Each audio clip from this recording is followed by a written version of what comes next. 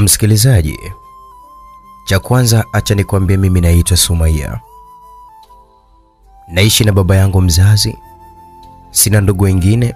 Baba yangu ndo maisha yangu.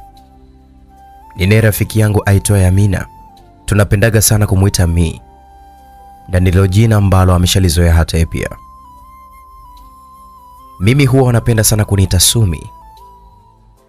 Tumemaliza kidato cha sita vizuri, lakini Amina rafiki yangu aliniambia kwamba itakuwa ni ngumu kwake kuendelea na masomo ili hali shangazi yake anaumwa na hakuna ada ya kumpatia.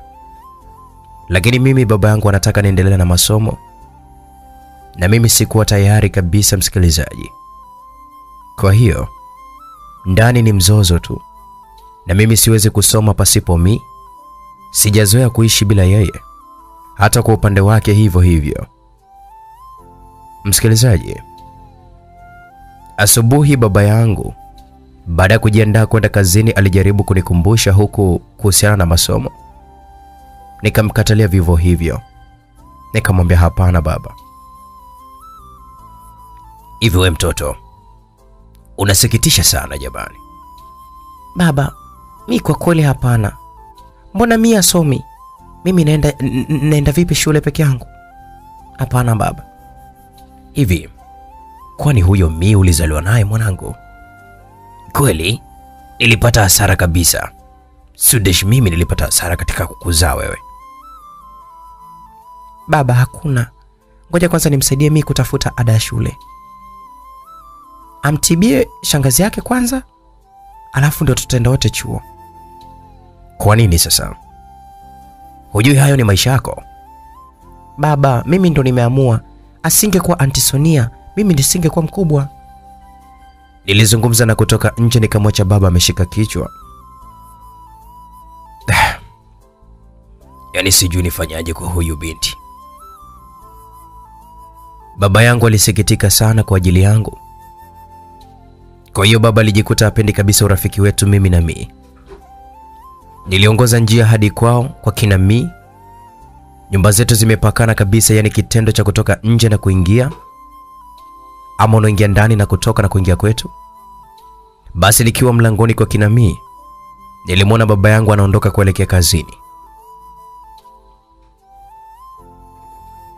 Wewe unamchungulia mzee Sudesh? Rafiki yangu Mia aliweza kuniuliza hivyo, nikamwambia kwamba nimemkera sana asubuhi asubuhi baba yangu, yaani acha tu mimi mtoto. Rafiki yangu haufai wewe. Nikamuuliza, je, wewe vipi? Sumi, mimi hapa nawaza namna ya kupata tu kazi. Watu wa mtaa huu walivyo ha- ha- hawatupendi. Unadhani watatupa kazi kweli hapa? Nilimjibu tuendelee kujaribu, tutapata kazi siku moja. Akaniambia na nani? Nikamwambia sina mimi, tutajaribu wote. Hivyo mbona kama wewe mjinga? Usiniambie kwamba unataka ukatai kwenda chuo. Nikamwambia mapema tu mimi nimekata chuo. Sumi, kwa nini lakini unafanya hivyo? Bana, sikiliza, mimi sitaki maswali. Muda ndo huu, twende mtaani tukatafuta kazi. Sitaki kwenda ni wapi huko kusoma, mimi sitaki, nimekwambia. Rafiki yangu mimi hakutaka kubishana na mimi, alikunywa chai, tukaelekea huko tusiku kujua. Tulitangatanga kutwa nzima, hatukupata chochote, lakini mwisho tuliishia kurudi nyumbani bila msaada wowote.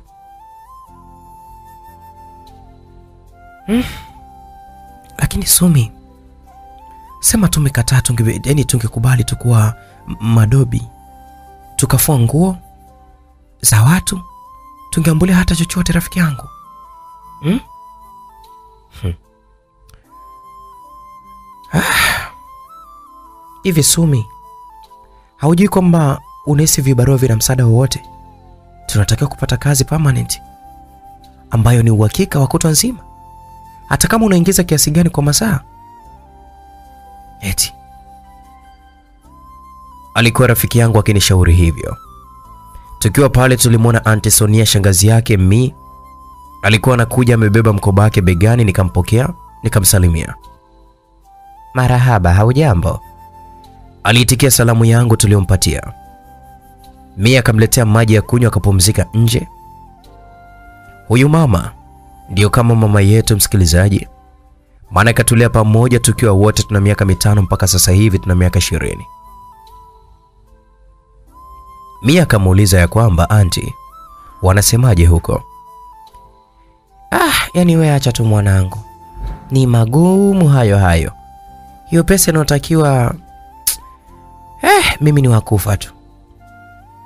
Mm, anti ushaanze sasa. Mimi nikauliza Anti umeanza? Mia akasema kwamba ah, lengo lake si anione mimi nakufa kabla yake. basi. Kwa muda huo anti naye mwenyewe akasema, tatizo nyinyi bado wadogo, hamuwezi kuelewa chochote. Nikasema mimi pesa itapatikana tu, mbona Eh, wanangu, sio kirahisi hivyo, lakini ngoja niwape moyo, nyinyi ni mashujaa wangu. alitukumbatia wote wawili. Kweli ni mama yetu huyu, maana yeye kila kinachomhusu mtoto wake wa kike akiwa bado mdogo hadi tulipofikia huwa anatupambania kabisa na kututekelezea. We naye Sumaya ndio mkumbatia kwa nguvu hivyo? Mm, lione lina wivu hilo. ilimjibu hivyo Sumaya. Ngoja bwana Timbe, mzee wa kazi hapa sasa hivi. Nilimwachia anti kwanza, nikainuka kuelekea ndani, nikachagua vifaa vyote alivyokuwa ananiandalia baba yangu ili nipate kuelekea chuo, lakini wapi, hmm? Yaani pasipo mi kusoma sasa hivi kwangu itakuwaje? How comes? Nilijiongelea mwenyewe nikaingia jikoni kupika. Upande wa baba yangu kazini kwake, yeye ni mwanasheria, anafanya kazi za kisheria serikalini, lakini pia ana kadi ya kuwa mwanasheria wa binafsi. Anamfanyia kazi mwanadada mmoja hivi anaitwa Bi Nusfat, Mrs Nurdin. Nusfat alikuwa ni mjamzito na anakaribia kabisa kujifungua, lakini daktari alimwambia toka mimba ikiwa changa kwamba aitoe, maana akiacha itakuwa na wakati mgumu wa kujifungua anaweza kufariki yeye au mtu aliyekuwa tumboni au wote kwa pamoja, au wanaweza kujifungua salama, lakini kwa tatizo lake haitachukua muda mrefu, atapoteza maisha kwa tatizo lake hilo kubwa. Msikilizaji, bin Nusfat alikataa kabisa kufanya hivyo kwa kuamini kwamba Mungu ndo mpaji wa uhai wake. Kama akapangiwa kifo, basi kufa kwake kutafuata inshallah. Bi Nusfat ana watoto wawili wa kike na wa kiume. Nasri ana miaka tisa, lakini mdogo wake azaia ana miaka sita, na huu ana ujauzito wa tatu, lakini kuzaa kwake ni matatizo sana. Alipopata mtoto wa pili, walitaka kumfungia kabisa kizazi, akakataa.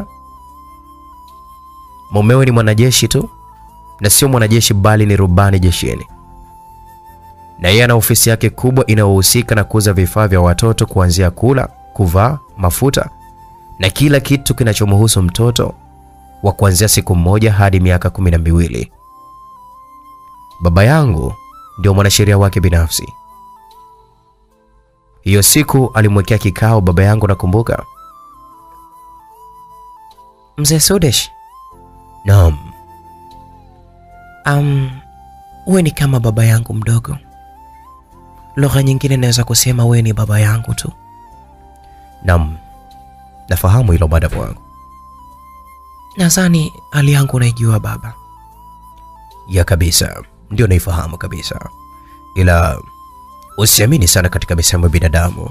Hata daktari pia ni, bina, ni binadamu pia, kwa hiyo ukiamini utapona. Najua unazungumza hivyo kunifariji, lakini ni ngumu sana kuelewa. Lakini kibaya zaidi, huyo aliyekuwa tumboni kwangu, nikifa nani atawalea? Nani atawatunza? Mm, wala. Lakini unajua nini, mimi nakuamini sana na ninakuomba unisaidie mzee wangu katika hili. Uh, mimi tena sema kwanza nijue na kusaidia kitu gani? Nahitaji binti ambayo unamwamini sana na unaamini ataweza kunilelea mwanangu na kulea wanangu wote kwa namna yote ile. Kiaje madam? Yaani unahitaji dada wa kazi? Hapana, sio tu dada wa kazi atakayeweza kuwa um, mama wa wanangu na hata kumiliki kila kitu changu. Ah, ah. Madam, ki- ki- kiaje? Mbona kama ni ngumu sana? Please mzee Suresh, una mabinti wawili na mabinti zako nawaona kabisa una upendo sana kwa wanangu. Kwa hiyo naamini hata watumboni watamtunza eh? Nakuomba babangu, nakuomba kweli hmm? Alizungumza akiwa kapiga magoti mbele ya baba. Eh, madam, sasa kumpata mtoto atunze mtoto ambaye sio wa kwake, mbona ni kazi sana hmm? Nakuomba mzee wangu, mimi ni yatima, nionea huruma. Asingekuwa mume wangu mimi, hata hapa nisingekuwa. Nikubalie baba, nitafanya chochote kile kwa ajili ya mabinti zangu, nitafanya chochote pia kwa mabinti zako. Au nakuomba, hali yangu unaiona baba, nisaidie wanao wale wale waole wanangu. Ah, ni mtihani, ni mtihani mkubwa. Wale mabinti zangu mimi nawajua vizuri, nawajua kabisa. Mimi kwa muda huo nilikuwa nyumbani, nimeivisha tayari chakula, najiandaa kula nipate kulala. Akaingia baba akiwa kachoka sana, nikamwahi nikampokea baba yangu, lakini kwa siku hiyo baba yangu alikuwa kanywea sana, yaani hayupo kama nilivyomzoea siku zote. Baba, baba Sumi, mbona kama umekasirika? Utasababisha mwanao aogope? Nilijifanya kwamba mimi ndio mama. Baba alinikumbatia na huku akicheka, na pia akanijibu kwamba hapana kipenzi, kuna mengi sana yanayonisibu ya- ya- yanayonisibu, na ndo niseme kwamba ndio sababu. Ndo hata mwanao ashtuke kwamba baba jana karudi na mawazo, atamkia kwa mii amwambie. Mjinga kweli yani. Alinikumbatia vizuri baba yangu, akala mezani na kisha tukalala kwa siku hiyo. Asubuhi anti alielekea katika miangaiko yake ya kila siku, lakini alionekana hayuko vizuri kiafya. Hilo tatizo lake la figo moja inamsumbua sana, msikilizaji, na ndo anayo hiyo hiyo moja. Mimi na mimi tulijiandaa ili leo tena tukajaribu bahati yetu kutafuta kazi. Kabla hatujatoka, baba alitusemesha na kutusimamisha.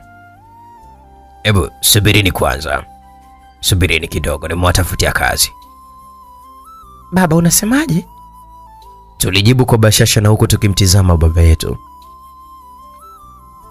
Ya, ndiyo, nimewatafutia kazi kwa Madam Nusfat.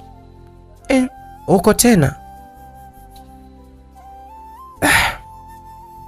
Sasa tutushangae kweli. Kwa hiyo kumbe hampo tayari kulipwa laki tatu kwa kila mwezi? Laki tatu? Niliuliza kwa mshangao, msikilizaji. Mm, sijasikia Sumi kasema laki tatu.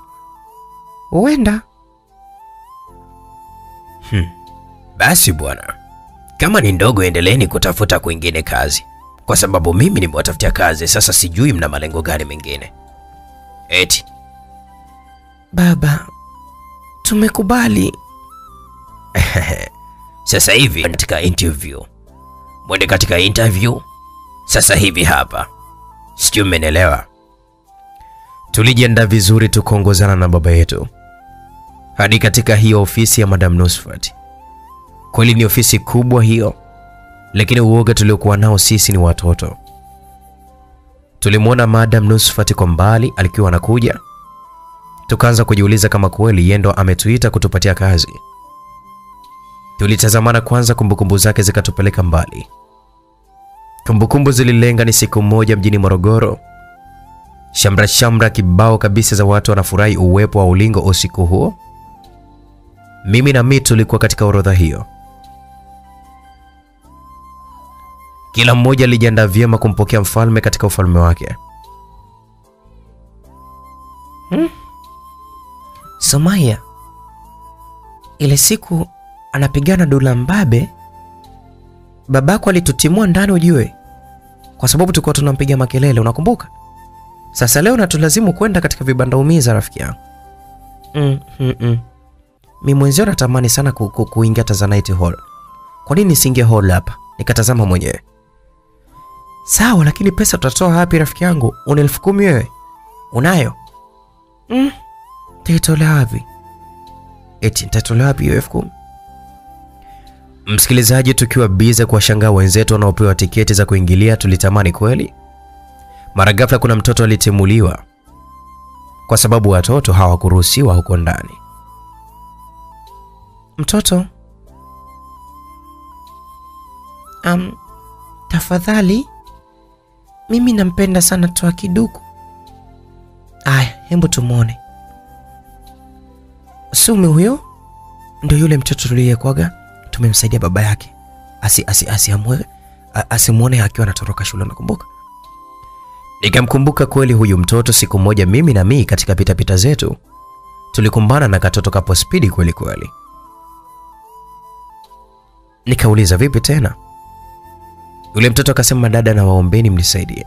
Tukamwambia kwa hivi, Babangu asinione, mnirudishe shuleni haraka. Mm.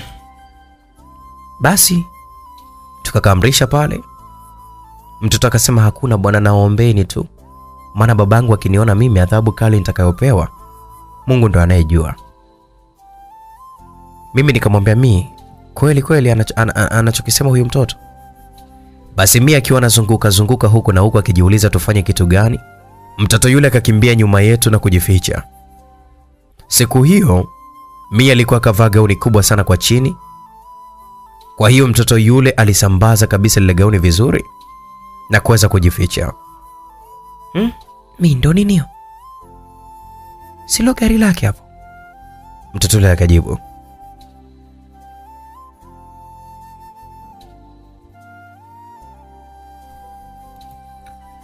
kuangalia mbele, kuna gari ilikuwa spidi mia, hatari kabisa, ikapiga breki karibu yangu, nikadondoka kwanza, ikashuka njemba moja imevaa kijeshi.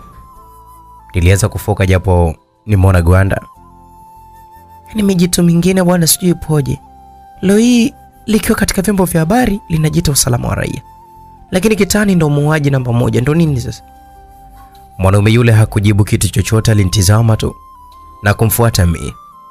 Mi akaanza kuzunguka zunguka tu na kulishika gauni lake, ni kama anacheza cheza tu Kihindi. Baba yule sijui mkaka, maana sio mkubwa sana, akamsogelea hivi. Mia akageuka na kuelekea kama anaenda hivi,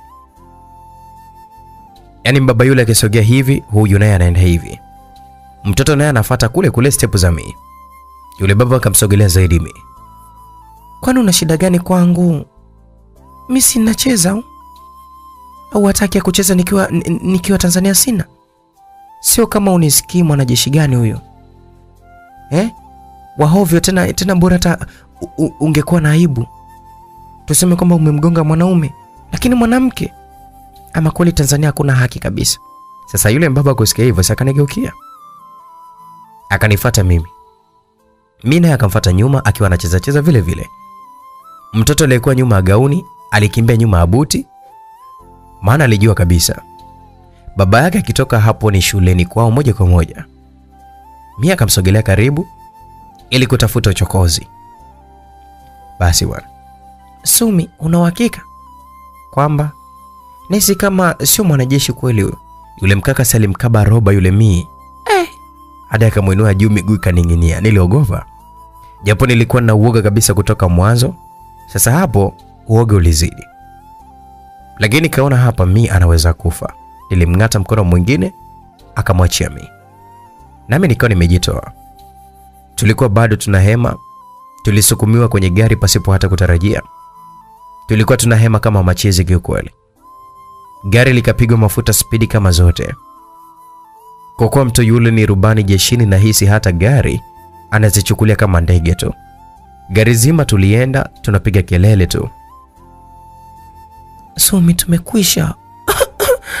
Alikuwa anazungumza huko na kohoa mi. Sasa mimi nikasema kwamba mwenzio, mimi sina hata mgongo navyokwambia. Yule mtoto naye mwenyewe kujigonga huko huko katika buti ya gari, na hatimaye tulifika katika hiyo shule ambayo inaitwa Montfort Academy.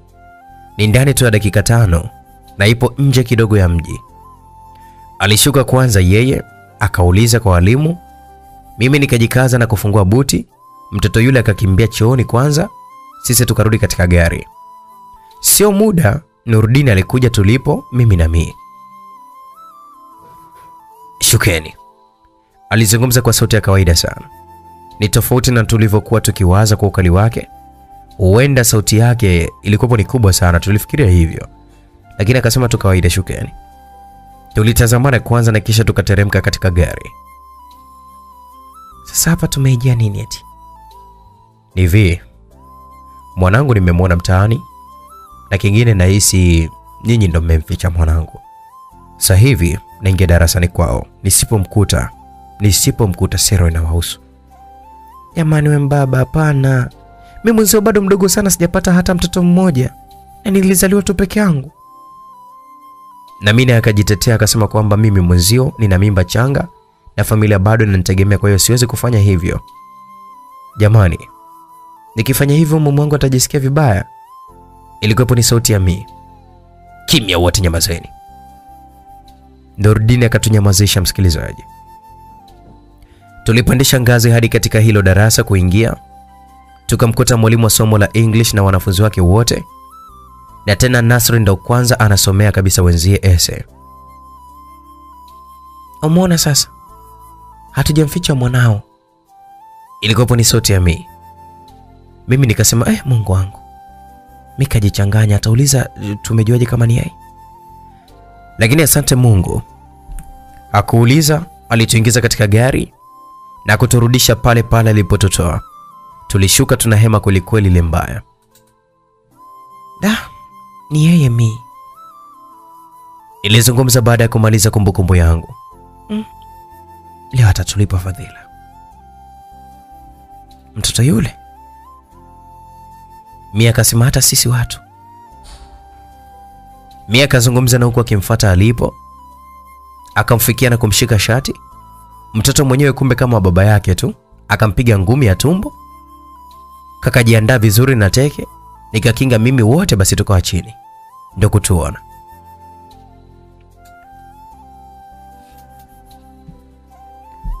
Basi Nasra akasema kwamba samahani mamdogo, sikujua kama ni nyie.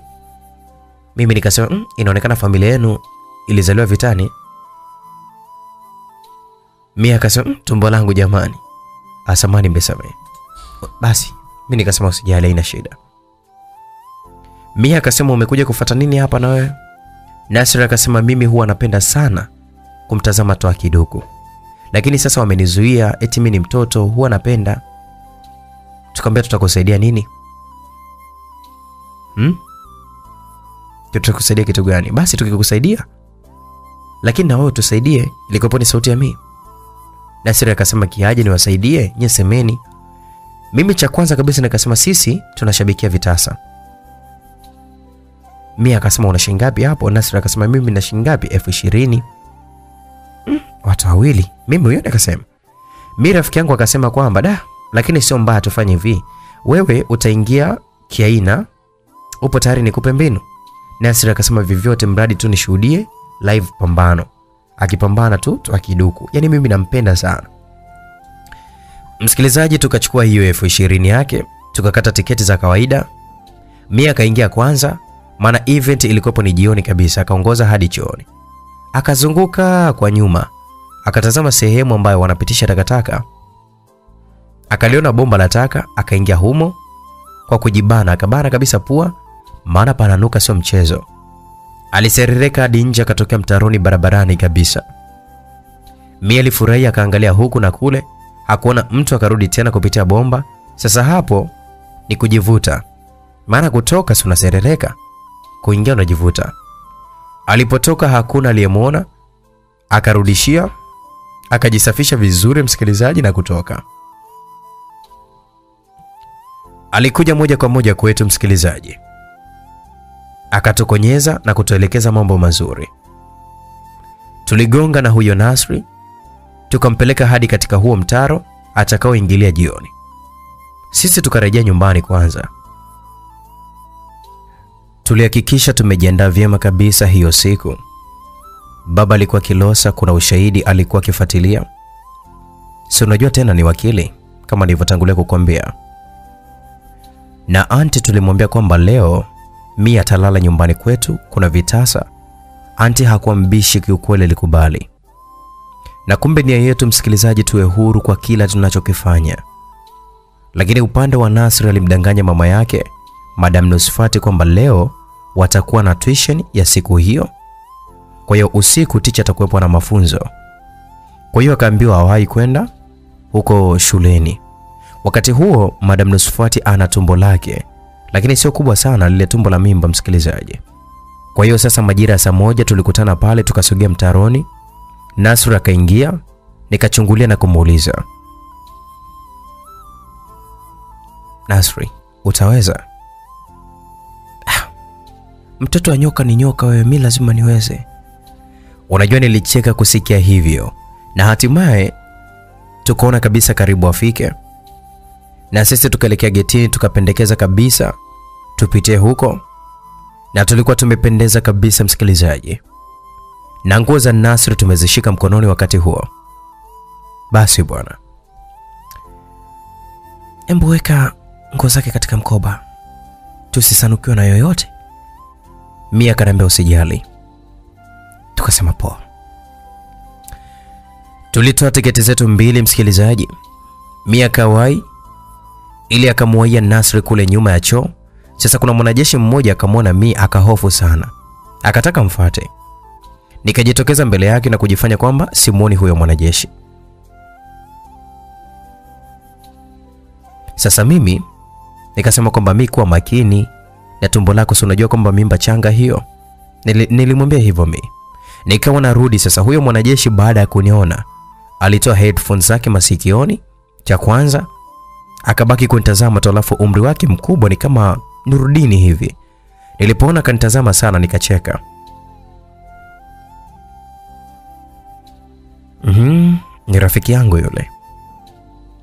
Si, si, huyo tu, unajua tena ana mimba changa wa rafiki yangu. Nikaondoka nikamwacha pale, lakini macho yake yalikuwa kwangu hadi nikamwogopa sana ule mwanajeshi asija akawa kama ni baba Nasiru vile vile. Nikielekea katika siti moja, siti zetu ambazo tulikuwa tumezilipia, maana watu bado walikuwa wanakuja. Muda kidogo mi akaja akiwa pamoja na Nasri. Nasri ashapendeza kiukweli tu, yani ashang'aa vizuri, tukawa tumeketi kutupa macho mlangoni, we si nikamwona ule mwanajeshi yupo na baba yake Nasri. Msikilizaji, mm, mi tumekwisha rafiki yangu. Nini tena na wewe, mbona kama hivyo? Si babake Nasri umwoni yule pale? Ah, wa babangu mwenyewe anapenda ngumi. Hmm? Na nani kakupa pesa ya kuingilia humu ndani? Kama ungeniuliza kabla ya kuingia huku, ningekuona we ni mama bora sana. Alinijibu hivyo Nasri. Nikamwambia, we, mi siwezi kabisa kuwa na mtoto mkubwa kama wewe. Embo Nasri, ingia, ingia chini ya viti. Tuliweza kumwambia hivyo. Msikilizaji, Nasru aliingia kweli katika viti, akamwambia subiri kidogo tu, watu wakijichanganya tu basi hata hofu pia kwako wewe itaisha. Msikilizaji, sio muda vitasa vilianza, lakini muda wa toa kiduku ulikuwa bado haujafika. Um, jamani, vitasa raha sana msikilizaji. Kama hupenda basi kufuatilia, basi endelea kufuatilia, lakini kama haupendi, embo jaribu kuanza kufuatilia. Waliingia hao wadada wawili Najma Isike pamoja na Halima Mandola. Hmm. We Najma alikuwa analipa kisasi kwa Halima, maana pambano la mwisho alishindwa. Mimi pamoja na mi huwa wana yani, wakiingia mabondia wote wa Tanzania tunagawana. Mimi huwa namchagua siku zote Najma, yeye huwa namchagua Halima, maana hata mara ya mwisho alimchagua Halima akashinda. Walikuwa na raundi zao sita tu. Raundi ya kwanza Najma alionyesha kuchangamka sana, akanikosha. Hmm. Yaani hawa wadada wanapoteza muda tu, hata hawajui yaani kupigana, hawajui ngumi hao. Ilikuwapo ni sauti ya Nasri yule mtoto. Mimi nikasema wewe mtoto, embo kimya. Raundi tatu zote hizo. Kwa muda huo Najma alikuwa kabisa juu, bado tatu. Hiyo basi ya nne Halima alionyesha udhaifu mwingi sana kwake. Hmm? Mia akasema jamani, leo Halima kaniangusha kweli kweli. Kwangu mimi nilifurahia sana. Baadaye wakaingia wadada wengine wawili. Hawa walikuwa bado hawajawahi kabisa kukutana, kwa hiyo tukasema tunamshangilia yoyote yule atakayeshinda. Mdada mmoja hivi anaitwa Stumai Moki, mwingine alikuwa anaitwa Lulu Kayege. Mia akasema kwamba huyu ndio bondia gani sasa, mrembo kiasi hichi kweli? Mimi kwa muda huo nilikuwa nashangaa tu msikilizaji, na kumbe hata sisi tunaweza kwa mabondia. Nikamwambia mi hivyo. Nasra akasema hamna lolote, hamwezi kufika popote. Hmm? Mi akasema kwamba Nasri, rembo achafujo bwana, sutulie. Nasri aliambiwa kitu na mi akatulia tuli, lakini mimi sijui huwa ananionaje, yani akiambiwa tu na, na, na mi kule na nyamaza, lakini mimi niseme sasa. Walianza sasa kuzichapa vizuri, lakini kweli Situmai ni mrembo kweli kweli, japo ni bondia, lakini bado sura yake ilikuwa na mvuto. Ni mrembo, ni binti ambaye ana kila kitu ambacho cha kumfanya aonekane ni mrembo. Lakini Lulu kwa kweli mm, hadi tukahofu huenda Situmai atashindwa, maana ni softi sana kiukweli. Lakini ngumi zake msikilizaji, zilikuwa na maajabu mengi sana. na Hatimaye alimshinda Lulu kwa pointi nyingi sana zilizotolewa na majaji. Wakaingia wapambanaji wengine, jina lake alikuwa anaitwa George Banabucha, alikuwa akipigana na Juma Fundi. Tukamchagua Juma Fundi baada ya kusikia taarifa zake kwa Nasri, lakini Nasri mwenyewe yeye alimchagua George. Haya basi, ni saa ngapi sasa Joji ambaye asizidishe kabisa mbwembo ukumbini na ukumbi wote msikilizaji ukashangilia na sisi tukajikuta kabisa tunashangilia. Nasri alianza kutucheka maana hatueleweki, yaani tulifata mabondia wengine na wengine kabisa ambao walikuwa wakifanya vizuri. Basi mwisho ukafika muda ambao uliwakusanya watu wote pamoja, hakuna kulala wala kuhema. Watu wote tulitulia tuli. Mfalme ndani ya ufalme akawa ameingia dimbani. We, aliingia kistaarabu ustaarabu ulivyo kawaida yake, hana mbwembwe nyingi. Tulimshangilia kwelikweli, kweli, msikilizaji, na kumbe muda ambao tunashangilia toa kiduku, yule mjeshi ambaye alikuwa baba yake Nasri, saa ngapi asituone, akaanza kuniangalia na huku akiwa na tabasamu. Sasa kutuangalia kwake, mimi nipo na nani sijui, akatazama, yani nilikuwa nimefuatana na nani, akamwona mi, kulingana na watu ambao tulikuwa wengi sana. Nasri alipanda katika viti ili naye tu amtazame huyo toa kidogo, lakini msikilizaji, kwa bahati iliyokuwa mbaya kwake, akaonwa na baba yake. Oya bro, yule si ndo Nasri kweli yule, au sio yeye? Ilikuwepo ni sauti ya yule mjeshi ambaye alituona mara ya kwanza wakati tunaingia. Nurdin akasema, unasemaje ndugu yangu? Yule mjeshi akasema kwamba au nitakuwa nimemwona vibaya. Nurdin akasema ni, ni, ni Nasri, inawezekana aje? Na mama yake akasema kwamba Nasri kaenda kujisomea.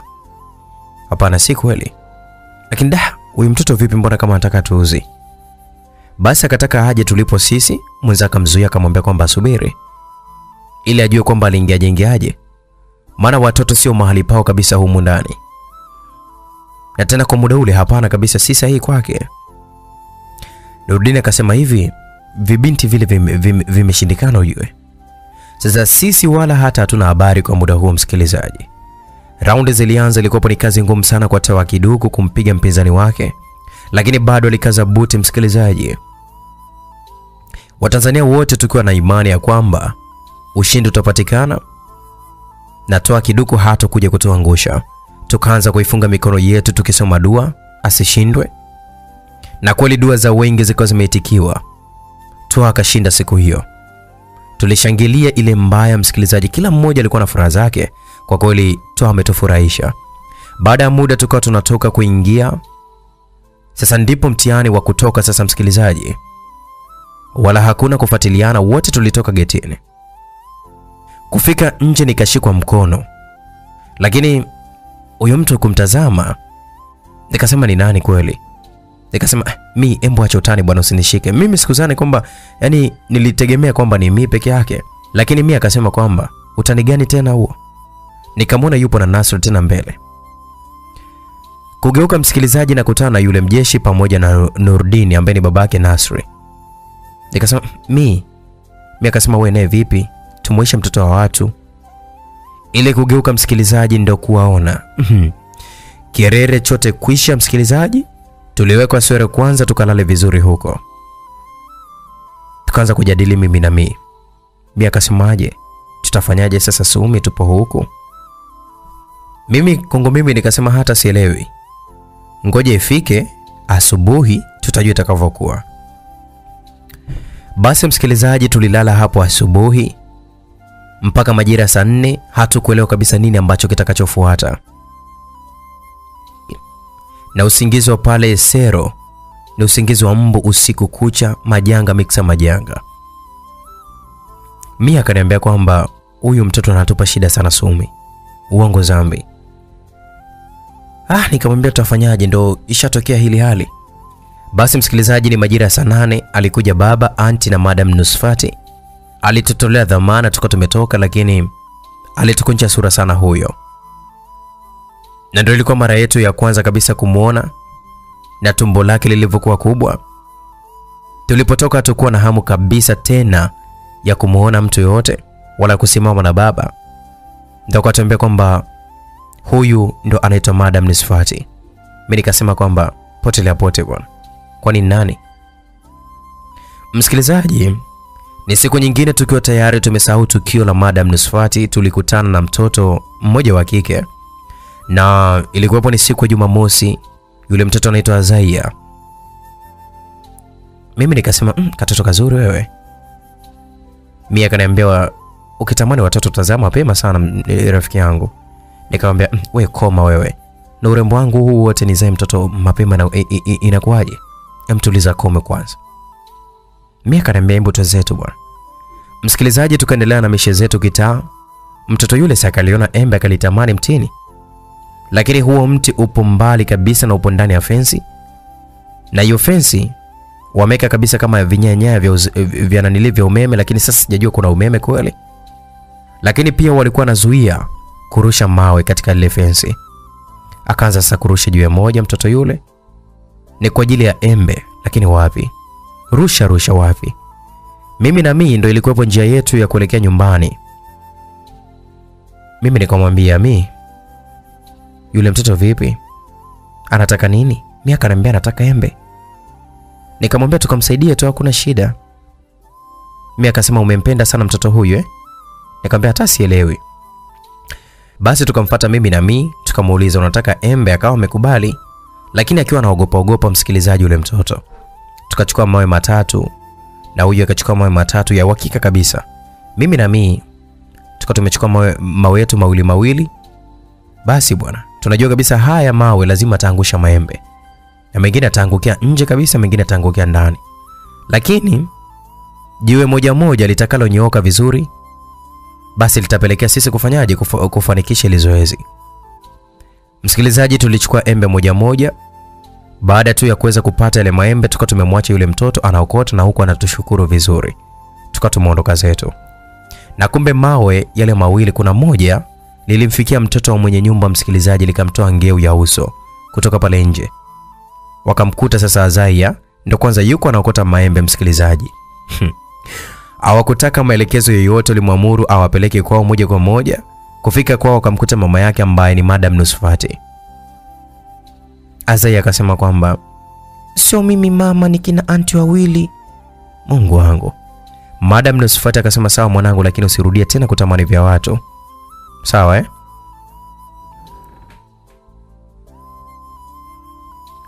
Aliingia ndani na maembe yake. Mama yake akatoa pesa kufidia matibabu ya mtoto yule. Siku nyingine, msikilizaji, waliwatoa watoto wao picnic. Madam Nusfati sio mtu wa roho mbaya kiukweli, Alimwomba baba atupeleke na sisi huenda tuka tukaelewana vizuri. Sisi hatukuwa na habari kabisa kama ni Madam Nusfati ndo kataka tuende. Sasa saa ngapi tusifike kule? Tukamkuta yeye, kitendo cha kumuona tu Madam Nusfati, Mungu wangu. Azaya cha kwanza kabisa ule binti akasema kwamba Mama, ndio hawa wale wakina anti walio ni, ni, niangusha maembe, wana roho nzuri kweli wale pale. Sasa Madam Nusfati kusikia hiyo kauli, moja kwa moja unajua alikunja sura.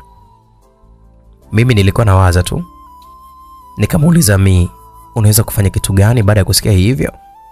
Akaniambia mm, kama unavyowaza tu rafiki yangu. Nikasema mm, haya fast.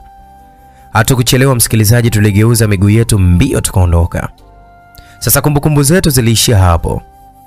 Baada ya kumkumbuka huyo Madam Nusfati na baada ya kuambiwa kwamba tunahitajika kwenda kufanya kazi kwake, tulikumbuka matukio mengi sana yaliyopita, na ndipo akili ikarudi hapo ofisini. Hiyo kazi tutaipata kweli?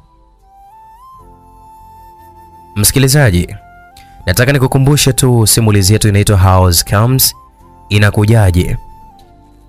Inakujaje ndo simulizi ambayo nzuri tumeweza kuanza nayo, na mtunzi wa simulizi yetu anaitwa Sumi Azizi. Mimi naitwa Elnaid Fantastic. Usiache tu kunifollow Instagram, natumia at official elnaid_tz, lakini vile vile kwa wapenzi wa TikTok natumia Elnaid Fantastic ama Fantastic Boy. Mbele kuna kikofia fulani vicha rangi ya blue, embo ni follow pale, alafu mambo mengine yaweze kwenda vizuri.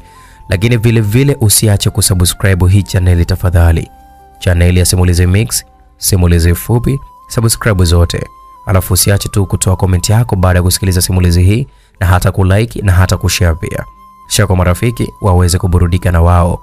Usienjoy tu peke yako, shirikisha na ndugu na marafiki pia. Basi msikilizaji, embo tuendelee na simulizi yetu. Madam Nusfat alituangalia kwanza tulivyokuwa waoga, lakini tunajifanya tuko sawa tu kama hatuhofii chochote. Akasema kwamba karibuni. Tulinyamaza tukiwepo pale pale ofisini. Baba alituacha hapo madam akatuhoji baadhi ya maswali, tukamjibu japo kwa uoga sana. Tulipewa kazi, mimi nilipewa storekeeper, Mia akapewa kazi ya kudeliver, yani kupeleka mizigo kwa wateja. Kwa hiyo madam Nusfati alilazimika kabisa kumnunulia simu kubwa na ya kiwango kabisa kikubwa kwa ajili ya kuwasiliana na wateja mbalimbali. Mimi pia nilipata simu, msikilizaji. Hatukuamini hicho kitu. Tulianza kazi ndani ya wiki moja tu. Baada ya maelekezo, kila mtu akawa bize. Mi mara nyingi alikuwa anakuja store, anachukua mizigo anapeleka, au anapiga picha. Kwa hiyo muda wote tunatakiwa kabisa kukaa na mabango. Maisha yetu yalibadilika ghafla tu, msikilizaji. Siku moja nakumbuka tulikuwa tunapata chakula, yani dina, maana kazini mwisho ni majira ya saa tatu na nusu. Mi alianza kuniuliza Hivi Sumi, katika kila ndoto lazima nikuote, huo ni kwa nini? na mimi pia nikamuuliza kwa nini, kwa nini unaniota? Um, siamini kama tayari tupo hivi na huyo Madam Nusfati, upendo wake wa ghafla sana. Hebu tufanye niamke basi. Mm. Hata mimi pia sielewi ni kwa nini upo katika ndoto zangu mimi. Kwa kweli mzee Sudesh, Mungu ambariki kiukweli. Um, tunajivunia kuwa naye mzee wetu na hakuna kabisa kwa kumpinga kwa sababu ni mzee mwenye yeye mwenye busara na uole wake. Mia akasema baba yetu huyo. Nikamwambia yeah. mzee mwema sana kututafutia kazi, tumeenjoy kwa kweli. Msikilizaji, baada ya dina tukiwa njiani tunarudi nyumbani, tulikutana na mkaka mmoja hivi anaitwa Frank. Huyo mkaka bwana huwa anampenda sana mi tangu tukiwa sekondari. Mi akasema mm, Huyo sasa udenda wa zombi ajiroge tu kuniita anavyokuambia siku ya leo. uh, Frankie akasema Mina, please nakuomba kuzungumza na wewe. Mi niko bize, hauoni kwamba nimechoka? Hapana bwana, nakuomba tafadhali.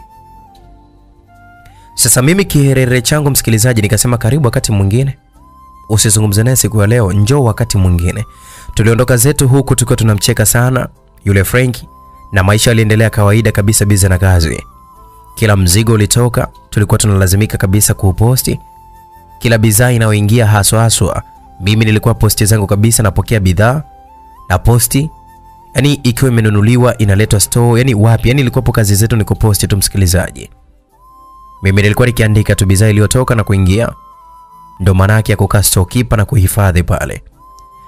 Unajua msikilizaji, tulienjoy na maisha ndani ya mwezi mmoja tu. Tuliamini kwamba kila mmoja atakuwa na laki tatu tatu yake ndani ya huo huo mwezi mmoja. Kama hatuna bahati hivi, ugonjwa wa anti ulichachamaa kabisa, yaani akawa hawezi hata kuinuka kitandani. Tulishindwa kabisa nini ambacho tufanye, msikilizaji. Tulihangaika huku na kule kumtafutia msaada wote anti Sonia, lakini wapi, pesa hatuna. Tukaahidi laki sita ndani ya wiki moja lakini bado hatukuweza kufanikisha. Ilikuwa haitoshi kabisa kumnunulia figo nyingine na kumtibia anti. Zinahitajika kama milioni ishirini na tano msikilizaji. Hiyo pesa ni ndefu sana kwetu sisi, tutaipata wapi anti yetu apone? Um, mi hatuwezi kumpoteza anti, tufanye tuuze kila kinachotuhusu ki- ki- hata kama ni kitu gani, mi anti apone. Sumi, unakumbuka kipindi kile Arafa alitaka kununua jina langu la form 6? Sasa huyo Arafa ni mdada ambaye kiasi fulani anafanana na mi. Unajua msikilizaji, huyu Arafa tulisoma naye, lakini akawa hana akili za darasani. Akamwomba sana Mungu amtunuku akili, lakini wapi. Ikafika wakati akamwomba Mia muuze jina, maana kafaulu, lakini hana ufaulu kabisa wa uhakika wa kuendelea na masomo. Mimi nikamzuia mi kufanya hivyo. Sasa mimi nikasema mm, Mi, lakini tulikataa ujue kufanya hivyo. mm? Mia akaniambia kwamba ila Sumi, Sumi, milioni kumi na moja ni nyingi sana, Wanaweza kukubali hata utangulizi tu, tumtibie anti yetu. Mimi nikamwambia kwamba tutajaribu. Basi msikilizaji, tuliongozana vizuri hadi kwa wakina Arafa. Jibu tulilolipewa tayari kabisa kashinda private school, kwa hiyo hatuna kabisa namna yoyote kupata pesa.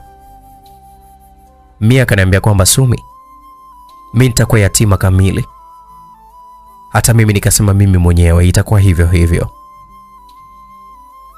Msikilizaji, baba yetu pia alikuwa akihangaika hivyo hivyo katika kujikusanya, akafanikiwa kutupatia milioni tisa tu, japo kazini tunaenda, lakini bado tunafanya kazi kwa wengi sana. Siku moja baba akatoa wazo, kwa nini tusiende kumkopa Madam Nusfati, labda pesa akatusaidia. Mia akasema kiaje? Uh, Madam Nusfati ana pesa hawezi shindwa kabisa kutukopa kutukopesha sisi tukafanya hili jambo likatimia. Mm, baba kajaribu basi, anti atakufa huko hospitali. Itajaribu, lakini tuwe tayari kwa lolote. Sawa tu kwa chochote baba. Baba alielekea kwa Madam Nusfati akakutana naye. Kipindi hicho Madam Nusfati hata kaziri haji kabisa, maana tumbo lake lilikuwa limeshafikia kabisa muda wa kujifungua. Baba akamwelezea shida iliyompeleka pale. Um, mimi nimekusikiliza vizuri mzee wangu, mzee Sudesh, lakini hapo hata mimi nahitaji pia msaada kutoka kwenu pia. Madam, acha kufikiria kuhusu kifo ambacho huna uhakika nacho. Pambania kwanza uhai wako madam. Ya, napambania uhai wangu na wa mwanangu pia aliyoko tumboni. Na kuomba na kuomba uambie wanao, haswa yule ambaye shangazi yake ndo mgonjwa, akubali kuolewa na mume wangu hmm? Akiolewa na mume wangu, hapo mimi nitamtibu anti yake. Hata ikitokea mimi nimekufa, atatibiwa tu, hakuna shida. Lakini madam, mbona hiyo ni ngumu sana hmm? Yule bado ni binti mdogo, kwa mume wako ni binti mdogo sana. Mume wangu sio mkubwa, sio mkubwa sana, ana miaka kama 35 tu, na akiolewa naye atamiliki kila kilichokuwa cha kwangu. mimi sina uhakika wa kuishi baba Sudesh. Hmm? Kweli kwa mabinti wa sasa, ukiambiwa hicho kitu msikilizaji, na tena mwanamke mwenyewe ambaye ndo anahitaji aolewe mwanamke, yani mwanaume wake amoe mwanamke mwingine, mwanamke ndo ametaka kabisa, mbona faster tu katika dunia sasa hivi. Lakini kwetu sisi na kwa wazazi tulionao, hatukujifunza kabisa kukata tamaa. Baba alirudi nyumbani akiwa kanywa sana na hiyo siku ilikuwapo ni siku ya Jumapili, hatukwenda kazini msikilizaji. Alipofika baba yetu tulimpokea vizuri kwa hamu, tujue ni kitu gani ambacho kimejiri huko kwa madam, kwa hali aliyokuwa nayo. Kiukweli msikilizaji, tulipomtizama baba yetu tulijikuta tumenyong'onyea sana. Baba, kuna nini? Amsife msife moyo.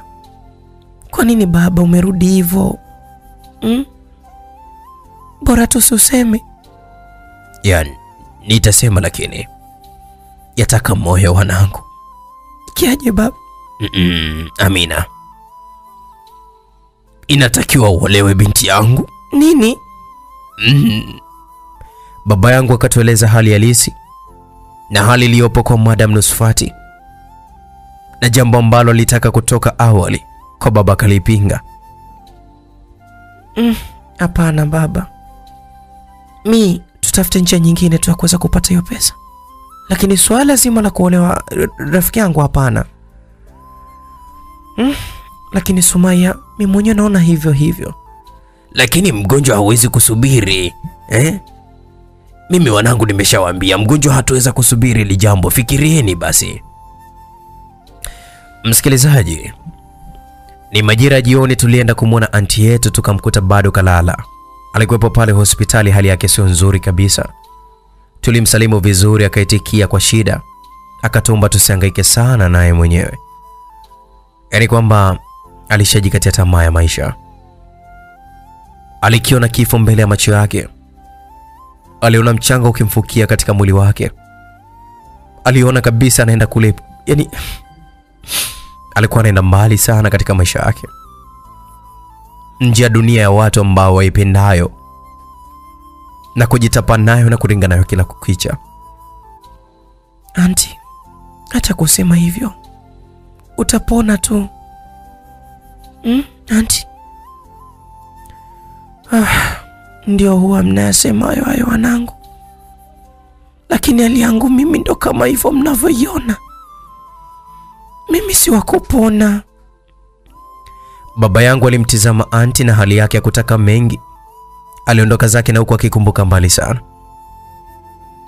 Baba yangu alikumbuka zamani hizo, anti alikuwa bado ni binti mdogo mdogo tu. Baba alikuwa akiishi na mimi nikiwa na umri wa miaka mitatu baada ya mama yangu kufariki. Anti alikuwa akinionea huruma sana, hivyo basi akaanza kunilea taratibu, mdogo mdogo, akajikuta yupo karibu na baba yangu kupitia mimi. Lakini mwisho wa siku baba yangu baada ya miaka miwili nikiwa na miaka mitano walipendana sana, wakafikia hatua za kutaka kuoana. Lakini kabla ya ndoa kufika, baba yake Amina alifariki, ambaye alikuwa akiishi na mwanawe kutoka kabisa akiwa mchanga. Anti akaletwa mtoto, alihofia kuugawa upendo wake kwa watoto wawili. Kwa ajili hiyo aligoma kabisa kuolewa na baba yangu. Baba alimbembeleza sana, lakini wapi, haikuwezekana. Kwa hiyo baba akamjengea nyumba ndogo pale pale nyumbani, ndo akatulea kabisa kwa pamoja hadi hapa tulipofika. Msikilizaji, kumbukumbu zake baba ziliishia hapo, sio muda. Hali ya anti ilizidi kabisa kuwa mbaya. Msikilizaji, sisi tuliondoka tukiwaza cha kufanya. Usiku wa wakati huo tukiwa tumelala, mi aliwaza sana kuhusu anti akaona kama tukicheza vibaya tutampoteza anti wetu, na fursa ipo kwa kumsaidia. Akawaza kama akiniambia kuhusu uamuzi wake sitamruhusu, akapanga afanye jambo. Kesho yake, msikilizaji, ni majira ya asubuhi, alikuja ndani, mimi nikiwa bafuni, akamwomba baba. Baadaye kukutana na Madam Nusfati. Baba alimwomba afanye uamuzi wa kufikiria, asije kujuta kwa baadaye. Mia akasema liwalo na liwe nimekubali tu kuolewa. Baada ya muda, msikilizaji, tulikaa kabisa, tuliweka kikao tukajadili vizuri, lakini baadaye tukaelekea kazini. Lakini mi hakuonekana kabisa kuwa sawa siku hiyo, ni kama kuna kitu alikuwa kikifikiria kichwani kwake, ama kuna kitu ambacho kilikuwa hakijawahi kukaa sawa katika ubongo wake. Alichukua bidhaa pamoja na pesa kwa sekretari na kuondoka, na safari zake zilikuwa ni nyingi sana kupita kiasi kwa siku hiyo, hadi mimi nikaingilia kati. Mi rafiki yangu, leo vipi? Au ndo, ndo, ndo kazi sana una- unakuwepo kiasi hicho? Ah, Sumi, ni kazi tu leo, wapokeaji ni wengi sana rafiki yangu. Nilimwachia afanye kazi zake. Majira jioni, mimi aliniaga akaenda sasa kupeleka mizigo, lakini hakuchukua mzigo wowote siku hiyo. Mbona hauna mzigo alafu unaniaga unaenda kupeleka mzigo? Ni mtu wa rejareja tu. Nani kakuruhusu mi kwenda huko? Nani kakuruhusu? Madam kaniruhusu, na tena mteja alimpigia madam simu. Msikilizaji, mimi aliondoka. Mimi na mimi tulikuwa tumezoeana sana, msikilizaji. Hivyo basi hata mimi akinidanganya chochote nilikuwa natambua. Sikuweza kumwamini, nilitamani kabisa niendelee kufuatilia kilichokuwa kinamsibu, lakini stokipa wenzangu wanakataga kabisa kusema hawataki gepu. Nilitulia tu pale pale kazini. Kwa muda huo, msikilizaji, Mia alienda hadi kwa Madam Nusufati akiwa na baba, akakabidhiwa kabisa mkataba wa kusaini ndoa, akasaini na Nurudini pia alisaini na baba ndio shahidi, na cheti cha ndoa kilikamilika, yaani kwamba rafiki yangu anaolewa ndoa ya pili ama mke wa pili baada ya mama huyu Nusufati. Madam Nusufati kwa muda huo, msikilizaji, akasema kwamba hapo bado ndoa tu mume wangu, alimwambia mume wake hivyo. Nurdin alimtizama sana mke wake na kuondoka zake pasipo kujibu chochote. Hiyo inaonyesha kabisa dhahiri ya kwamba hata yeye hakutaka hiyo ndoa aifanye, hakutaka kabisa kile kitu kitokee kwa siku hiyo. Baba akasema kwamba mwanangu, una uhakika utaweza hiyo ndoa? Tena ndo vizuri baba, hapa hakuna ndoa, kwa hiyo tutaishi tu vizuri kawaida tu ndani ya hiyo ndoa, ndoa ambayo ni ya miaka mitano niliolewa kwa huo mkataba. Hakuna shida, nitakaa katika hiyo miaka mitano uliosema madam, na kisha mimi miaka hiyo ikitimia, mimi nitaondoka. Mi na baba waliondoka baada ya kusaini ile ndoa. Madam Nusufati alimfuata mume wake na kumtoa mawazo. Mume, usichukie, ni kwa ajili ya future mpenzi wangu hmm? Unawezaje Nusufati kumwamini mwanamke mwenzio na kulichoka kiasi hichi? Nurdin alizungumza kwa huruma sana, na ni dhahiri kabisa anampenda sana mke wake. Ukifoka sana ha- hakuna kitakacho nanilii, ukifoka sana hakuna kitakachosimama, lakini vile vile sana atachomoka tumboni. Kwa nini unafanya hivi? Kwa nini ufoke kwa nguvu mume? Uh, nakupenda sana, unajua hilo. Uh, nimekubali ili tu ukubali kwenda India kutibiwa. Isingekuwa hivyo, nisingekubali. Nusfat alimdanganya Nurudini kwamba akijifungua tu anatakiwa kwenda tu kutibiwa India kwa muda wa miaka kadhaa, ila hataki Nurdini amlazimishe kwenda eti kwenda kutibiwa. Hakutaka hivyo. Nusfati akakataa kabisa kwa kuhofia kuacha wanawe bado wadogo sana aende mbali mno kiasi hicho kuelekea nchini India. nurdini akamwomba aseme chochote atakachokitaka atakifanya, lakini Nusfati hakubali kabisa kwenda India kutibiwa. Nusfati akaona hapa solution moja tu, akampa sharti la kuoa. Nurdin kwa ajili ya mke wake alikubali tu, lakini alipogundua mwolewaji ni nani alikataa tena. Kama ilivyo hakuna kabisa mkate mgumu mbele ya chai, mke wake alimbembeleza kweli hadi akakubali. Kwa hiyo bado kidogo tu ifungwe ndoa, msikilizaji. Japo kisheria Amina tayari ni mke wa mtu. Sasa unahisi nini kitafuata? Embu usikose kuendelea na simulizi msikilizaji. Basi bwana Nusfati akakataa kabisa kwa kuhofia kuacha wanawe bado wadogo, kama nilivyotangulia kukwambia. Atawaza akienda Inda kufanya matibabu itakuwaje kwa watoto. Basi bwana msikilizaji, ilikuwapo ni majira kama mida saa moja za usiku. Nimetoka hospitali kumwona Auntie Sonia, nilikuwa naelekea nyumbani. Nilikuwa najiuliza maswali mengi sana kichwani kuhusu rafiki yangu Mi. Kwa nini leo alikuwepo vile? Ni kwa nini leo alikuwa anapita pita tu pasipo hata kunisemesha? Ni kama ananificha jambo fulani hivi. Nikiwa njiani, kuna gari linipita kwa muda huo, linipita kama upepo, ikasababisha kipochi changu kabisa kudondokea kule upande wa pili. Nilikimbilia ili nisije kabisa kubebewa na wauni. Ile nainama tu kuokota, kuna mtu alinishika kiunoni bila kujua ama kujiuliza ni nani. Niligeuza mkoba wangu, ndo kiboko. Msikilizaji, nilijikuta nimepigwa kabisa, sauti ambayo ilisikika kabisa kipigo hicho. Nikasema kwamba sio kila king'acho ni dhahabu, vingine vya kupisha tu. Nilizungumza nikiwa nimemwangalia mtu yule aliyekuwa amejinamia chini tu na huku akiugulia maumivu kwa, kwa, kwa kipigo cha mkoba wangu.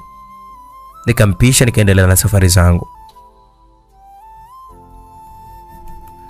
Msikilizaji, nilipofika mbele, mkaka yule aliinua kichwa chake akantizama. Alikuwa yule mjeshi, bado hatujalijua kabisa jina lake, ambaye alikuwa ni mlinzi siku zile ambapo tulikuwa tumeenda kumtazama Toa Kiduku. Alitabasamu na huku akiubusu mdomo wake kwa kulishika shavu lake ambalo limepokea kipigo cha mkoba wangu ambapo alikuwa anataka kuchukua. Oh, so cute. Ndo najikuta na kupenda zaidi, alizungumza mtu yule na kurudi katika gari na huku akiniwaza sana. Nilifika nyumbani sikumkuta baba wala mi, nikajiuliza mbona kwa baba hayupo, lakini kesi labda bado ipo kazini. Baba yangu uende kwa sehemu tofauti na mjini pale pale, lakini mi mbona hata kabisa muda wa kazi umeisha, hayupo nyumbani. Moja kwa moja niliingia jikoni nikaenda kupika, nikaanza kula. Nikiwa na kula ndo nikasikia kama watu wanaingia ndani. Mi akasema nimechoka sana. Baba akasema pole, kula ukalale mapema. Niliwatazama sana na kuhisi kwamba kuna kitu ambacho wananificha hawa watu wawili. Nikamsimamia baba kwa mbele. Baba akaniita Sumi, nikamwambia kwamba sipishi njia hadi nijue njama zenu watu wawili. Babangu akainua mkono ili anizabe kofi. Hebu nasema pisha hapa. Mimi nikasema pita tu. Nilipisha, lakini moyo wangu haukuridhika. Iweje? Yaani ni kama kuna kitu ambacho kinaendelea. Walikuja mezani kula. Baada ya chakula, mimi na Miti kuingia chumbani. Mia akawa natamani kabisa kusema, lakini akakumbuka baba alimwambia kwamba usimwambie Sumi, anaweza kurudisha nyuma, akakurudisha kimawazo pia. Mia akasema siwezi kurudi nyuma, Sumi lazima nipambane. Nikamwambia kwa nini shoga yangu nasema hivyo? Akaniambia hakuna hata. Nikamwambia siku hizi mbona kama kuna siri kati yenu na baba, au tunaishi mimi na wewe, kila mtu anaishi na siri zake? Akanambia mbona kama haujiamini kiasi hicho? Mi hakunijibu kabisa na kujifanya kalala, lakini moyo wangu kiukweli ulikuwa unaumia sana. Lakini hata yeye mwenyewe rafiki yangu kimoyomoyo alikuwa akiniomba msamaha, akaniambia kwamba nakuomba nisamehe. Nikamwambia nimekusamehe, kuwa na amani. Mimi akaniambia umesikia? Kwani alishtuka na kuhisi kwamba nimesikia alichokisema kimoyomoyo. Nikamwambia nimehisi hivyo, kama kuna mtu ambaye ananiomba msamaha au nafsi inayoomba msamaha. Sijajua ni nani au ni wewe. Akaniambia hakuna, hata mimi mwenyewe nimehisi hivyo tu eh. Basi tulilala hadi asubuhi, tulijiandaa kwa ajili ya kuelekea kazini. Tukiwa njiani, tulikumbana na Frenki tena. E, Msumi, twende haraka, kwamba siku hizi anakutisha Frenki. Mia akasema kwamba Sumi, please na kuomba. Mimi nikamwambia itabidi leo umpe makavu yake, usimsubirishe kila siku. Mi hakutaka kabisa shida naye. Frenki alimshika mi mkono na kuanza kumhubiria, ni kama kawaida yake. Oh, nakupenda, najua unalitambua hilo. Mimi ni mwanaume ninayekupenda, nimezaliwa kwa ajili yako. Sasa mimi nilikuwa nasema mm, angalia muda. Mi akasema unanipenda? Frank akasema ndio, mi nakupenda sana tu. Mi akasema oh, unanipenda? Kama ni hivyo sawa, nipige picha. Frank sasa akampiga picha mi. Mi akasema umeipenda eh? Frank akasema sana, unajua si wewe mwenyewe, nimekupiga mwenyewe tu ambaye mimi eh, ndo chaguo langu. Nakupenda kweli. Mi akasema kwamba kuanzia leo, kuanzia leo hii, huyo katika simu yako ndo mpenzi wako. Haiwezekani ujibu kwamba unampenda mbele yangu, na ikitokea kabisa umeendelea kunisumbua na kupeleka kituoni ama jeshini kabisa, usinisumbue tena. Sitaki, sitaki mazoea na wewe, sitaki kabisa. Nakwambia usinifosi wala usifosi mahusiano, ili hali kabisa ulinisaliti. Oh, mi nakuomba unisamehe please, nakuomba hebu kimya bwana, mi sitaki. Frenki alianza kutafuta kisa na hata kutufuata sisi, na huku sisi tukiwa bize kabisa tunaondoka zetu hadi karibu kabisa na kazini. Frenki akamshika mimi mkono, mara tukasikia sauti. Una haki gani ya kumshika mkono mke wa mtu? Ilikuwapo ni sauti ya Madam Nusfati, sauti iliyotuchanganya kabisa, hata mimi pamoja na Frenki na baadhi ya wafanyakazi wengine pale kazini. Mm, mke wa mtu mimi? Nilijikuta nimeropoka hivyo tu, msikilizaji. Madam Nusfati akasema kwamba ndio ni mke wa mtu na kwamba umwachie. Frenki alimwachia mi, tukiwa bado tunajiuliza sana. Alikuja Nurudini na kumshika mkono mi mbele ya kila mmoja akiwa kavaa gwanda zake na kuondoka zake. Mi akusita kabisa wala Madam Nusfati kuonyesha kwamba kupanic. Nikajiuliza, huyu Nurudini na mi toka lini kabisa wakawa na ukaribu? Wakafanya kazi wengine kabisa walinitolea macho mimi, wakiamini kabisa kwamba kuna kitu mimi natambua. Madam akaniuliza, msikilizaji, hivi hakuna kazi za kufanya? Aliponiambia hivyo, tulitawanyika kila mmoja kazini kwake, lakini mimi akili yangu yote ilikopo haipo hapo. Nataka nijue kinachoendelea. Wenzangu akiwa bize, niliangalia huku na kule, sikuona kabisa anayeniona. Nikatoka store fasta fasta, nikaelekea garden. Kwa mbali kabisa nikamwona mi kakaa kabisa katika kiti, na huku kabisa Nurudini akijipigapiga kichwani, ni kama mtu mwenye hasira sana. Nikahitaji kusogea, lakini kabla nisogee, msikilizaji, nikafumbwa macho na mkono wa mtu, na huku mkono mwingine kaniwekea kitu kama bastola hivi. Tulie kimya na tuondoke kimya kimya, alizungumza huyo mtu, nami sikuwa na ujanja, nilitulia kimya nikiwa wanaenda kabisa pasipo kujua naelekea wapi. Wakati huo mi pamoja na Nurdini, mi bado alikuwa kabisa kainama na huku kaziba masikio yake asijue kaulizwa kitu gani na Nurdini. Sasa mi, ukiziba masikio ndo utakuwa na maana gani? Labda nijibu, kwa nini umekubali nikuoe? Mi aliendelea kuziba masikio. Sasa saa ngapi hajawekewa pisto, akatoa mikono masikioni kwake fasta fasta na kuinua juu mikono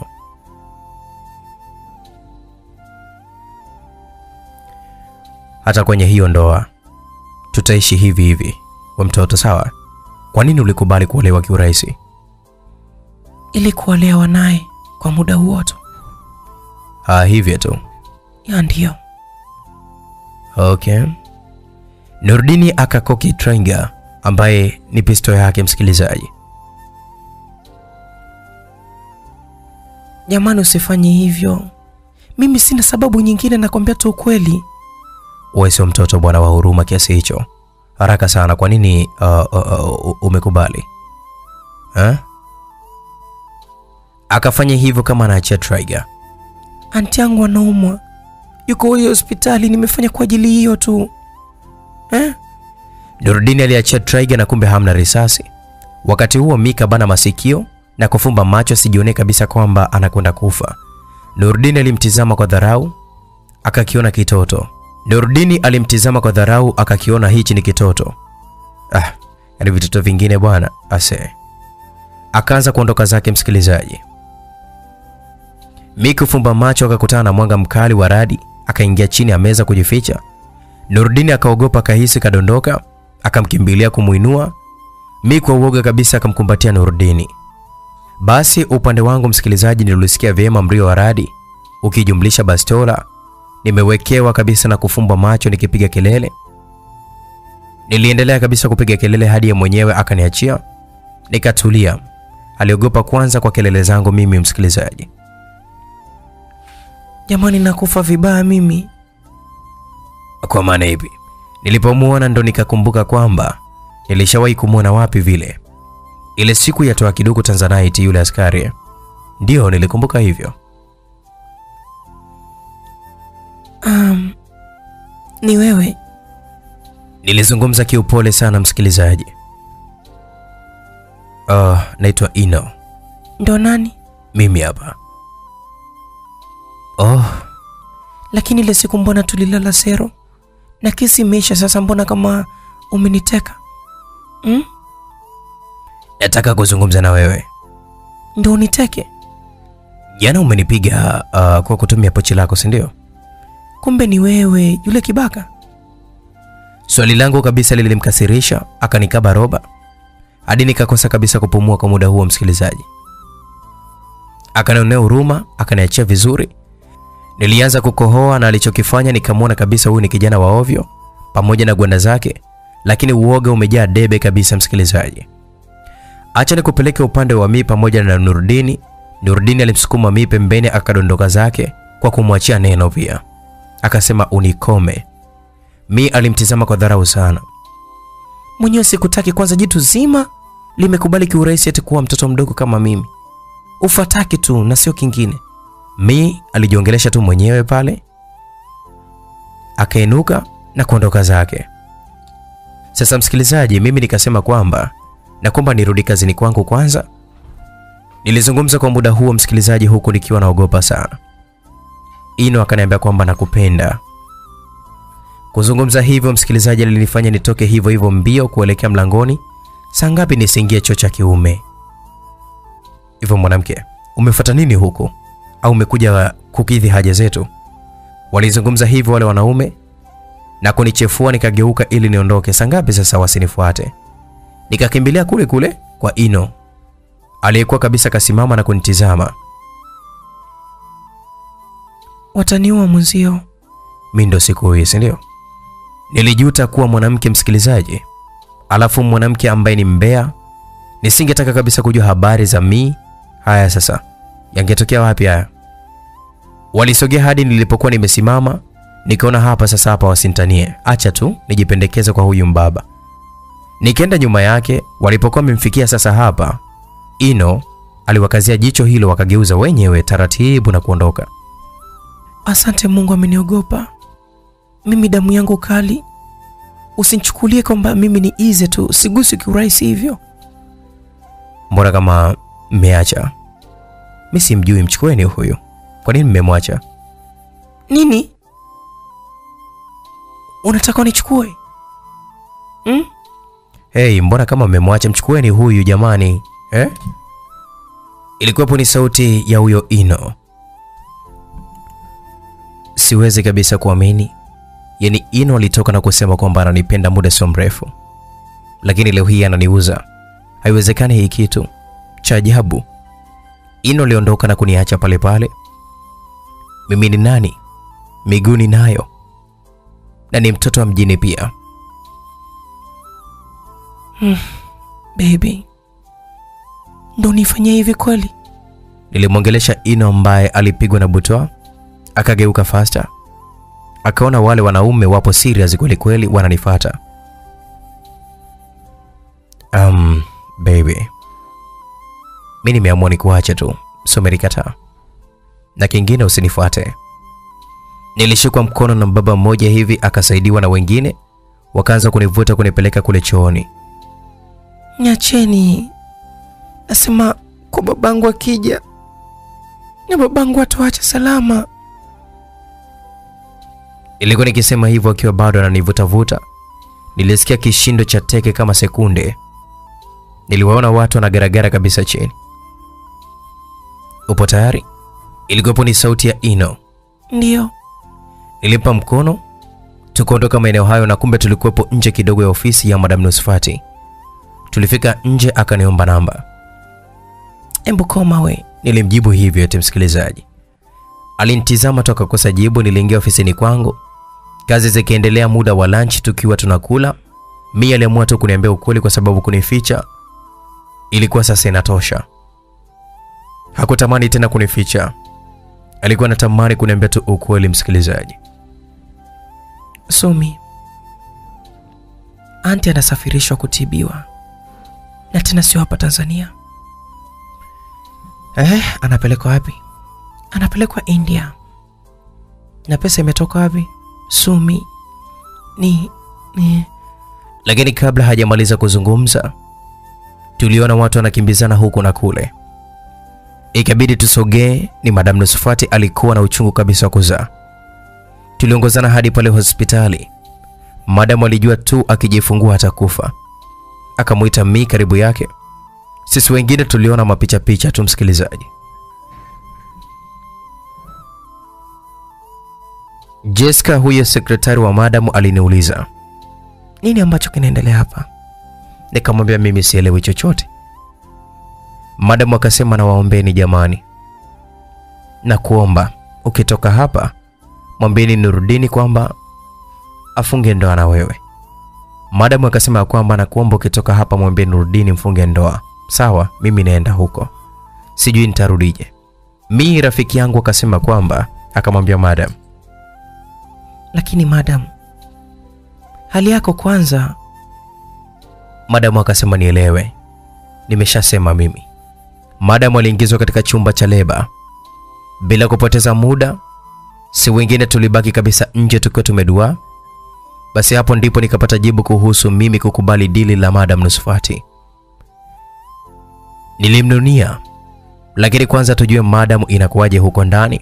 Ilikuwa ni ngumu kwake kujifungua kawaida, ilimlazimu kufanyia upasuaji. Wakati huo Nurdini hayupo.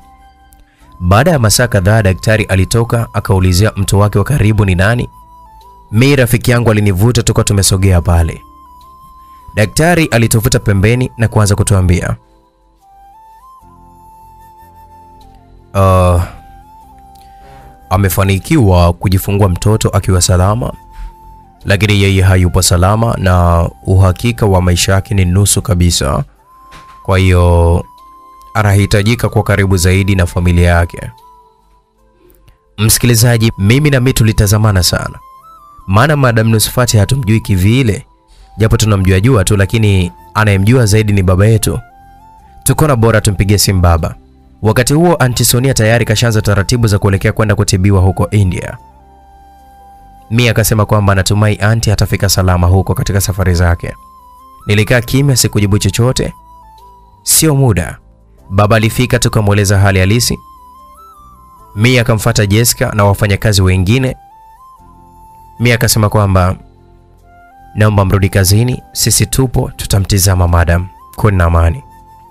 Jessica naye akasema kwamba we kama nani, ili hali mimi ndo wa karibu yake zaidi. Mia akasema fanyeni hivyo, tusibishane. Jessica akarudia tena kusema, kwani wewe ulikuwa dereva tu wewe? Mimi ni sekretari, lakini nashangaa umechukua nafasi yangu tayari. Nurdini alifika papo hapo na kuzungumza kufanya wengine washangae na kusema kwamba huyu ni bosi wako sasa. Jessica akasema ni bosi wangu kivipi? Yaani kiaje? Nurdini akasema kwamba unaniuliza hauwezi kutii hmm? Basi baada ya Nurdini kuzungumza hivyo, waliondoka tukabaki wanne tu. Tulimweleza yote aliyojiri. Baada ya siku mbili, madamu aliruhusiwa tukarudi naye nyumbani, lakini tulienda kuishi kwake.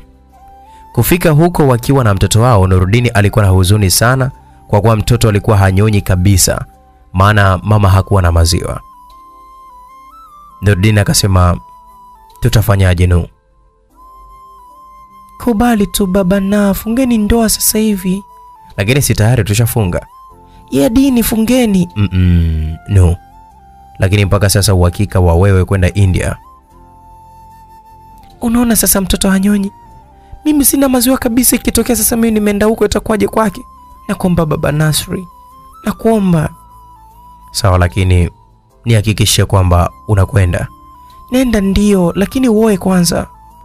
Nurdin alitoka kwanza nje akampita Mi, tulikuwa naye jikoni, wakaelekea kule ofisini katika supermarket ya vyakula, vyakula ambavyo ni vya watoto. Wakachukua mahitaji yote ya mtoto mchanga. Wakiwa huko, Jessica aliwaona, maana yeye yupo kila sehemu.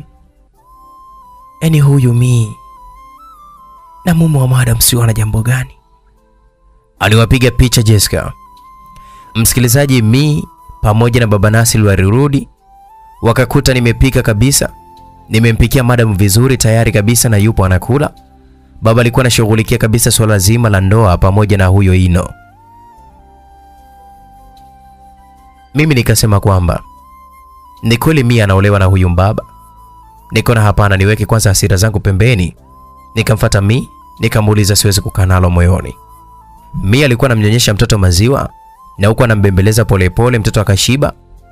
Kumuosha kichanga hicho ndicho inshu kabisa. Kuna huyu mama ni mfanyakazi mule ndani, ni mtu mzima sana, na ndo yeye huwa anatusaidia sana kumwogesha mtoto na hata kutengeneza nguo vizuri za kwake. Mtoto huyo anamwekaweka vizuri, si bado mdogo. Ndio kazi ya huyo mama katika hii nyumba. Mia akasema kwamba aliniambia mimi Sumi na kwamba nisamehe tu. Alizungumza kwa machungu sana kuashiria kwamba hakutaka kunificha. Nikamwambia haina haja, umenificha hili jambo kubwa, hautoshindwa kunificha mengine ndugu yangu. Akaniambia kweli unawaza hivyo? Sio kweli Sumi, mi mbona ningekwambia tusema kwamba sikuwa na jinsi, usichukie. Nikamwambia hata hivyo, huu ni wakati mwingine kabisa, hutakuwa na jinsi eh? Akanambia sasa tufanyaje Sumi? Na tayari nishasaini kabisa na anti kashapelekwa kabisa kutibiwa. Mimi nikamwambia subiri nikwambie kitu kimoja, nikikwambia kitu utafanya? Akanambia ndio Sumi, lakini nitafanya hivyo ili tu nisamehe. Nikamwambia mimi nakuomba tuondoke. Akaniita Sumi, nikamwambia niko serious, mimi siwezi kukuona kabisa ukiolewa na mwanaume mkali na mwanaume mkubwa kama yule, eti kisa tu shida. Mimi akaniambia lakini Sumi, hatuishi kama wanandoa. Nikamwambia mimi usimwamini mwanaume yoyote, tutaondoka hapa. Madam pale pale akaingilia akasema, kweli Sumi? Kiukweli msikilistuka baada ya kusikia hivyo, kwa sababu alikuwa akizungumza nyuma yetu kwa kutustukiza. Madamu akasema, mwanzenu mimi ni yatima na isitoshe sina mtu mwingine ninayemwamini zaidi ya baba yenu, na kwa ajili yake nilimwamini nyinyi na imani kabisa, yani kwamba hamtawatesa wanangu. Nazungumza hivyo kwa sababu naelewa, lakini kwenu nyinyi bado ni wadogo sana, ni ngumu sana kuamini. Mimi sina muda wa hivi karibuni au muda wowote, mimi naweza nikafa. Mwanangu ataishije eh? hmm. Mimi nikasema kwamba mi hawezi kuolewa na mume wako. Nilimshika mi mkono tukaanza kuondoka. Madam Nusfati akapiga simu kwa kutumia video call kabisa kwa mtu aliyesafiri na Aunti Sonia. Madamu akasema kwamba mi ukiondoka na ukagoma kabisa kuolewa na baba Nasri, nasitisha matibabu ya anti wako, nasitisha mwenyewe kabisa. Mi aliposikia hivyo alisimama na kunitoa mkono wangu na huku akitikisa kichwa kuashiria kwamba hawezi kunisapoti hata aolewe, ni bora tu amuokoe anti wake. Nilidua nikabaki kabisa mimi na shangaa shangaa, msikilizaji.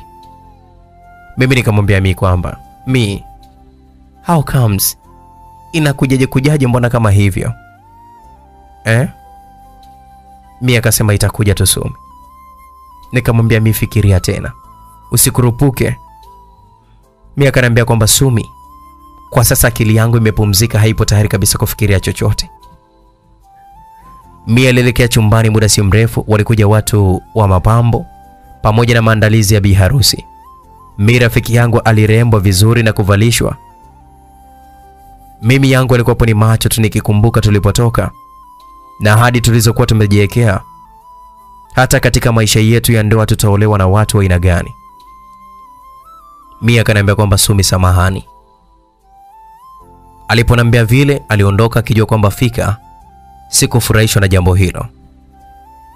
Mimi nilijikuta machozi yakinitoka tu, msikilizaji, nikafuata msafara wa biharusi moja kwa moja sehemu ya kufungia ndoa. Dua ya ndoa ilianza kwa baba Nasir. Wakati huo Mia akiwa upande mwingine kabisa aliulizwa maswali pamoja na mengineyo. Mwisho Mia akaulizwa pia akakubali kuolewa. Nasr alipewa nafasi ya kuja kumwona mkewe. Wakati huo Madam Nusfati hali yake ilikuwa ni mbaya sana. Ndoa ikiwa inaendelea, mimi naangalia tu kwa mbali, nilisikia kishindo kikubwa sana kama kuna mtu kadondoka huko chini. Nilikimbilia chumbani. Kufika chumbani nikakuta madam anagaragara anajirusharusha tu huku na kule. Papo hapo mimi nikatoa sauti kubwa nikisema kwamba msaada jamani, madamu ameanguka. Wakati huo huo ndoa ilishakamilika, walionisikia walikuja. Huyo mama mtu mzima alinikabidhi kabisa mtoto na kuniomba nitoke naye nje. Nikatoka nikiwa koridoni, nikakutana na Mi akiwa na nguo lake la harusi anakimbia na huku akiwa kalishika vizuri. Mia akaniita Sumi, kuna nini? Mm? Nikamwambia kwamba Madam Nusfati hali yake ni mbaya sana. Nurdini pia akaja nyuma ya Mi kusikia hali mbaya ya mkewe. Waliingia chumbani mbio, mimi nikiwa na mtoto kabisa analia. Nilikuwa nikitamani anyamaze huyu mtoto. Kufika mule chumbani, Nurdini na Mi walikuta yule mama anamwekea kiatu cha mtoto mdomoni. Nurdini mumewe akauliza kwamba ndio kitu gani hicho ambacho nakifanya kwa mke wangu. Yule mama akajibu kiustaarabu tu, Madam kapata kifafa cha uzazi. Mi na Nurdini walichoka sana kusikia hivyo, maana alikuwa haeleweki kabisa, na jirusharusha na garagara, anatokwa na povu mdomoni. Baada ya muda, Ino alikuja na vifaa vya udaktari, akamchoma sindano akiwa katulia, akashauri kwamba apelekwa hospitali, maana mshono umejiachia. Walipeleka hospitali wakiwa na nguo zao, nguo ambazo alikuwa amezivaa za ndoa kabisa. Kufika hospitali Baadhi ya wafanyakazi wenzetu walikuja hospitali. Madam Nusfati alikuwa na hali mbaya sana, lakini Jessica alimwona Mi pamoja na Nurudini nguo zao walizokuwa wamezivaa, akajiongeza tu, akamvuta Mi pembeni. Jessica akamuuliza Mi, Umeolewa na bosi? Sio muhimu na kwamba niache. Nakuuliza tena, kwa nini umeolewa na bosi? Mi hakutaka kabisa kujibu alimpita ondoke zake, lakini Jessica akamgeuza Mi kwa fujo. Mi akamsaba kofi la unikome kabisa, usindi usipende sana kunifuatilia maisha yangu. Jessica akasema hili kofi utalilipa mara mbili yake. Jessica alifoka na huku akilia, ni kama alikuwa akimpenda hivi Nurdini. Msikilizaji, Mia aliondoka zake pasipo kujali, akakutana na Nurdini akampita na kukaa katika benchi. Upande wangu mimi huko nyumbani mtoto alikuwa analia, nilikuwa nampatia maziwa lakini hataki kunywa maziwa, na mimi muda huo nikaanza tu kulia. Msikilizaji, sina cha kufanya. Kwa muda huo Ino akaniambia, sasa na wewe ukilia, ni nani ambaye atatulia mbembeleza mwenzie? Ikiwa mtoto analia na mwenyewe unalia, nani atambembeleza mwenzie? Nikamwambia hata mimi mwenyewe nifanye kitu gani, ili hali mtoto hata maziwa mwenyewe hataki kunywa, nafanyaje mimi? Ino akaniambia hata mimi mwenyewe sielewi huko Shemu atakuwa na hali gani mpaka sasa hivi. Msikilizaji, huko hospitali Madam alirejesha fahamu, japo alikuwa na hali mbaya sana kiasi. Akaomba kwamba daktari aonane na Mi pamoja na mume wake. Waliitwa na wafanyakazi, baadhi wakaingia mule ndani. Madam akasema kwamba Baba na alichukua mkono wa Mi pamoja na Wanurdini akaiweka pamoja. naomba mniahidi mtakuwa pamoja siku zote kwa ajili ya wanangu. Ah, no. Unazungumza nini sasa? Si utakuwa sawa tu eti mama eh? Nurdini mume wake alisema hivyo, na hata mi rafiki yangu akasema kwamba madamu usizungumze hivyo. Madam akasema naomba miuniaidi utamwangalia sana wangu, utamlea kama wako si unajua na kuamini, na wanangu pia Nasri na Zaya wote watazame. Mi rafiki yangu akasema kwamba madam, usiseme hivyo, mimi nawaangalia kwa muda tu, ila ukipona utaendelea na wanao. Nurdini naye akasema kwamba usiseme hivyo madam, ulinidanganya, lazima utimize ahadi yako. Madamu akasema mi Nurdini ni mwanaume bora sana. Nurdini ni mwanaume anajali sana, usimchukie mi, walinde wanangu. Mi akasema kwamba Madam, huu ni wa kwako na sio kwangu. Nurdini akasema mimi ni mpole na bora kwako tu Nusfati, na kuomba usinifanyie hivi, mimi nakupenda na unajua hilo. Madamu akasema Mungu ni shahidi wa ndoa yenu, nawapendelea na ninawapa kila la heri. Mada baada ya kutamka kauli hiyo alinyamaza na kuangalia wafanyakazi wake, akamwambia mmoja ya kwamba We Juma, na hiyo video utamwonyesha mdogo wako kijijini. oh, kila kitu madam, hata wewe ukipona utaiona tu. Alisema hivyo Juma, na siku zote Juma ni mtu ambaye huwa anapenda sana kurekodi matukio. Basi baada ya muda walitoka pale nje wote. Nusu saa baadaye, Maneso walitoka nje ya wodi aliyokuwa amelazwa madam, wakiwa na mwili umefunikwa kabisa juu hadi chini, kuashiria ya kwamba huyu mtu amefariki. Nurdini akasema sio kweli, sio kweli, mke wangu ametoweka. Nurdini alikuwa analia sana. Msikilizaji, wakiwa bado anajiuliza na kushangaa shangaa, Jessica alisogea kwa wale manesi na kuuliza, Kwani ni nani huyo? manesi walitazamana na kuwafanya kabisa watu wote wakae kimya kusubiri jibu kutoka kwao. Nesi mmoja aliwatazama wenzio akatikisa vichwa kuashiria kwamba azungumze tu. Poleni kwa kumpoteza. Waliondoka baada ya kuzungumza hivyo. Mi na wengine uvumilivu uliwashinda, wakaangua vilio mule ndani ya hospitali, lakini Nurdini alirudi nyuma taratibu na kuondoka. Haikujulikana ni wapi anaelekea, lakini aliwasha gari kama upepo. Kila alipoiona barabara aliipisha kwa spidi kabisa. Ni kwa sababu ya spidi ya gari lililokuwa analiendesha. Msikilizaji, tukiwa nyumbani na Ino, mtoto alizidisha kabisa kilio. Nikahisi kabisa mimi kuchanganyikiwa kabisa, msikilizaji. Mom, we are home. Sauti ya Nasri na Zaia ilisikika kuambia mama yao ina kwamba wamerudi likizo. Walijawa na tabasamu kabisa usoni. Mimi na Ino tuliangaliana tukiwa na midomo wazi, hatujui tuseme kitu gani. Mtoto mdogo mimi chozi likanitoka. Ino kuona hivyo akamchukua mtoto kwanza, akawasogelea kina Azaia pamoja na Nasiri. Ni mtoto wa miaka tisa kama nilivyokuwa nimetangulia kukwambia, lakini anaelewa sana, yani akili yake inafanya kazi faster. Kumwona tu mtoto alimwangalia Ino na kumuuliza, Ba mdogo, huu ni mtoto wa mama? swali lake lilimfanya Ino aitikie kwa kichwa na huku akishuka kabisa chini na kumpa moyo wa kutulia kabisa, siulize tena maswali. Azaya kusikia hivyo ni mtoto wa mama, akamkimbilia mtoto. Kwanza leo nina mdogo wangu na mimi. Mtoto alionyesha kabisa kufurahia sana, lakini baada ya kuniona mimi nalia, basi tabasamu lake likaanza kupotea. Mamdogo mzuri, mbona unalia? Alinifuata na kunishika nguo yangu, nikashuka chini nikamkumbatia. Nasr alipata wasiwasi baada ya kuniona mimi nalia, akauliza, mamdogo, mbona unalia? Kuna tatizo kwani? Ino alikaa kimya, fikiria jibu, akapata wazo. Nasir mwanangu, ni ni uh, uh, Sumi mwanangu. Alikatishwa na sauti ya mi mwenye machungu kabisa na machozi usoni. Nasir huwa anampenda sana mi, alipomwona alimkimbilia na kumkumbatia, ikamfanya mi aongeze kilio zaidi. Usilie mamdogo, sema tu mamangu uko wapi na kafanya nini? Mi aliongeza kilio, ikatufanya kabisa mimi na Ino tujue kabisa ya kwamba madam hatunaye tena duniani.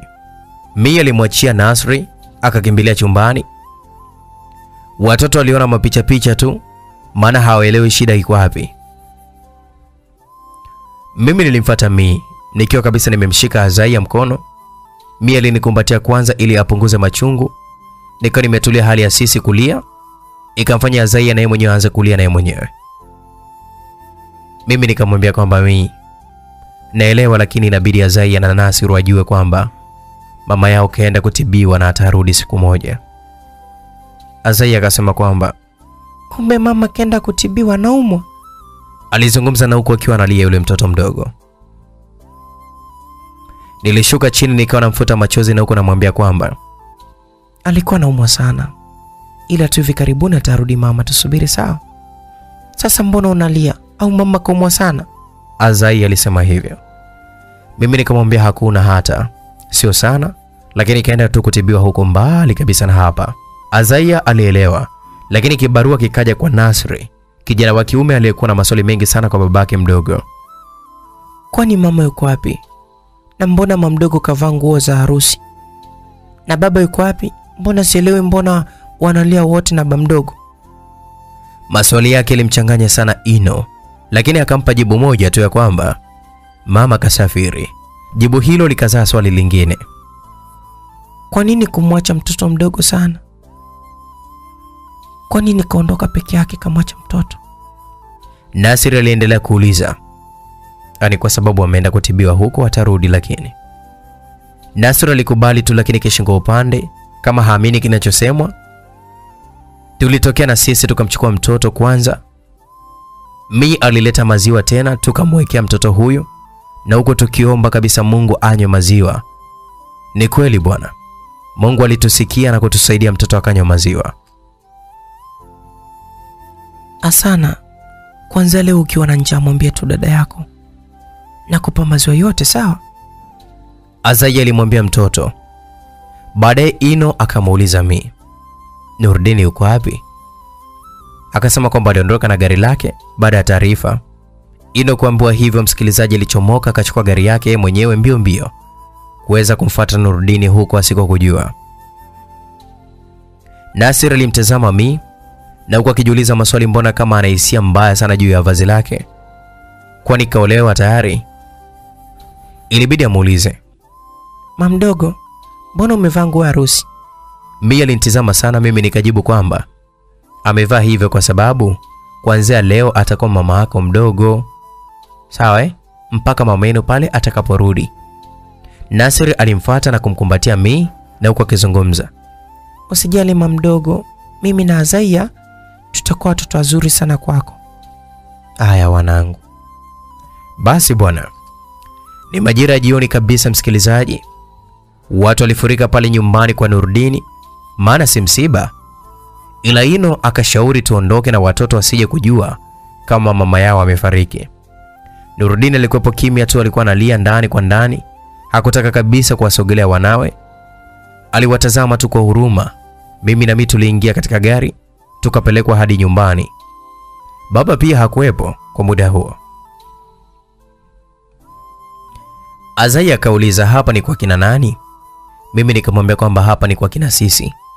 Tutakaa hapa kwa muda, lakini baadaye tutarudi nyumbani kwenu. Nasri akauliza naye mwenyewe, mbona nyumbani tumeacha watu wengi sana vile, kuna nini? Mimi nikamwambia kwa sababu ya ufundi, sawa eh? Wanatengeneza tu pale. Nasri aliitikia. Tulianza kumlea sana akiwa bado mdogo sana. Baada ya wiki mbili, Nurdini na Ino walikuja kutuchukua tukarudi kwa Madam Nusfati, lakini wao waliondoka kikazi.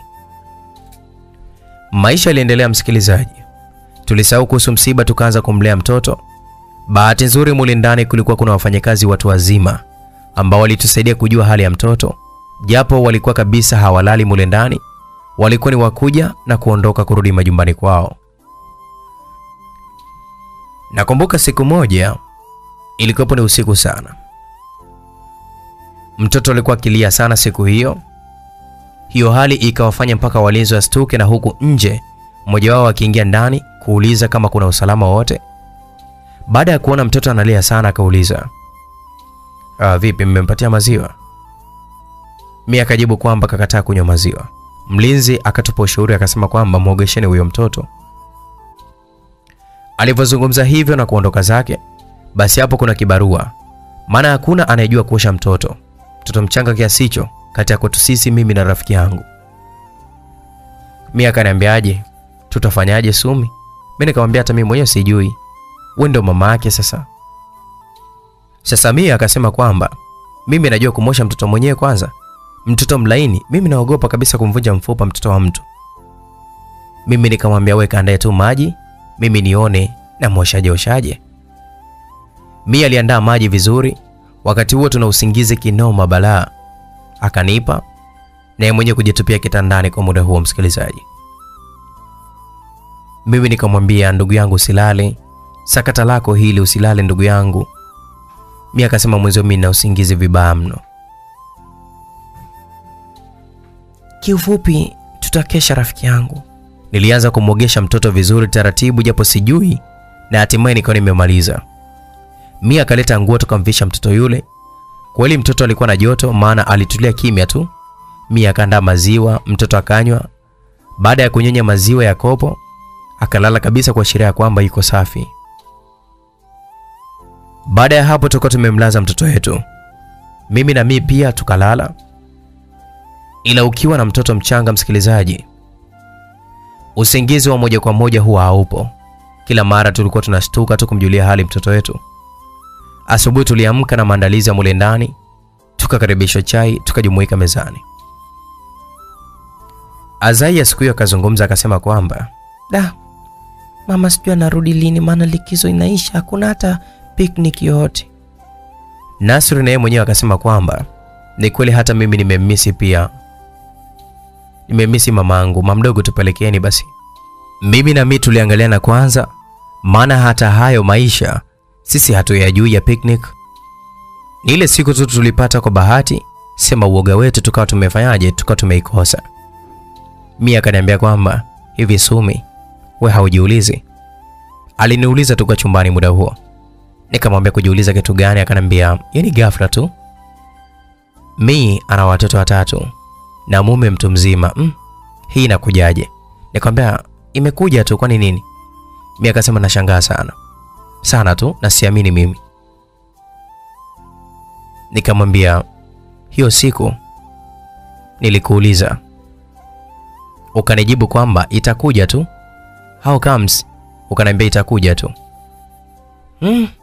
Mia akaendelea kusema kwamba hata hivyo miaka mitano sio mingi, Asana atakuwa ameshakuwa na mimi mkataba wangu utakuwa mfanyaje, umeisha.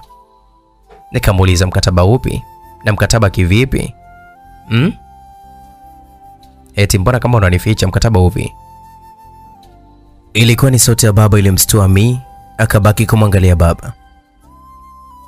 Hiyo ni ndoa yako, ungekuwa mkataba usingefunga wa dini. Sijui utakuwa unanielewa. Kiaje kati tulikubaliana baba? Mm, baba, kumbe ndo ulimshawishi mi kuolewa eh? Hapana, hapana, lakini mwanangu, ndoa ni ndoa tu, lazima kabisa utulie katika ndoa yako. Huyu mjinga sikupotosha chochote. Kwa hiyo umefurahi nani mi kuolewa baba? Umefurahia hilo libaba baba kumwoa mi? Hiyo inakuwaje kwaje? Na hiyo inakujaje kujaje baba? Hebu kimya na wewe kwanza, upo hapa kama nani? Twende nyumbani haraka. Mi pale pale akazungumza, Aende wapi? Na akiondoka mimi nabaki na nani hapa baba? mwanangu, wewe umeolewa, huyu hafai kubaki hapa, atakushauri ujinga tu. Mi usikubali kuolewa jumla. Vipi kuhusu ndoto zetu? Babangu alinisaba kofi moja, nikakaa kimya, akanishika mkono na kuondoka na mimi. Mi alibaki akilia tu, hataki hata niondoke. Nasiri na Azaya walimwona baba akinitoa nje, wakabaki kushangaa, yani hawaelewelewi imekuwaje. Bado mpaka hapo hawajui kuhusu kifo cha mama yao wala kama mi kaolewa na baba yao. Basi tulifika nyumbani, baba akanikanya kurudi kwa mii tena tena, hii wiki ijayo unaenda chuo, sitaki upumbavu. Nilimtizama baba yangu kwa hasira. Hivi kweli mimi wa kukaa pasipo mii? mbona ni swala gumu sana katika maisha yangu. Upande wa mii mwenyewe alikuwa haelewi afanye kitu gani. Akamchukua sana, akamweka mgongoni na baadhi ya vitu vya muhimu vya mtoto, Akawafata wale mama wawili watu wazima, mmoja anaitwa mama Ana na mwingine anaitwa mama Suzi. Mtawaangalia watoto, mimi naenda. Nasri akazungumza, mama mdogo, anakwenda wapi? Wakati ulisema utakaa na sisi hadi mama atakaporudi. Mia akazungumza akasema ya kwamba mtakaa na kina bibi hawa hapa. Azai akasema kwamba mimi nitakufuata wewe tu mama. Mia akazungumza hapa ni kwenu. Sawa. Nasri akasema mama hayupo. Na wewe uondoke vipi? Akijua kabisa umetoacha mama wakati u, u, ulisema kwamba na ulimwambia mama utabaki na sisi hadi hadi arudi pale. Itakuwaje? Mama mdogo. Azaya akasema tuondoke wote. Siwezi mimi kubaki hapa. Mi aliona hudi mtihani. Kwa akili za Mi aliona bora kabisa awabebe wote tu aje nao nyumbani. Nikiwa nyumbani mimi nimefungiwa mlango. Nilisikia baba anazungumza na mtu kwa kufoka sana. Kwa hiyo unaona hiyo ndo akili, si ndio? Ujinga gani huu ambao unaofanya? Ni upumbavu gani huu? Sasa bila Sumi mimi nawaleaje peke yangu? Nimeona bora tu niwalete huku huku ili usikasirike. Si haupendi Sumi akae huko, nimwaleta huku.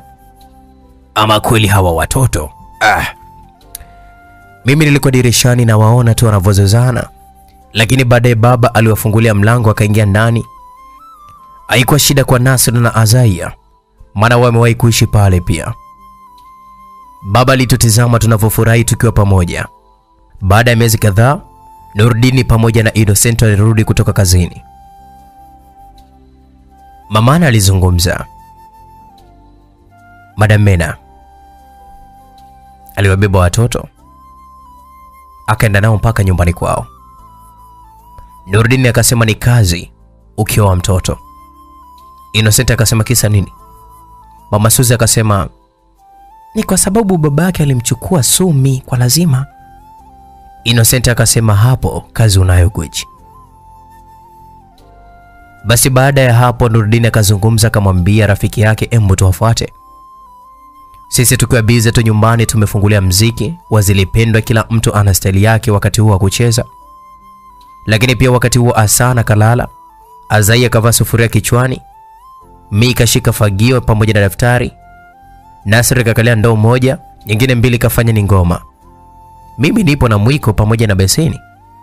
Tuko bize na wimbo wetu wa zilipendwa kutoka Wasafi, hatuelewi, tulikuwa tunacheza tu wenyewe. Mlango ulikuwa wazi kwa muda huo.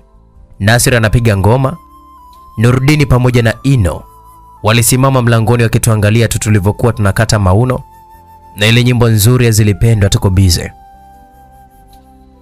Ah, yani hapo hakuna mkubwa hivi sasa hivi. Hawa hata hiyo form 4 walimaliza kweli hawa? Ilikuwapo ni sauti ya Nurdini. Sizani lakini ila gwiji wanao wanafurahia kweli, hebu waone. Tazama, tazama.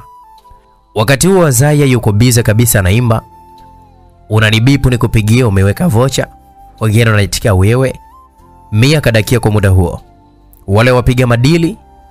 Sasa hali mbaya, akarusha kwa ufagio huko hadi kwa Nurudini, akawa amedaka. Mia akawa akaona kina Ino, lakini sisi ndo tena ilikopo bado. Mimi niko bize kabisa na Nasiri anaongeza spidi. Nasir alikuwa anaongeza bidii kweli kweli.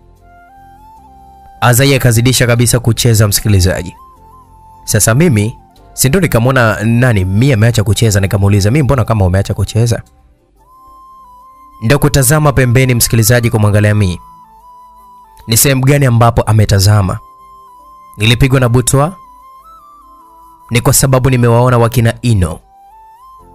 Nasir akaniuliza vipi tena mamdogo, mbona kama umetulia?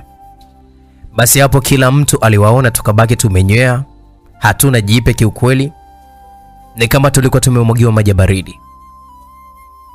Nurudini akasema kwamba mmerizika sasa. Haya, na mwingine kwa wapi? Azai akazungumza, baba Asana amelala. Alizungumza na huku akimkimbilia baba yake. Nasiri pia alimkimbilia Nurudini. aliwakumbatia wanawe wadogo na huku akifurahi kabisa kuwaona na furaha. Nilienda chumbani kumchukua Hasana, alikuwa kaamka, lakini binti huyu alikuwepo kimya, hajalia. Kwa sasa kidogo amekuwa kuwa ni kabinti binti kazuri kiukweli. Tunaondoka sasa hivi, sawa wanangu? Ilikuwepo ni sauti ya Nurudini. Sawa, mamdogo, jiandaeni tuondoke. Nasiri pia akatuambia hivyo, lakini mimi nikasemaje? Nikamwambia mi, wewe nenda tu, mimi niko hapa hapa. Mi akaniambia na wewe vipi? Ino akazungumza, kwani naye kaolewa? Simuolewa wewe tu. Bahati nzuri Nasri akazungumza kwamba amna, na wenyewe si wanaenda baba. Nasir alizungumza hivyo. Baba wao akasema wakitaka kuja watakuja, lakini twendeni wanangu. Aliwachukua wanae wawili wakubwa akawapeleka katika gari akiwa na maana ya kwamba hata mimi na mii tufate nyuma. Wasumi, njoo basi. Mia akazungumza akasemaje, jifanye tu mjinga, nipe mtoto uende.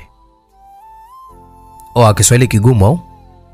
Aliendelea tena kuuliza Ino, na huku akiwa amenitolea macho kwelikweli. kweli. Nakuja. Nilisogea di kwake nikahisi kabisa kuna kitu gani. Nisikilize nikwambie, mwambie rafiki yako ajiandae haraka sana aende kwake, na wewe ukitaka pia. Mm, ovyo. Nilinyamaza baada ya kuona kanitazama sana, asije kunikaba roba. Huwa wachelewi hawa jamaa. Sasa tukifika tu na nyinyi muwe tayari nyuma yetu. Innocent alizungumza hivyo, mimi nikasema sawa, nimekubali. Waliondoka na gari zao hao, mimi na mimi tukiwa bize kujifikiria ni kitu gani ambacho tutakachokifanya. Tukaona huu ni upuuzi, yani twende huko kwa amri yao, huo utakuwa ni ujinga mkubwa sana. Lakini wakati huo ilikuwa ni siku ya Jumapili na kesho yake kina Nasir wanatakiwa kwenda shule, maana walishafungua tayari shule, japo walikuwa wakitokea kwetu. Mia akasema kwamba masikini, nyumba imepoa sana, kina Nasir walikuwepo kimvuli kwetu. Mimi nikasema da, tupo na sana Hata hivyo, Asana aliachia mapengo yake baada ya kusikia ametajwa jina lile. Mia akasema mtoto mzuri sana huyo, laiti kama Madam Nusfati angemlea angekuwa kabisa anafurahia uzuri wake. Maskini ya Mungu, hajui hata maziwa mama yake yanalaza gani. Mimi nikasema kwamba Nusfati and shaking na wewe mi. Akaniambia kweli, nikamwambia ndio. Usiku uliingia wala hatukwenda kwao. Baba alifika akatuuliza wajukuu zake wako wapi, tukampa mkasa mzima. Ah, bwana sikiliza, kesho uende kwako, huu utakuwa ni ujinga. Yaani mume wako karudi hapa na alikuwa na kazi ngumu sana huko jeshini, lakini mke wa kumfariji hakuna. Ndo nini sasa? Baba alizungumza kumlenga mi, ni kitu ambacho kilimkera sana mi, hata mimi pia. Mi akazungumza akasema kwamba mimi niliolewa naye tu kulea watoto na hata kumlindia mali zake. Marehemu Madam Nusfati aliniambia hivyo na sio kuwa mke wake halali kabisa wa kufanya naye kila kitu. Mimi nikazungumza nikasema, usijali mi, baba ataacha tu tabia ya kukuona kwamba wewe ni mke wa Nurudini, ataacha tu. Tulilala vizuri. Asana alijua kwamba sisi ndo mama zake, kwa hiyo alituzoea sana. Msikilizaji, upande wa Ino pamoja na Nurudini walikuwa na kibarua kikubwa sana cha kuwabembeleza watoto wapate kula chakula, lakini wapi, kila wakibembeleza watoto wapi Mlisema wanakuja ila mbona hawapo mama zetu? Alizungumza Nasri na Zai naye mwenyewe akazungumza. Eti kaka, tena walikuwa wakituandaa na kutuandalia kila kitu asubuhi kabla hata kwenda shule. Ah, ona sasa nani atatusaidia homework tena? Ilikuwapo pia ni Nasri alizungumza. Ino akazungumza, basi kunyweni chai, naenda kuwafata. Uongo hadi tuwaone. Azai akazungumza yule binti wa kike. Nimesema kuleni, ala, msitufanye kwamba sisi ni watoto wenzenu bwana, kuleni mpumbavu. Nurudini aliwafokea sana watoto, wakaanza kulia. walihisi kabisa wameonewa kwa kuambiwa maneno magumu kama hayo. Mama akija tunamwambia baba, maana yeye alisema watu angalia hadi hadi mama akirudi, ila nyie mmetuchukua sisi wenyewe mkawaacha.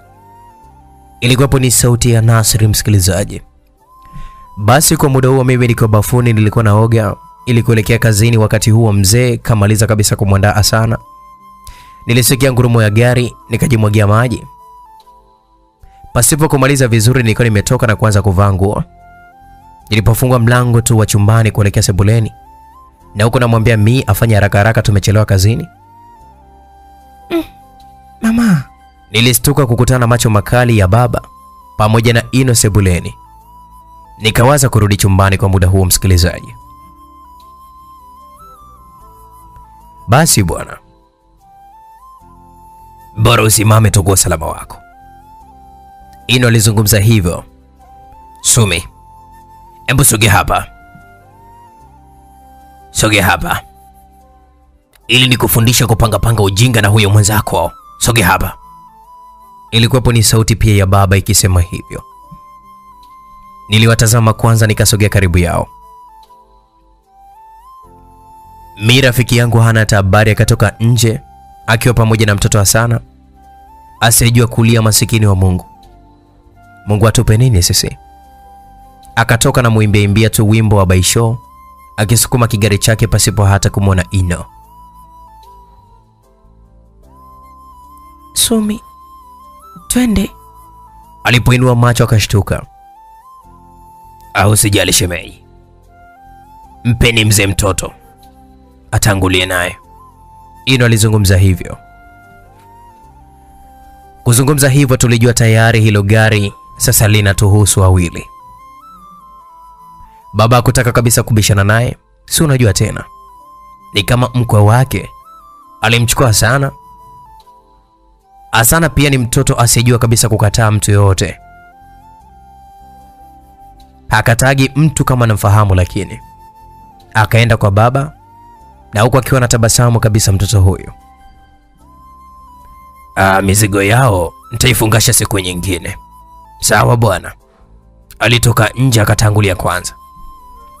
Ah, kwenye gari kabla sijawapeleka mimi. Alizungumza pia Ino wakiwa na baba. Tuliingia kimya kimya katika gari, msikilizaji. Sumi, cha kwanza nini yani? Aliniuliza mii, nikamwambia tufumbe macho. Ino akasema mtakuwa sawa mkika pamoja. Swali lake hatukulielewa na safari ikaanza. Tulipata cha mtema kuni kiukweli, msikilizaji, maana tulikuwa kabisa tukigunganisha vichwa vyetu huku na kule na kujigonga katika gari hadi kuinuka katika siti. Mwisho tulishikiliana kwa nguvu, kazi ambayo ilikuwa mbaya sana siku hiyo. Kwa spidi ile, ndani ya dakika kumi tu tulifika kwa baba Nasri. Tulishuka tuna hema, kila mmoja kashikilia nafsi yake. Afasta ndani, leo kazini mpo free kabisa, tunaenda sisi, alizungumza Ino. Mimi nikasema nini? Unasemaje? Tuliuliza kwa pamoja, mimi na rafiki yangu Mi, lakini jibu letu lilikuwepo ni moja tu. Tulitazama jicho bala kuashiria kabisa sipendi kurudia rudia maswali. Tuliingia ndani tukakuta Nurudini anawabembeleza wanawe waende shule. Nasri, mbona bado hamjaenda shule? Ilikuwepo ni sauti ya Mi. Azaia pamoja na Nasiri kusikia tu sauti zetu walinuka haraka haraka na kutukimbilia. Walitukumbatia, tukawabembeleza vizuri waende shule, wakakubali. Hours comes. Inakujaje yani? Yaani wanangu wasinisikilize mimi, wawasikilize wale. Oh. Ilikuwa ni sauti ya Nurudini akinung'unika. Ino akasema inakuja tu gwiji. Uweze kujiuliza ni kwamba inakujaje kujaje tu, lakini unaona majibu yake imekuja. Nurudini akasema Mhm. Aya. Kwa wewe ambao unajiita mke wangu. Huko kwenu ulikifata kitu gani? Sasa si kwetu, ni, nilienda nyumbani. Nurudini kiukweli, msikilizaji, huwa apendi majibu ya mkato. Sasa Mia alivyozoea kazi ipo, na Nurudini alivyo na kisirani, msikilizaji, alimchukua Mii msobe msobe na mi alivyokuwa mdogo mdogo, msikilizaji, Nurdin alitembea tu kawaida, mimi kama napepesuka kwa muda huo. Mi yangu alikuwa macho tu kwa muda huo kwa mi, na huko nikiwa namwonea huruma sana nini ambacho kitakwenda kumkuta huko. Ino alinitizama nilivyokuwa namwangalia, nilivyokuwa nikiendelea kuchungulia pale anakoelekea rafiki yangu. Embu twende faster, twende, Ino alizungumza hivyo huku akitangulia. Ilibidi sasa mimi kumfata nyuma, japo sielewi ni wapi inaelekea. Niliingia kwenye gari na huku naogopa kujigonga gonga huku na kule. Niliandaa mikono yangu kuiweka masikioni ili kusudi ngoma za masikio yangu yasije kufa bure. Kiukweli, njoo ukae huku mbele, Ino liniambia hivyo. Mimi nikamwambia hapana, hapa panatosha, uweze kutie. Ino alizungumza kwa sauti ya nguvu sana hadi mimi nikajikuta nimejigonga kabisa katika gari hata kabla ya kuwasha gari. Aya, na, nakuja nakuja. Nilishuka na kwenda kukaa mbele. Aliwasha gari akaanza kuipeleka peleka taratibu hadi nikabaki nimeduaa tu. Kulikoni leo? Msikilizaji, upande wa mi aliingizwa chumbani na Nurudini alimwambia jiandae tu fasta fasta tutoke. Mi akasema tutoke tuende wapi? Nurudini akasema hawezi kutia. Wao walizoea kabisa kutii kila wanachoamrishwa huko jeshini, wanahisi hata sisi ni wanajeshi vile vile. Mi alivaa nguo aliyopewa na Nurudini, pia akajiandaa vizuri, akachukua simu na kumpigia Ino. Kwa muda huo simu ya Ino iliita, akapokea na kuweka bluetooth sikioni, yenyewe akawa ameiweka simu pembeni. Halo Gwiji, niambie. Kuzungumza neno Gwiji nilielewa kabisa nazungumza na nani. Uh, ni vipi? Sawa mzee, ulimwambia amwache wapi mtoto? Nurdini aliuliza hivyo. Ah, mimi nilimwambia amlete, hajafika bado. Nurdini kabla hajajibu baba aliingia. Nurdini akamchukua mtoto. Oa Guji, mbona kaa kimya? Oa, mbona kimya? Nurdini aliuliza uliza vile. Bah, amefika kitambo mwanangu. Basi ina noma, kila la heri basi Gwiji. Alizungumza hivyo nikajua kabisa huyo Nurudini kuna sehemu anaenda. Nisijue na mimi rafiki yangu anaondoka.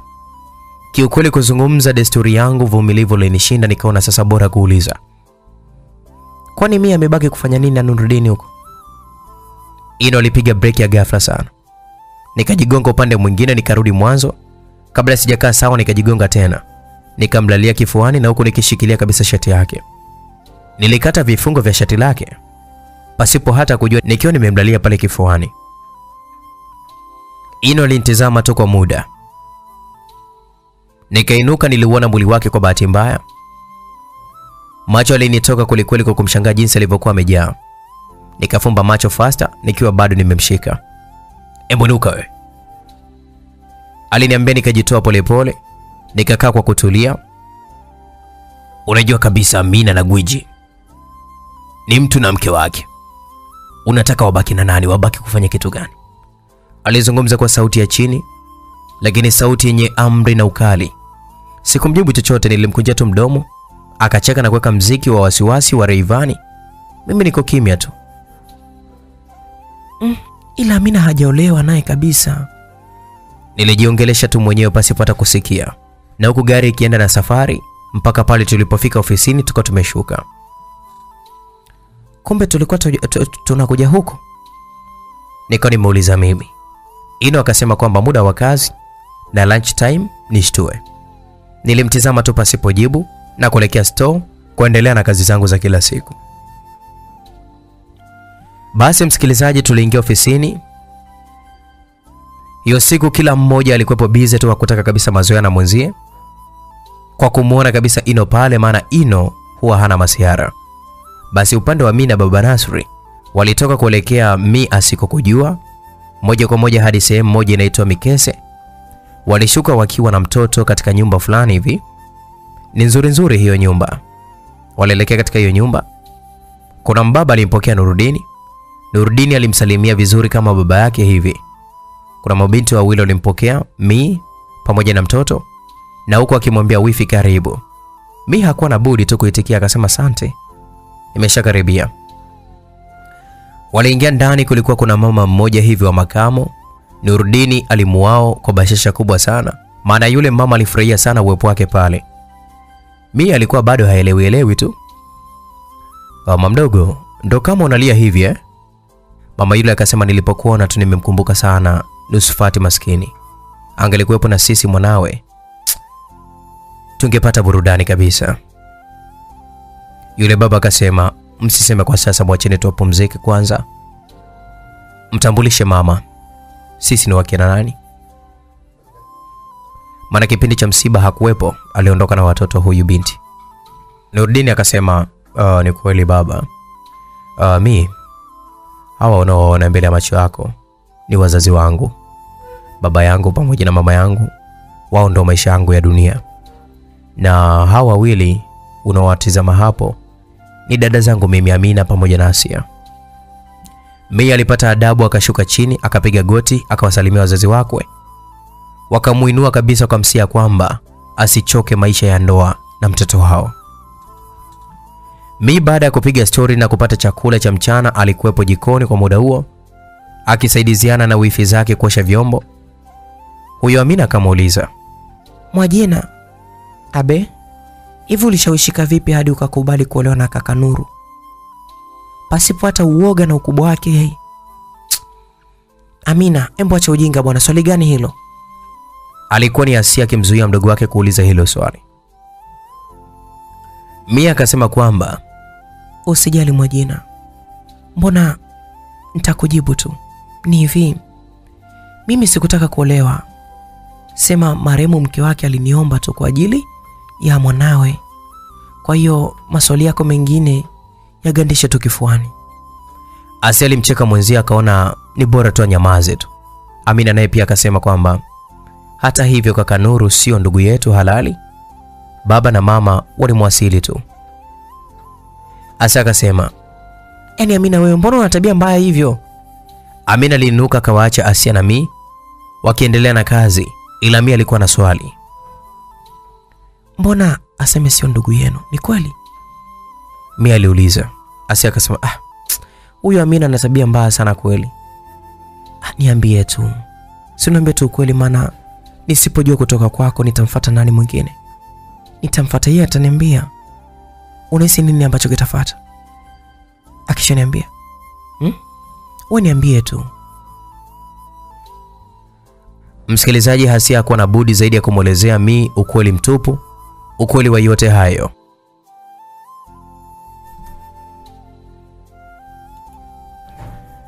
Ni miaka ishirini nyuma, baba yangu alikuwa mwanajeshi mkuu huko mkoani Morogoro. Siku moja alialikwa Juvenile Center, jela ya watoto. Kuna rafiki yake alikuwa na staafu, alienda na sisi tukiwa bado wadogo sana, mimi na Amina. Sasa siku hiyo ya kustaafu mkuu wa jela, kulikuwa kuna maonyesho mbalimbali pale. Kwa hiyo kaka Nuruddin alikuwa na uwezo mkubwa sana katika mashindano ya magari, alishika nafasi ya kwanza katika mashindano. Baba akavutika naye akaomba kumchukua huyu mtoto, lakini kaka Nuruddin alikataa, akijua kwamba iwapo ataondoka hapo ni atakuwa ame, amepahama kwao. Baba alimbembeleza kwanza kwa kumwahidi atamfanyia kila kitu. Kaka Nuruddin alimwambia kwamba yeye ana ndoto kubwa sana za kuwa rubani na tayari kashapata mdhamini wa kizungu kwa uwezo wake wa darasani. Baba akamwambia yuko tayari kufanya hivyo.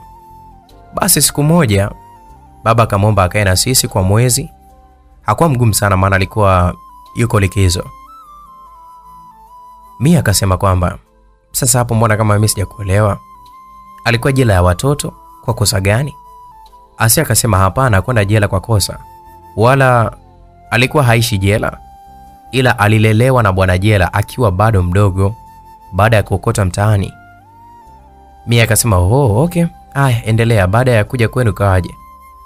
Asia akasema kwamba baada ya kuja kwetu kaka Nurudini ni mchangamfu kweli kweli, alafu mchapa kazi eh?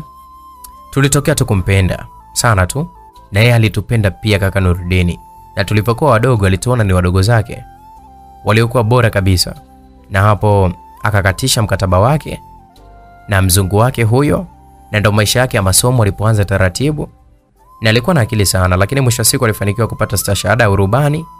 Lakini alipokuwa rubani, baba akamwomba atumikie jeshi la taifa letu kwa kipawa chake alichojaliwa na Muumba. Cha kwanza alikuwa uh, na kila kitu katika muda mfupi, lakini alikosa mke tu. Baba na mama akamshauri nembo oa, akawa bado hajawaza kuoa, hakuwa tayari, na ndo siku moja sasa alitembea katika kituo cha watoto watima kutoa msaada, akawa amekutana na marehemu wifi ambaye ni Nusfati. Umeona eh? Nusfati alikuwa ni mdogo mdogo tu kama wewe, umeona eh? na alikuwa ana mdogo wake mdogo yule Nusfati yule mdogo wake alikuwa na miaka mitatu ambaye ni Nasri. Hmm? Kumbe hata Nasri sio mtoto wake? Usizungumze kwa sauti, ni siri na nakwambia. Asia alimwambia hivyo. Mia akasema maskini we. Asia akaendelea akasema kwamba Nusfati alikuwa na matatizo tumboni kwake, lakini hakutaka kumpa kaka yake wasiwasi.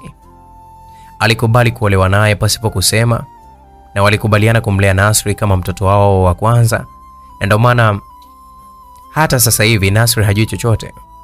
Na alipopata ujauzito wa kwanza, daktari alimsisitiza autoe, ni kwa ajili ya usalama wake, na akakataa kabisa, akiamini ya kwamba uhai ni zawadi kutoka kwake Allah. Ndo hivyo, baada ya kujifungua salama, wakataka sasa kumfungia kizazi.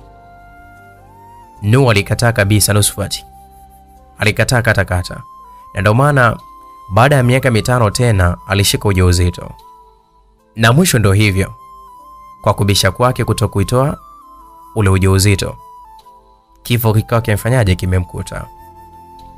Mia alihuzunika sana, akasema maskini, stori yao inasikitisha sana, lakini Mungu si Osmani. Mi Asana Azaia pamoja na Nasri watampa furaha Nurdini. Cha kushangaza msikilizaji, sauti ya Nurdini ikasikika ikiwa inasema kwamba una uhakika Asia na Mi walistuka kwelikweli kuona wamesikiwa na mtu ambaye kwa kitu ambacho walikuwa nakizungumza, mtu ambaye hawakutarajia kama atafika mazingira yale na kuchangia mada yao ambao walikuwa wakizungumza. Asia aliinamisha macho yake kwa aibu, maana ameona ameharibu kila kitu. Nurdini akazungumza akamwambia Mi, umesema kwamba mtanipa furaha au mimi nimesikia vibaya? Maana ndo muda ambao mimi nafika sasa hivi. Asia alishusha pumzi, ila Nurudini alidanganya kwamba ndio anafika na kumtoa wasiwasi Asia, ila ni kwamba kusikia akasikia kila kitu. Mia alijikuta namwonea sana huruma Nurudini. Nurudini alikuwa akambeba sana Asana kumwona Mia tu akaanza kumlilia. Mia akainuka akaenda kumchukua mtoto huyo. Nurudini akasema kwamba jiandaeni turudi nyumbani, kina Nasiru atakuwa njiani kurudisha nyumbani. Mia akasema sawa, aliitikia kwa adabu sana na huku akimwonea huruma. Msikilizaji, tutoke huko turejee upande wetu huko kazini. Ilifika majira jioni, mimi sikula siku hiyo, kwa hiyo njaa kwangu ilinyosha kwelikweli, maana kama ningekula ningelazimika kwenda kula mlo mmoja na Ino, lakini njaa kwangu kweli nilikuwa nayo ila nilijiokoa mimi nisiende kula na huyo Ino. Kwa nikawa nimekataa kabisa, nikawa nimeahirisha kwenda kula. Sasa ilikuwapo ni majira ya saa kumi na mbili baada ya wafanyakazi wote walianza kuondoka ondoka, baada tu ya kumaliza kazi zao pale makazini. Kwa njaa niliyokuwa nayo, msikilizaji, nilitamani kabisa kuondoka hata kabla ya muda wangu. Sasa ile nainuka tu kufunga store, maana tayari ni saa moja. Ino aliingia na kuchukua baadhi ya bidhaa Nikamwambia kwani bado muda tu. Unajua, nilizungumza kiunyonge sana msikilizaji, na huku nikiwa napiga mihayo. Ino akaniambia kwamba hadi majira ya saa tano kuna mteja atakuja hapa hapa, kwa hiyo hatujui atapakia hadi muda gani. Kuwa na subira, kuwa tayari. Nikamwambia huu sio utaratibu wa kazi za hapa, mbona kama unagopa hivyo? Alichonijibu akaniambia kwamba hii ofisi unaijua kunishinda mimi eh? Nikamwambia hapana, kwa kweli. Watu wote waliisha pale kazini majira kama saa tatu hivi za usiku. Nikaona hapa hata kule hotelini kutafungwa, na kama hapajafungwa basi kumeshafungwa kabisa. Kuelekea kantini, kabla hata sijafika mlangoni, nilipokuwa nataka nitoke sasa, nikakutana na Ino. Alinishika mkono na kunirudisha ofisini. Nikamwambia jamani, Ino, hata kama ni saumu ya muda gani, muda umekwenda sasa eh? na muda huu wa kufuturu umefika. Ino akasema hapana, leo si tumeamua kabisa kuwa wavumilivu, si ndio? Eti Sumi, nilikaa pale ofisini, kuna baadhi ya wateja walikuja. Ino wakawaleta store, wakachukua mizigo yao pamoja na kuondoka. Kutazama muda ulikuwepo ni saa tano kasoro. Mimi nikasema kwamba mimi naenda hotelini, nataka nikali na njaa. Niliinuka nikielekea hotelini. Huwezi amini msikilizaji, nilikuta kuna kakiboga kameandikwa closed na hakuna mtu zaidi ya mlinzi. Nilichoka, nikarudi ndani na huku nikiwa na yumba yumba, nikiwa kama mlevi. Sasa nikataka hadi kuanguka, Ino akanidaka. Sasa mbona kama uvu, uvumilivu umekuwa zero? Alinisogeza kifuani kwake Ino na huku akiwa kaniwekea kabisa mikono kiunoni. Kumsogelea mwanaume vile kwangu ilikuwa ni mara ya kwanza. Nilikuwa nimejawa na uoga usio kwa kawaida. We acha tu, japo nilikuwa nimelegea na macho yangu ndio ambayo alizidi kabisa kurembwa ishara ya njaa itaniua. Ino alinisogelesha kwake na huku akiendelea kutabasamu kwa adhabu kabisa kunikomoa na kunirudisha kwake kifuani. Uh, unakumbuka mchana ulivyonijibu? eh? Alinikumbusha hivyo Ino. Nikakumbuka muda wa lunch, aliniambia kwamba muda umefika Sumi, tukale. Sasa mimi nikamjibu kupitia SMS kwamba mimi ni mkubwa na mvumilivu, na kama unataka kushia mlo na mimi kuwa mvumilivu, sawa kaka jambazi. Nilimjibu hivyo. Ino alitizama hiyo SMS tena hakujibu kitu. Alinitizama akaona dawa yangu ipo jikoni. Kumbukumbu zangu ziliisha, msikilizaji. Ino akaniambia kwamba mrembo, mrembo wangu vumilia. Aliniachia kwanza, nikakaa katika kiti cha karibu. Kufika majira ya saa tano, kuna gari likuja na kuchukua mizigo. Ino akaongozana baadhi ya watu, akaniita na mimi nikaandike, lakini kwangu mimi njaa ndio ilikuwapo kikwazo. Njaa niliyokuwa nayo nilishindwa kabisa. Nikamkabidhi tu faili akajaze mwenyewe. Alinitizama na huku akiwa anacheka kimoyomoyo. Ile kazi ilichukua muda mwingi, maana walichukua vitu vingi sana vya kujaza gari yao ndogo. Wakaondoka majira ya saa sita za usiku, si saa sita kamili msikilizaji, bali ilikuwepo kama ni saa sita na nusu hivi. Nilitamani nilale, lakini siku zote ukiwa una njaa usingizi huwa huji. Macho yangu alilegea sana, nikajilaza na kufumba macho na sio kusinzia. Nikiwa pale, nilisikia kabisa harufu nzuri ya msosi katika pua zangu. Nikainuka kutazama, nikamwona Ino kakaa pembeni, ameshika utipoti kubwa limejaa ubwabwa wa maharage pamoja na kachumbari nzuri kwa pembeni. Mata alinitoka, nikaanza kumsogelea. Vipi, mbona kama unakuja kwangu? Ino aliniongelesha hivyo. Nionee huruma Ino, mtoto wa mwanaume mwenzio nitakufa. Uliwahi kusikia mwanajeshi anakuaga na huruma akiwa jeshini? Ino, Subiri nile kwanza, alafu eh, ndipo utakula na wewe. jamani Ino, mabaki nile Hauna njaa wewe, kwa mi nile mabaki. ndio maana nakwambia hauna njaa. Alikula kule akabakisha kidogo tu na kuniita, na huku akiendelea kuwa biza na simu yake. Ndo kidogo hivyo umeniachia. Leta nile, hauna njaa? Kwa kuwa nilikuwa nina njaa, msikilizaji, nilikula haraka kidogo. Hali ya hewa ikatulia kidogo, lakini sikuwa nimeshiba. Kama tayari tuondoke basi. Ino aliniambia hivyo. Tuliondoka pale, nikajua hapa tunaenda kwa kina Mi, lakini Ino hakuwaza hivyo. Nilikuwa na washo kwenda kumwambia Mi kilichotokea, na hata yeye mwenyewe Mi aniambie kilichotokea kule, lakini kumbe Mi mwenyewe hakulala kwa muda huo. Alikuwa sebuleni akiwa ananisubiri ili aniambie aliyoyakuta huko alipokuwa amekwenda. Nurdini kwa muda huo akamuuliza Mi, unafanya kitu gani hapa? Mi akasema kwamba Sumi bado hajarudi. Na mtoto umemwacha nani? Mi akajibu kwamba mtoto amelala sana, ndio maana nimekuja kukaa hapa. Nurdini akaendelea kumuuliza akasema kwamba vipi, akiamka mtoto na wako uko huku itakwaje? Mi akasema nitamsikia. Akamwambia nembu nyanyuka, usimalizie hata kuzungumza. Mi aliinuka haraka haraka kumpita Nurudini, akajigonga kwake na kudondoka chini. Nurudini akampa mkono na kuinuka. Mi akajikuta naamka tu mwenyewe. Nurudini akamwacha na kumbe chini kuna mafuta, akateleza tena. Hebu leta mkono bwana. Mia alitoa mkono mwenyewe na kumpatia Nurudini, akamvuta ainuke. Mia akamsogelea karibu. Baba, kwani mamdogo ni mkeo sasa hivi? Hilo swali lilitoka kwa Nasri, liliwashtua kwelikweli wote wawili. Mi pamoja na Nurudini wakabaki kuangaliana tuna huku wakikosa majibu ya kumjibu Nasri. Kwa muda huo Nurudini aliingia chumbani na kuwaacha Mi akimsogelea Nasri na kumshika kidevu na huku akimwangalia usoni. Mbona baba hajajibu swali langu? Ni kwa sababu umemuuliza swali ambalo nitakujibu mimi mwanangu. Nijibu sasa mamdogo. Um, mimi ni nani kwako kwanza? Mamdogo wangu. Eh, ambaye nafanya nini hapa kwa ajili ya nani? Unakaa na sisi kwa ajili ya mama kakuomba hadi atakaporejea. Safi, mtoto mzuri sana. Na hiyo ndo sababu baba alikuja hapa kunikumbusha nikamwangalie pia Asana. Sawa eh? Kumbe ndo maana upo karibu naye. Ndo hivyo tu. We ni mtu mzuri sana mamdogo.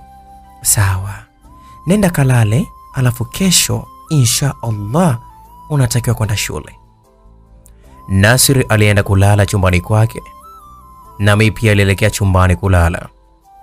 Upande wangu na Ino tulifika kwenye nyumba fulani hivi, tukaingia ndani, maeneo yanaitwa Kihonda. Nikawa sielewelewi, mbona kama tunakwenda pale. Sitaki maswali, wewe ingia tu ndani na utulie. Niliingia ndani nikatulia kweli kweli kama alivyoniambia, akanionyesha chumba cha kulala, nikawa nimeingia kulala kimya kimya tu kama alivyokuwa ametaka yeye. Nikiwa chumbani nilimsikia akizungumza na mtu, ni kama vile mpenzi wake hivi. Tatizo langu huwa sipendi kupitiwa kabisa na usingizi. Nikaona sasa nisogee, nikamwone mtu huyo ni nani ambaye anazungumza naye. Niliona kabisa wanapeana makisi na huyo binti. Nikataka sasa kurudisha mlango, lakini muda huo huo mlango ukawa umegongwa. Yule mdada akataka kwenda kufungua mlango. Ah, mwacha bwana, huyo ni mpangaji mwenzangu. Basi tumsikilize. Acha bwana, mimi naenda. Niende tu mimi. Amna baby, wasusubiri, mimi nakuja kumtazama tu. Mdada yule akakaa kusubiri. Ino akaenda kufungua kitendo sa cha kufungua mlango. Huyo mpiga hodi akaingia. Unaingiaje hivyo Suzi? Nilijua tu utakuwa na huyo malaya wako. Huyo mdada mwingine akainuka. Unathubutu vipi kuniita malaya eh? Sasa msikilizaji, nikaona hii bab kubwa, ubuyu pasipo ushahidi hausomeki hata kidogo. Nikachukua simu yangu haraka haraka, nikaanza kuwazoom taratibu akilumbana, nikaanza kurekodi mtoto wa kike. Nisikilizeni jamani, niwaambie, msigombane. Tena naweka kimya. Mdada yule akasema, bebi, huyo ni nani? baby, nisikilize kwanza. Unamhitaji Ino? Unamwitaje? Jamani baby, simkinisikiliza kwanza. Kwa hiyo sisi wote ni wapenzi wako Ino? Mimi huku sina mbavu, msikilizaji, najitahidi kwelikweli kweli nisitoe sauti, nitaharibu kila kitu cha watu. Sasa nikawa na bana tu mdomo, na huku natamani kabisa, yani kwamba mimi angekuwepo ashuhudie yote haya. Jamani, mbona kama wote ni bebi zangu na nawapenda kwelikweli. kweli. Mshenzi wewe, leo utachagua yupi wa kwako na yupi si wa kwako. Sasa niulize, nani yuko tayari kabisa kuachika nikimchagua mwenzie? Wote walikaa kimya, hakuna aliyetaka kabisa kuachika. Hmm, sasa je, kumbe mpo tayari kabisa kwa wangu wote? Okay, siwaachi. Unazungumza nini wewe? Alimkaba roba Ino, yule mdada pia akasaidia. Mimi kwangu mimi kicheko tu, mbavu zinauma. Nilikuwa yani, nilikuwa nakilazimisha kicheko kisitoke kwa sauti. Basi bwana, nimeegamia tu mlango na chungulia pale. Sasa kama ni kunikaba wote na waache, nipo tayari na nipo singo Si mnanikaba? Si mnanikaba? Nauliza. Ino alisema hivyo. Basi msikilizaji, nilijikuta nacheka hadi sauti inataka kabisa kutoka. Wakawa wamenishtukia wale wadada, wakajua kabisa na mimi mwenyewe nitakuwa mchepuko wa Ino. Nikasave fast ile, ile rekodi ambayo nilikuwa nimerekodi msikilizaji, Nikajitupia zangu kitandani, sina hilo la lile na simu yangu. So akanifuata huko huko bwana chumbani. Akaanza Suzi kuniuliza, hata we ni miongoni mwetu eh? Nikasema mm -mm, mi hakuna jamani, mimi hata sipo huko, niacheni tu. Mkabeni huyo huyo bibi wenu, sio mimi. Mdada yule akasemaje, tutakuaminije? Ino akasema kwamba bora hata msimwamini, maana hata yeye mwenyewe ni mtu wangu na tena ni mke wangu mtarajiwa. Eh, hakuna jamani, hata sio hivyo, sio hivyo, mnadanganywa. Nilijibu hivyo msikilizaji, na tena kwa sauti, si nikashushwa kichapo na wale wadada hmm? Wale wadada, yani ujeuri wote ukawa kusha. Kwanza Ino akaanza sasa kunicheka baada ya kuona nazidiwa, sasa napigwa pigwa pale. Aliwatimua wote mbio, wakaondoka zao. Mimi nimeachwa msikilizaji, nikiwa na minundu hiyo hatari. Ino akasema kwamba jamani, ona sasa walivyokuumiza. Alinisogeza kwenye kioo, yani sifai kabisa msikilizaji, nimeharibika ile mbaya kwa sababu amenipiga. Wale wadada wamenipiga uongo mbaya. Mimi nilichukia kweli kweli, nilimchukia huyu kibaka, sijui jambazi wa taifa. Nilimtukana kweli kweli, na huku nikiwa nalia. Akaja na boksi la dawa, akaniambia tu usijali, huyu huyu jambazi anakupenda kweli kweli. Nikamwambia mimi nipendo na fataki kama wewe, si nuksi tu hizi. Ino akaniambia ndio, lakini mimi nakupenda. Ah, hivi kweli nimeachwa Sumi?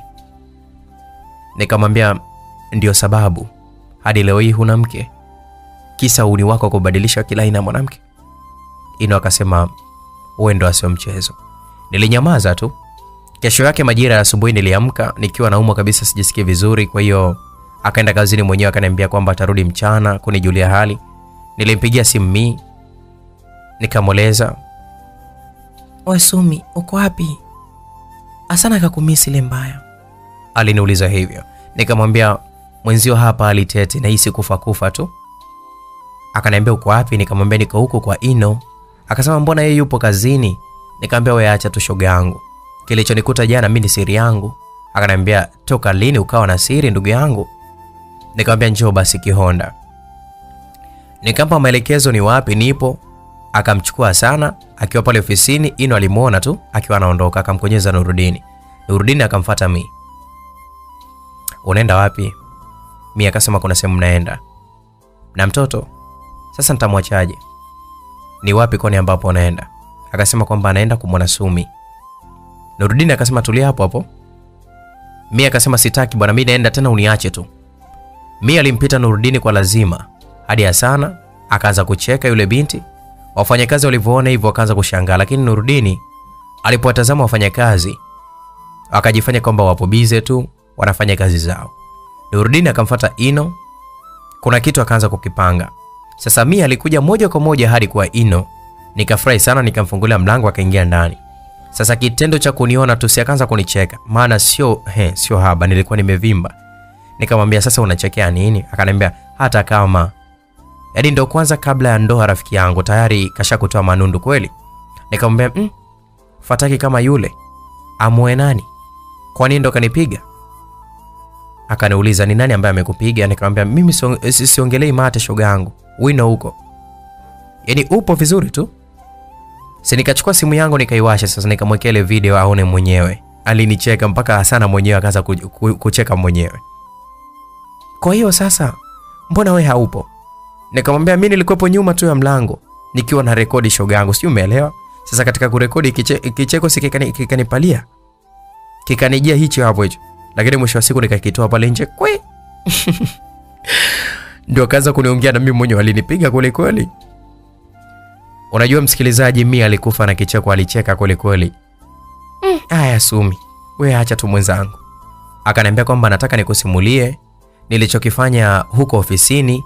Nimejikuta bingwa sana, lakini nawaza nikirudi nafikia adhabu gani? Ilikuwa nafikiria hivyo, mi ndo alikuwa ananiambia hivyo. Nikamwambia kwa nini unasema hivyo rafiki yangu? Mi akaniambia kwamba huyo Nurudini nimemkaidi mbele za watu, hana hata hamu na mimi, nakwambia sijui atanifanya nini akiniona. Nikamwambia huna adabu? Akaniambia kaa chizi. Adabu hizo za wapi rafiki yangu? Kwani mi ni mke wake? Ni mke wa maisha yake? Mi kwa muda huu aliingia jikoni kwa Ino akaanza kupika, nikawa anacheza na Asana. hatuna hata habari wenyewe kwa sasa. Asana anakaa chini, nikawa namfanyia vituko vingi sana yule mtoto, naye mwenyewe anacheka. Mia akaleta chakula tukala, tukaanza kukumbushana enzi zetu, kipindi hicho tupo wadogo sana. Mia akaniambia, Sumi, unakumbuka kipindi kile uibiwe pesa na kina Jose, umetumwa na anti dukani? Nilijikuta nacheka sana, nilicheka nikamwambia mm. Nikamwambia hadi ukawalia timing, ukawakusanyia mawe na manati, ukapanda juu ya mti ukaona unawapa juu moja moja bila wao kujua. Tuli, yani msikilizaji, tulicheka sana. Mia akaendelea kusema kwamba kipindi kile tumepewa ugali na baba na anti, tukala nyama zote pu ugali tukawa tuka tumetupia katika maua, nakumbuka. Basi tulicheka kweli kweli, hadi Hasana akaanza kushangilia kicheko chetu. Mimi nikaendelea kusema nikasema, mm, unakumbuka kwamba kesho yake anti kaukuta ugali katika maua alivyokuwa akifagia? We, akakutana na ugali, tulichezea mboko, tulicheza viboko, tulipigwa he. Basi wakati tunaendelea kucheka na kukumbushana zamani, mida kidogo tuliagana vizuri.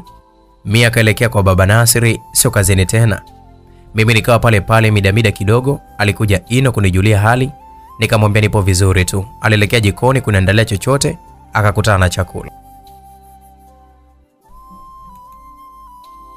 Kwa hiyo Mia alikuja hapa. Ndiyo, alikuja Mm, mabinti wa jeuri nyie. lakini salama. Dawa yenu iko jikoni sasa. Alichukua chakula naye mwenyewe akaanza kula, akakaa muda sana, hakuna stori kati yetu. Ilikuwapo ni swala la kuangaliana tu, kila mtu akimfikiria mwenzie vibaya.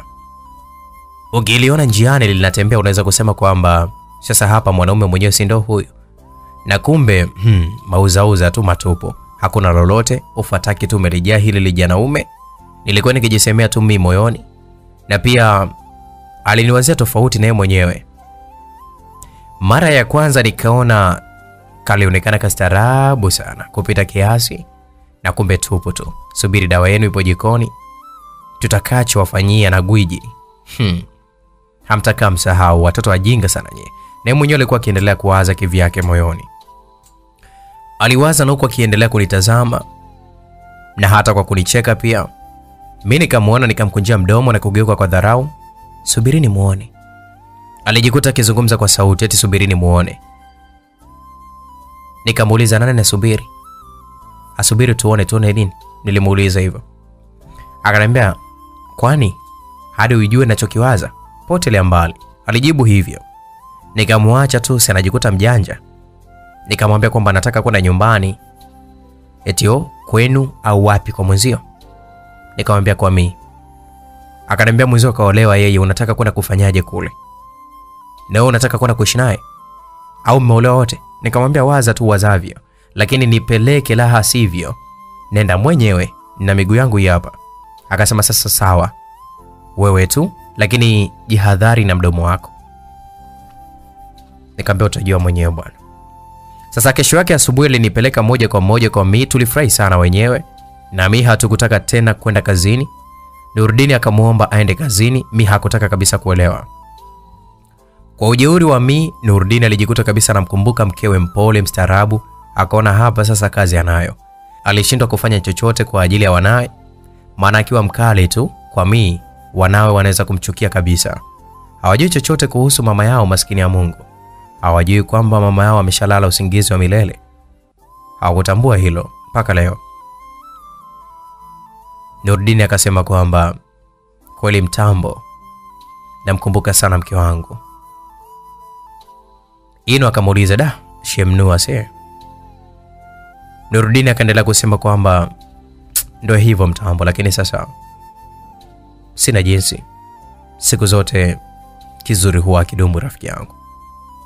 Ino akasema huyo mtoto tu kakuchanganya gwiji. Nurudini akasema ni paswa kichwa huyo mtoto, tatizo haelewi kabisa maana halisi ya ndoa ni kitu gani, japo yeye anaishi akiamini kabisa ni kwamba baada ya miaka mitano tutaachana. Mm. Akikuacha mwanangu uta, utalazimika sasa kutafuta mwanamke mwingine kwa ajili ya wanao. Da, kwa yule paswa kichwa, mbona kama itanilazimu kweli kweli. Kwa hiyo unataka kuhesabiwa nyumba kumi kama mjumbe? Ilikuwapo ni sauti ya baba yake, alikuwa anamhoji mtu na huku akiwa anasogea karibu na hapo. La, oya mzee mwanangu hapa. Ino akazungumza hivyo. Ah, ndio mnafaa kabisa kushauriana mema, sio ujinga tu kila siku. Baba yule alizungumza hivyo. Walimtolea saluti na kuzungumza naye mawili matatu, akiwasihi ili kwamba wajaribu kumjengea Mi katika njia iliyokuwa nzuri, ili aje awe mama bora sana. Hata hapo baadaye isiwe kama ngumu kabisa kuwaelewesha watoto kuhusu kifo cha mama yao, iwe jambo la kawaida sana katika kuwaambia, yani kwamba we mamako alishafariki hivi na hivi, yani hawapangi vizuri. Nurudini aliona kabisa kwamba huenda baba huyo yupo sahihi, lakini huyu mtoto ili ajengeke vizuri, kikubwa ni mapenzi. Kwa hiyo mimi ni msaliti Nufsati kwa ajili ya wanangu? Aliendelea kujiuliza hivyo Nurudini. Ino akasema kwamba hakuna usaliti hapo. Kwa sababu gani? Shemeji mwenyewe alifanya kwa kukusudia, na ndio maana alitoa miaka mitano, inakutosha kabisa kumfanya akupende na iwe ngumu kwake tena kuondoka katika mikono yako. Nurudini akasema, tatizo moyo, ndugu yangu, haupo kwa sasa kwake, upo kwa wanangu na taifa langu tu. Ino akasema sawa, tujaribu tuone kama watu hawa wanafaa kulea watoto wetu na kulinda taifa letu pia. Nurudini akasema kwamba usijali rafiki yangu, kila kitu kitakwenda bambam, kitakwenda sawa. Basi msikilizaji, mpango wa Ino na Nurudini ni wao tu peke yao wanaojua. Usiku wa siku hiyo, Nurudini aliandaa sehemu nzuri sana na keki na baadhi ya vitu ambavyo alihisi Mi atavipenda ndani ya chumba chake. Mimi kwa muda huo, Ino alinipigia simu akaniomba kwamba niondoke na Asana na Azaya pamoja na Nasri kwake. Nikafanya vivyo hivyo. Mi akataka kunifata, Nurudini akamzuia Mi. Mi akawa mbishi kwa muda huo. Nurudini alishuka chini kiupole kabisa, akampigia magoti Mi, akamwomba kabisa, tukiwa tunamtizama mbele yetu, akamwomba arudi. Nakuomba, nakuomba tafadhali, usiende tafadhali, nakuomba. Baba Nasri, Nilijikuta nimetamka hivyo tu. Nasri na Azaya wao walicheka kwa kitendo cha baba yao kupiga magoti mbele ya Mi. Mi akasema kwamba basi sawa, siendi. Niliondoka na watoto tukamwacha Mi anajiuliza kwa nini azuiliwe. Akaletewa nguo na Nurudini kiustaarabu. Na kuomba uvae nguo nimenunua kwa ajili yako. Nurudini alizungumza na huku akitabasamu kumwonyesha kwamba hana hata kisirani kwa siku hiyo na Mi. kwani leo kuna pati ya mtu? Mi aliuliza akasema ndio ipo, lakini usiulize ni ya nani. Nurudini alijibu kwa unyenyekevu kabisa mbele ya Mi, akaondoka na kumwacha Mi peke yake. Mi aliingia chumbani kwanza, akairusha nguo kitandani, akaanza kurusharusha mito na kujifichaficha kwa kulialia tu kitandani, na huku akipiga kelele kwa hicho kitu kinachoendelea. Mungu wangu, Sumi, ungekuwepo ungenisaidia kushusha presha yangu. Huwezi amini, leo baba Nasir anataka kunitoa uti, alafu anajikuta mstaarabu. Siamini mimi. Nifanye nini Sumi? Niende naye au vipi? Alisogea kwenye kioo ili apate taswira mbili. Kwa muda huo, Mia akasema tena kwamba Aya basi, tufanye wewe wa kwenye kioo ni Sumi, alafu mimi ni mimi. Tufanye kwamba nimekuhadithia kila kitu, alafu unishauri. Oh, mi nenda tu, ujue baba Nasiri kwa sasa sio mtu mbaya, huenda ana shida. alijibu kama Sumi yule aliyokuwa ndani katika kioo, kwa sababu alitengeneza nafsi mbili, msikilizaji, kwa muda huo. Sasa Mia akasema kwamba ambaye ni yeye akasema hapana, Sumi, huwezi kunishawishi, simwamini kabisa. Kwanza yule sio mtu mzuri, hapa anaweza kujifanya ni mwema, alafu tukafika huko akakugeuka. Hmm? Ila mi mwamini kwa leo, akikuonyesha dalili ya kuvunja uaminifu wako wa thamani, uje unieleze. Alijishauri kama Sumi, Mm, Sumi, lakini yule ni mtu da. lakini kabla hajamalizia kuzungumza, ujumbe moja kwa moja uliingia katika simu yake. Nani huyo? Alijiuliza kama Sumi. Usiwaze sana, ni baba Nasri. Eti anasema kama nimemaliza kuvaa niende chumbani kwake, akinitishia pisto. Oh, hmm, nimepata wazo. nimepata wazo mi, nenda na kisu kizuri, kiweke safi na chumbani kwa Nasri, kachukue bisibisi, akikuleteza kuleta, unamtoboa tumbo lake. Sijui shanaelewa. Aliendelea kujishauri kama mimi. Baada ya kuandaa vitu vyote vile, alijiandaa vizuri na kuelekea huko chumbani kwa baba Nasri. Msikilizaji, kabla hajafika hata mlangoni, Mia alijiweka sawa na alivyokuwa kapendeza sana, lakini bado hakujiamini. Alijikagua vizuri kama kisu chake kiko sawa, akakiweka safi kabisa, akasogea mlangoni, akachungulia katika chumba cha baba Nasri. Akakamatwa na Nurudini muda huo aliyekuwa mlangoni, kamziba macho kwa kutumia kitambaa machoni. Mia akajipapasa achukue kisu, mikono yake miwili yote ikakamatwa na kufungwa pingu. Asa ndo nini hivyo? Umenisaliti na kuniteka? Tatizo wewe bado mdogo, hujui maana surprise. Mi hakuzungumza kitu, lakini nilishangazwa na uongeaji wa Nurudini. Ulikuwepo ni wa kistaarabu kweli kweli. Mi akaishi hapa anataka mwadhibu kimya kimya, maana yule hachelewi kabisa kukaba roba. Au leo kapatwa na uchizi? Nurudini alimsogeza Mi taratibu, akamshikisha katika kiti ambacho Mi alihisi kabisa ni kilaini. Wakati huo Mi moyo wake ulikuwa unaenda mbio mbio sana sana kwa kuogopa.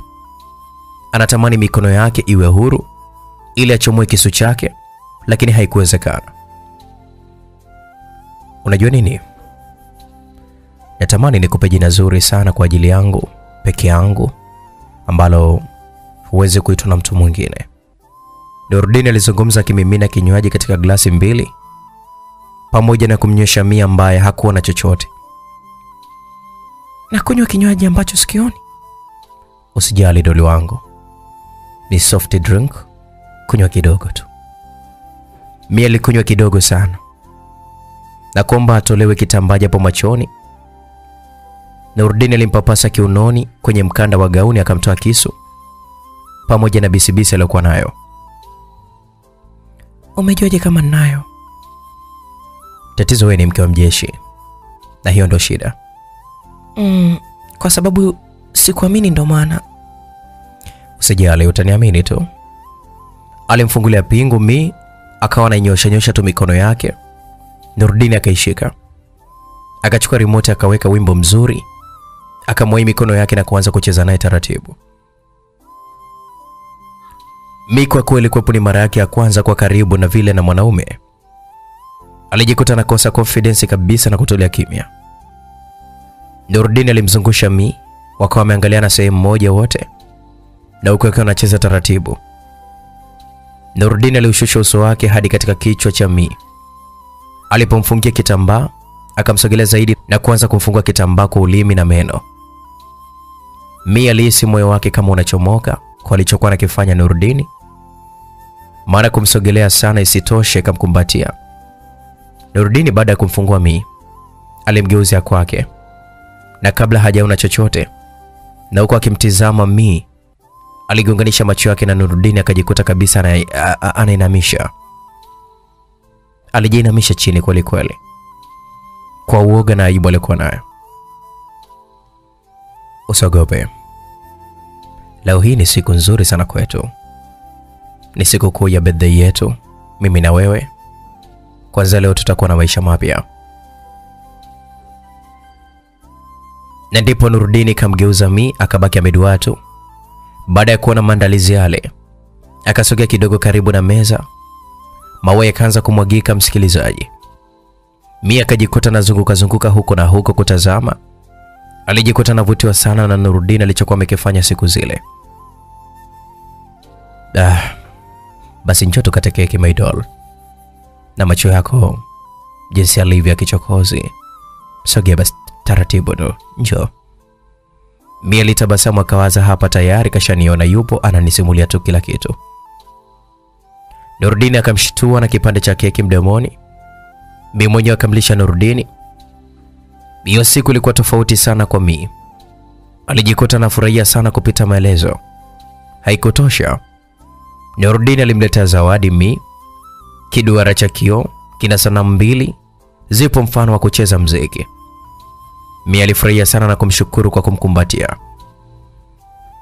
Leo mimi na wewe tumeanza safari ya maisha mapya.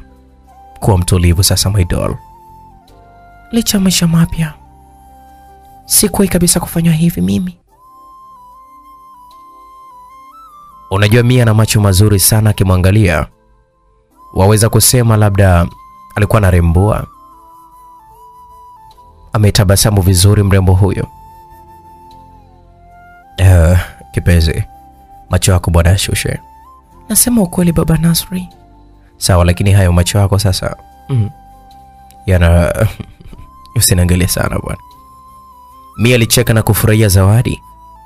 Baadaye Nurdin alimchukua taratibu hadi kabatini, akafungua kabati la nguo. Kwa nini sasa ufungue hapa? Mbona umependeza ulivyovaa? Hmm?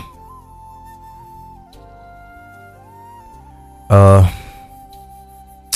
ni kwa sababu nataka ujue sehemu gani ambapo mimi naweka vitu vyangu vya siri. Vitu vya siri? Mhm.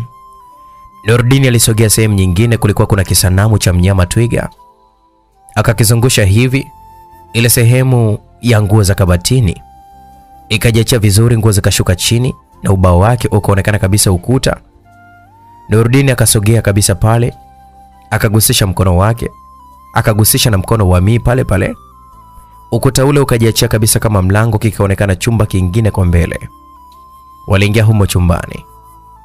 Kwa Mii bado ilikuwepo ni miujiza kwake. Sasa msikilizaji, upande wetu sisi ni burudani. Tuna Nasri pamoja na Ino walikuwa wakituonyesha show ya kudansi. Tulikuwa tunacheka sana mimi na Azaia, lakini mawazo yangu yote alikuwa kwa Mi huko alipokuwa. Kuna usalama kweli? Nikawa bize kumfurahisha sana huyu binti sana, lakini ghafla binti akaanza kulia, usingizi kabisa ulikuwa unamsumbua. Nikaanza kumbembeleza Ino akaniletea kitenge ni mbebe, nikageuka nyuma kumtazama. Ino akanikonyeza, nikamwambia ndo nini? Natamani angekuwa wa kwetu mimi na wewe. Azaya aliingia jikoni kuchukua tunda. Nasri akawa yuko bize kabisa na video game, maana akachoka sana. Kwani Sumi, nakomba nikuulize, Mhm. wewe ni kabila gani? Iliweje? Sasa uniambie tu kabila gani wewe? Ino alinishika kiunoni na kuanza kunitazama vizuri machoni, na huko nikihangaika kujitoa, nikao kabisa nimemsumbua sana. Akaanza kulia. Ino akaniachia, nikatoka nje kumbembeleza mtoto mzuri. Nikakutana na huyo dada anaitwa Ana. Mambo ya poa. Karibu. Ya sio mimi karibu, wendo ndo karibu. Eh. Kwa nini wakati umenikuta hapa? Okay, mimi naitwa Ana, Mrs. Ino. Aha, okay. Mimi naitwa Sumi. Nikajua wewe ndo Mrs. Ino. Hapana, never bwana. Ana aliingia ndani akaniacha pale nje na mbembeleza mtoto. Nasiri pamoja na Azaya walipomwona walibaki tu kumtumbulia macho. Akawapita na kumfata Ino alipo akamkumbatia mbele ya watoto. Wakati huo mimi nilikuwa naingia ndani nikamlaze mtoto. Ana, na kwamba kuwa na adabu, kuwa na adabu. Hauoni kwamba kuna watoto? Oh my god. Ino, unanipangia cha kufanya nikiwa na wewe? I miss you. I really miss you, Ino. Ah, Ase, Ino alinitizama mimi kwanza, lakini sikujali. Niliwachukua watoto nikaingia nao jikoni, alafu nikatoka kwenda kumlaza sana, na kisha nikarudi kwa Nasri pamoja na Azahia. Kwani huyo ni girlfriend wake baba mdogo? Ilikuwepo ni sauti ya Nasri akimuuliza Azahia. Azahia akasema kwamba hapana, ni dada yake. Mimi nikamwambia nyamazeni kimya, huyo ni rafiki yake tu, msifikirie mengine. Nasri akarudia kuzungumza akasema kwamba mama mdogo, lakini rafiki gani sasa huyo asiyekuwa anajali wala asiyekuwa na heshima? Mimi nikamwambia kwa nini mnasema hivyo? Akanijibu kwa kuniambia kwamba anawezaje sasa kumfanyia vile baba mdogo mbele yetu kama sio girlfriend wake. Nikamwambia Nasri, acha acha kabisa usijaji habari hizo. Baadaye msikilizaji, Ino alikuja jikoni na kuniita, nikaenda huko alipo, nikamkuta huyo Ana kakaa mezani anakunywa juisi. Ino, Ino, umenitia nini huku? Atoke wote tu hapa, mbona mmeniacha mwenyewe na mgeni? Niliinuka niondoke niwaache tu, maana hakuna jipya chini ya jua. Lakini kabla sijafika mbali, Ino alinishika mkono nisimame mbele ya huyo mpenzi wake. Nikaanza kuutoa mkono kwa nguvu. Ino alinigeuza, nikamgeukia yeye. Ino, mimi sta... Lakini kabla hata sijamaliza neno langu, lipsi za Ino zilitua katika mdomo wangu. Ana akabaki amedua akituangalia. Mimi nilishindwa kutulia, nilimsukuma Ino huko, nikakimbilia chumba hicho alichokuwa analala sana na kujifungia huko. Ana ikabidi aulize tu, Ino, house comes. Why mbele yangu Ino? Without care? Unam deep kiss in my friend to my, to, to, to, my eyes. Why? Ino? nampenda. Natoka zamani nakwambia kwamba sikutaki Ana, mimi nampenda huyu mwanamke. I don't care Ino. I love you kutoka ndani ya moyo wangu Ino. Fikiria nafunga safari kutoka Kenya hadi nakuja Tanzania just because of you, you know. Hiyo ndo sababu, si ndio? Sitaki uendelee kufanya hivyo. Ana alitaka nifate huko huko chumbani, msikilizaji, lakini Ino akamwonyesha kidole kwa ishara ya kwamba afate mlango wa kutokea nje na sio kunifata mimi nilipo. Ana aliondoka na huko akiwa analia. Mimi wakati huo nimejikalia chumbani na waza alichokuwa nakifanya Ino mbele ya mto wake, nikikumbuka na siku nakula makonde ya wanawake zake siku ile. Msikilizaji, turejee upande wa mii Kule alionyeshwa vitu vingi sana, lakini kitu cha mwisho alionyeshwa kisanduku kimoja hivi. Baba Nasra akakisogeza hadi kwa Mi akamkabidhi. Hiki nini kwani? Hiyo ni roho ya nchi mama, Roho ya nchi kiajani? ramani ya mipaka pamoja na njia za siri nchini Tanzania. Kwa hiyo ndio roho yetu hiyo. Mm, Mama, mi mwoga bwana. Mi kwa uoga aliokuwa nao msikilizaji, si akacheki boksi kile. Vipi my doll? Ah, ah, hapana. No, mi sitaki siri yako. Hapana mama, nisikilize my doll. Japo mimi na wewe hatuhesabiani kwamba um, ni mke na mume, lakini kisheria wewe ni mke wangu tayari. Kwa muda tu, lakini baada ya miaka mitano nitakuwa na miaka 25. Bonge la mrembo. Nitaachana na wewe, nitaolewa na mtu saizi yangu, kwa hiyo usinihesabie sana. Okay, sawa, lakini ndani ya hii hii miaka mitano mimi nina haki zote kwako, na kwa kuwa mumeo uh, wa miaka mitano ni mwanajeshi, ishi kama mke wa mwanajeshi sasa. Niishi kimwanajeshi ki, ki, ki, kiaje yani? Okay, hii ni ramani, ina njia zote, ina njia za anga, maji pamoja na nchi kavu na handaki pia. Magaidi wanafanya juu chini kuipata, lakini kwa usalama zaidi. Nilileta kwangu, lakini hapa pia nimeona kwamba sio salama, na ikitokea tatizo lolote hapa nyumbani, basi ujue wanaitaka hili. Ya wanaitaka hii zawadi, sio? Umeelewa? Basi mimi sitaki na kuiona, irudishe tu katika kisanduku na uiweke huko huko. lazima uelewe, mke na familia za kijeshi haswa kama sisi wenye kazi tofauti tofauti, huwa tunapitia changamoto, lakini haijalishi changamoto gani itakuja kwako, unafaa kuwa mvumilivu kwa ajili ya taifa lako, sawa? Mm-mm. Hapo mimi hata sielewi, mimi naondoka zangu. Mia aliongoza hadi alikoingilia, akakutana na ukuta. Nurdini akamfuata na kumshika, akampeleka sehemu nyingine. Kuna kizawadi kama alichokipewa yeye. Akakishangaa kwelikweli na kumwangalia Nurdini. Kijana akamwambia ainamishe macho yake. Macho yake yanamchoma vilivyo kwa sababu anarembwa sana. Mia akatabasamu. Nurdini akamshikisha kile kiduara na kuanza kukizungusha kutumia mkono wa Mi. Ukuta sasa ukajiachia, wakatokea bafuni. Mm-mm. Huu ni uchawi ama mbona kama sile? Hapana my doll, hapana. Haya ni maisha mwanajeshi. Mia alitabasamu kwa kuchukua zawadi yake aelekee chumbani kwake. Nurudini akamwambia watoke dina, wakawa wameenda.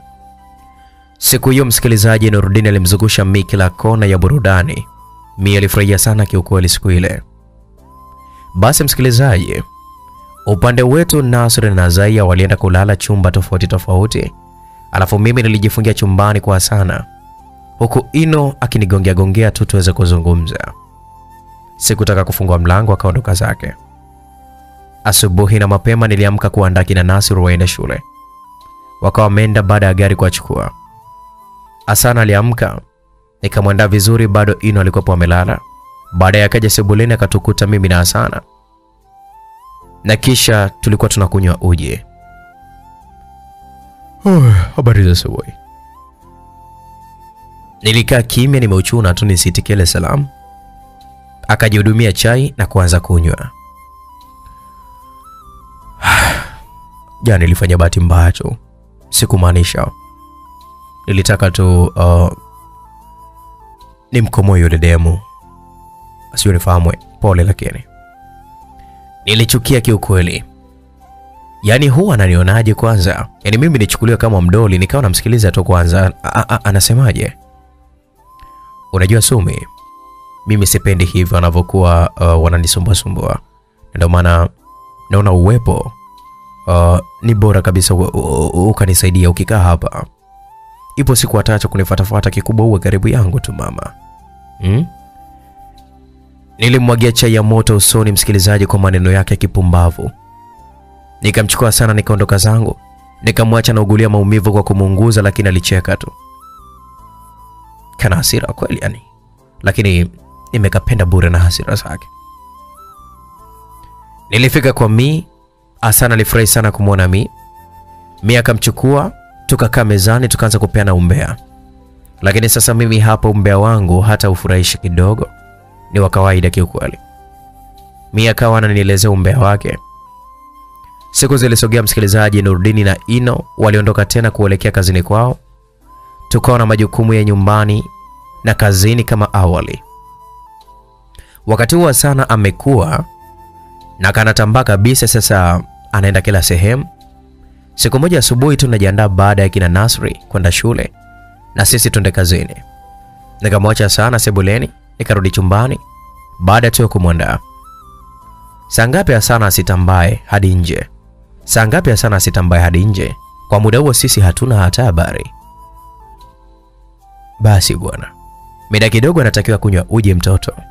Kwa hiyo nikasogea nje nimlete aje kunywa uji, lakini mtoto cha kushangaza nilikuwa simuoni.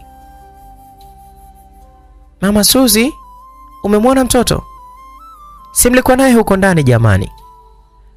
Mm. Nikamuuliza kila mmoja, hakuna aliyemwona. Mimi mwenyewe akasema hafahamu.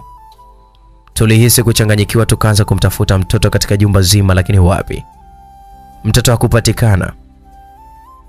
Tunafanya nini eti mimi? Nurudini ataniua Sumi. Nurudini ataniua kweli kweli. Tulitoka nje ya nyumba hiyo tukagawana majukumu ya kumtafuta mtoto kila sehemu, lakini hakupatikana. Machozi yalianza kututoka, ikabidi tupige simu kituoni, lakini baada ya simu kuita na kupokelewa, mlinzi mmoja alitukabidhi simu. Madam, nimeikuta getini inaita tu, niko nimeipokea, inaonekana wanajua mtoto alipo. Mia alichukua ile simu kwa pupa na kwa hofu kabisa juu juu juu ya mtoto. Halo, unazungumza na Mrs. Nurdini. Mia alijitambulisha kabla hata hajajibiwa. Alisikia sauti ya mtoto ikilia kuashiria kabisa wapo naye. Asana, tafadhali naombeni msimfanyie chochote hivyo, ni mtoto mdogo. Halo, halo. Kwa muda huo simu ilikatwa. Mia akaiachia na kujikuta kabisa anaanguka mzima mzima. Nilimwahi ili kujua nini ambacho kimemtokea sana. Mi ni Asana kweli? Ni mzima, hawajamfanya chochote? Mia akanijibu akaniambia kwamba Sumi mwanangu mimi. Mia alijikuta kabisa anahisi kwamba yeye ni mama wa Asara. Mama Suzi na mwenzie wakatuomba kabisa tutulie kwanza. Wakati huo walinzi wanarudi mmoja mmoja baada ya mwingine. bila hata majibu juu ya mtoto wetu. Mimi nikamuuliza Mi, tupige simu tena, huenda utatuambia chochote. Mi akasema jamani, mtoto bado ni mdogo sana, kwani wanataka nini? Wanataka kitu gani kwake? Nilichukua simu nikawapigia, walipokea. Halo, tafadhali msikate simu, naomba tuongee tafadhali, nisikilize. Nilizungumza kwa hamu ya kupewa jibu, huenda Mrs. Nurdini au ni mwingine. Niliulizwa, lakini kwa kuiona hali halisi nilikubali hivyo. Ndo mimi, tafadhali msimdhuru mwanangu, nawaombeni sana. Oh, kama ni wewe, kwa mvumilivu kwa siku mbili, tutakupa taarifa nini cha kufanya. Siku mbili? Siku moja tu? Haya masaa mawili sina tamani hizo siku mbili zote? Hapana bwana, jamani. Nilijikuta nimezungumza hivyo. Ah, okay, kama hautaki sawa, nitakufikiria. Hapana, ila naomba bwana, mnipunguzie siku. Mimi ndo nimesema hivyo. Kwa hiyo kuweni wavumilivu, ila msitoe taarifa kituoni. Ikitokea taarifa hizi zimefika kituoni, jiandaeni kwa chochote, waike kitoto chenu sawa. Kwa muda huo walipozungumza, msikilizaji walikata simu. Hapana jamani, mtoto bado mdogo sana, msimfanye chochote. Halo, halo, halo. Ilizungumza pasipo kujibiwa. Mindo alibaki kabisa kuduana, huku akimtumbulia macho. Um, Sumi mwanangu, tutashije bila sana? Mia aliniuliza, lakini likaa kimya tu. Msikilizaji, ni majira ya saa kumi, hatukwenda hata kazini. Nurudini akapiga simu, hakuna kabisa aliyekula. Mia alipoona mpigaji ni Nurudini akaniangalia kuashiria kwamba nimpe wazo. Nikamwambia, Mia, akaniambia kwamba tamwambia nini Sumi. Mimi nikamshirikisha nikamwambia wazo langu kwamba usimwambie chochote Mi, huu utakuwa uzembe wa hali ya juu sana. Mia alipokea simu, Halo, alizungumza nao akijitahidi kuficha ukweli wake. Nurudini akaitikia kwa bashasha kubwa. Oh, Jumani my doll, mbona kama hauko sawa? Alizungumza Nurudini. nipo sawa. Mbona sema tuna mafua? Mia alizungumza nao akijaribu kuvuta kamasi. Ah, okay. Okay, sawa my doll. Wanangu vipi hawa jambo? Haswa kipenzi changu sana. Wanaendeleaje? Mi alishindwa kabisa kujibu akabaki kimya tu. Nikamwangalia ili asije kuwa mdhaifu tukagundulika. Oh my doll. Hello, mbona kama kimya? Au mafua ameziba mdomo? Eti baby. Nurdin aliuliza baada ya kuona kimya kimezidi. Hakuna, ni vile tu nipo kazini. Kazi ni nyingi sana baba Nasri, nitakutafuta baadaye. Mi kwa muda huo alizungumza na kukata simu, akanivuruga kabisa mimi akili yangu. Mi, kwa nini umekata simu yake? Hujui kwamba atese vibaya? Ah bwana, kwani si nimemwambia nipo kazini? Hapo angeanza kuniuliza maswali nikishindwa ni- ni- kumjibu hadi unakuta angenishtukia ingekwaje Sumi? Kukata simu pia atahisi kwamba kuna jambo mi. Mbona kama sio si- uwe sio mwelewa? Sumi, mi sitaki kujua anachokitaka mimi kwa sasa. Nikufahamu juu ya mtoto wangu. Hatuwezi kabisa kusubiri siku nyingine Sumi. Unajua huko huko alipo anakula nini mwanangu? Anishije? Mimi siwezi Sumi. Mwanangu yule hata kama sijui uchungu wake ni mwanangu. Hmm. Sasa Sumi, unavyosema hivyo, hata mimi pia ni mwanangu na ni mwanetu pia sote, japo kisheria wewe ndo mama yake, lakini wote sisi anatuona kama ni, ni, ni, ni mama zake. Mwenyewe siwezi kabisa hata kulala. Haya sasa, Sumi, Su- Su- Sumi ume, umesema hivi, tutafanyaje sasa? Namtaka sana mimi. Ah, tufikirie cha kufanya mii Kwanza tutulize kwanza akili.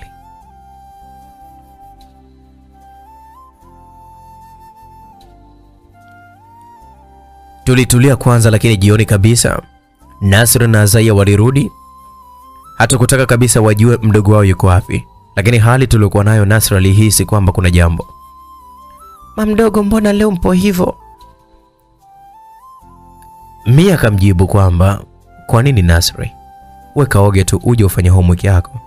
Azai akasema kwamba yuko wapi mdogo wake? Mimi nimemletea zawadi, yuko wapi? Sasa mimi kwa muda huo, msikilizaji, nikasema kwamba Zaia, unajua sana kaondoka na bamdogo Ino, baadaye atakuja na utakuja kumpa zawadi yako, sawa? Nasri akasema kwani baba karudi? Na mimi naye akazungumza akasema kwamba mbona hata arudi mapema hii eh? si ndio muda wake wa kurudi? Nasri akasema kwamba kwani baba karudi?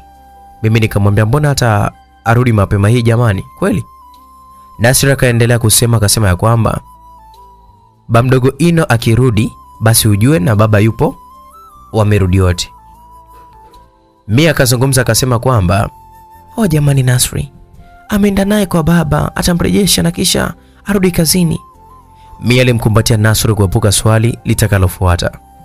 Nasri alibaki na swali kifuani kwake, hakuamini kabisa kama Hassan akaondoka na babake mdogo Ino.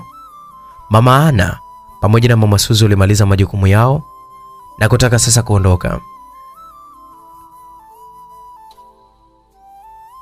Tuliwaomba angalau abaki mmoja tu juu ya tatizo tulilokuwa nalo, akabaki mama Ana. Sasa mimi nikawa nime, nimezungumza na Mii.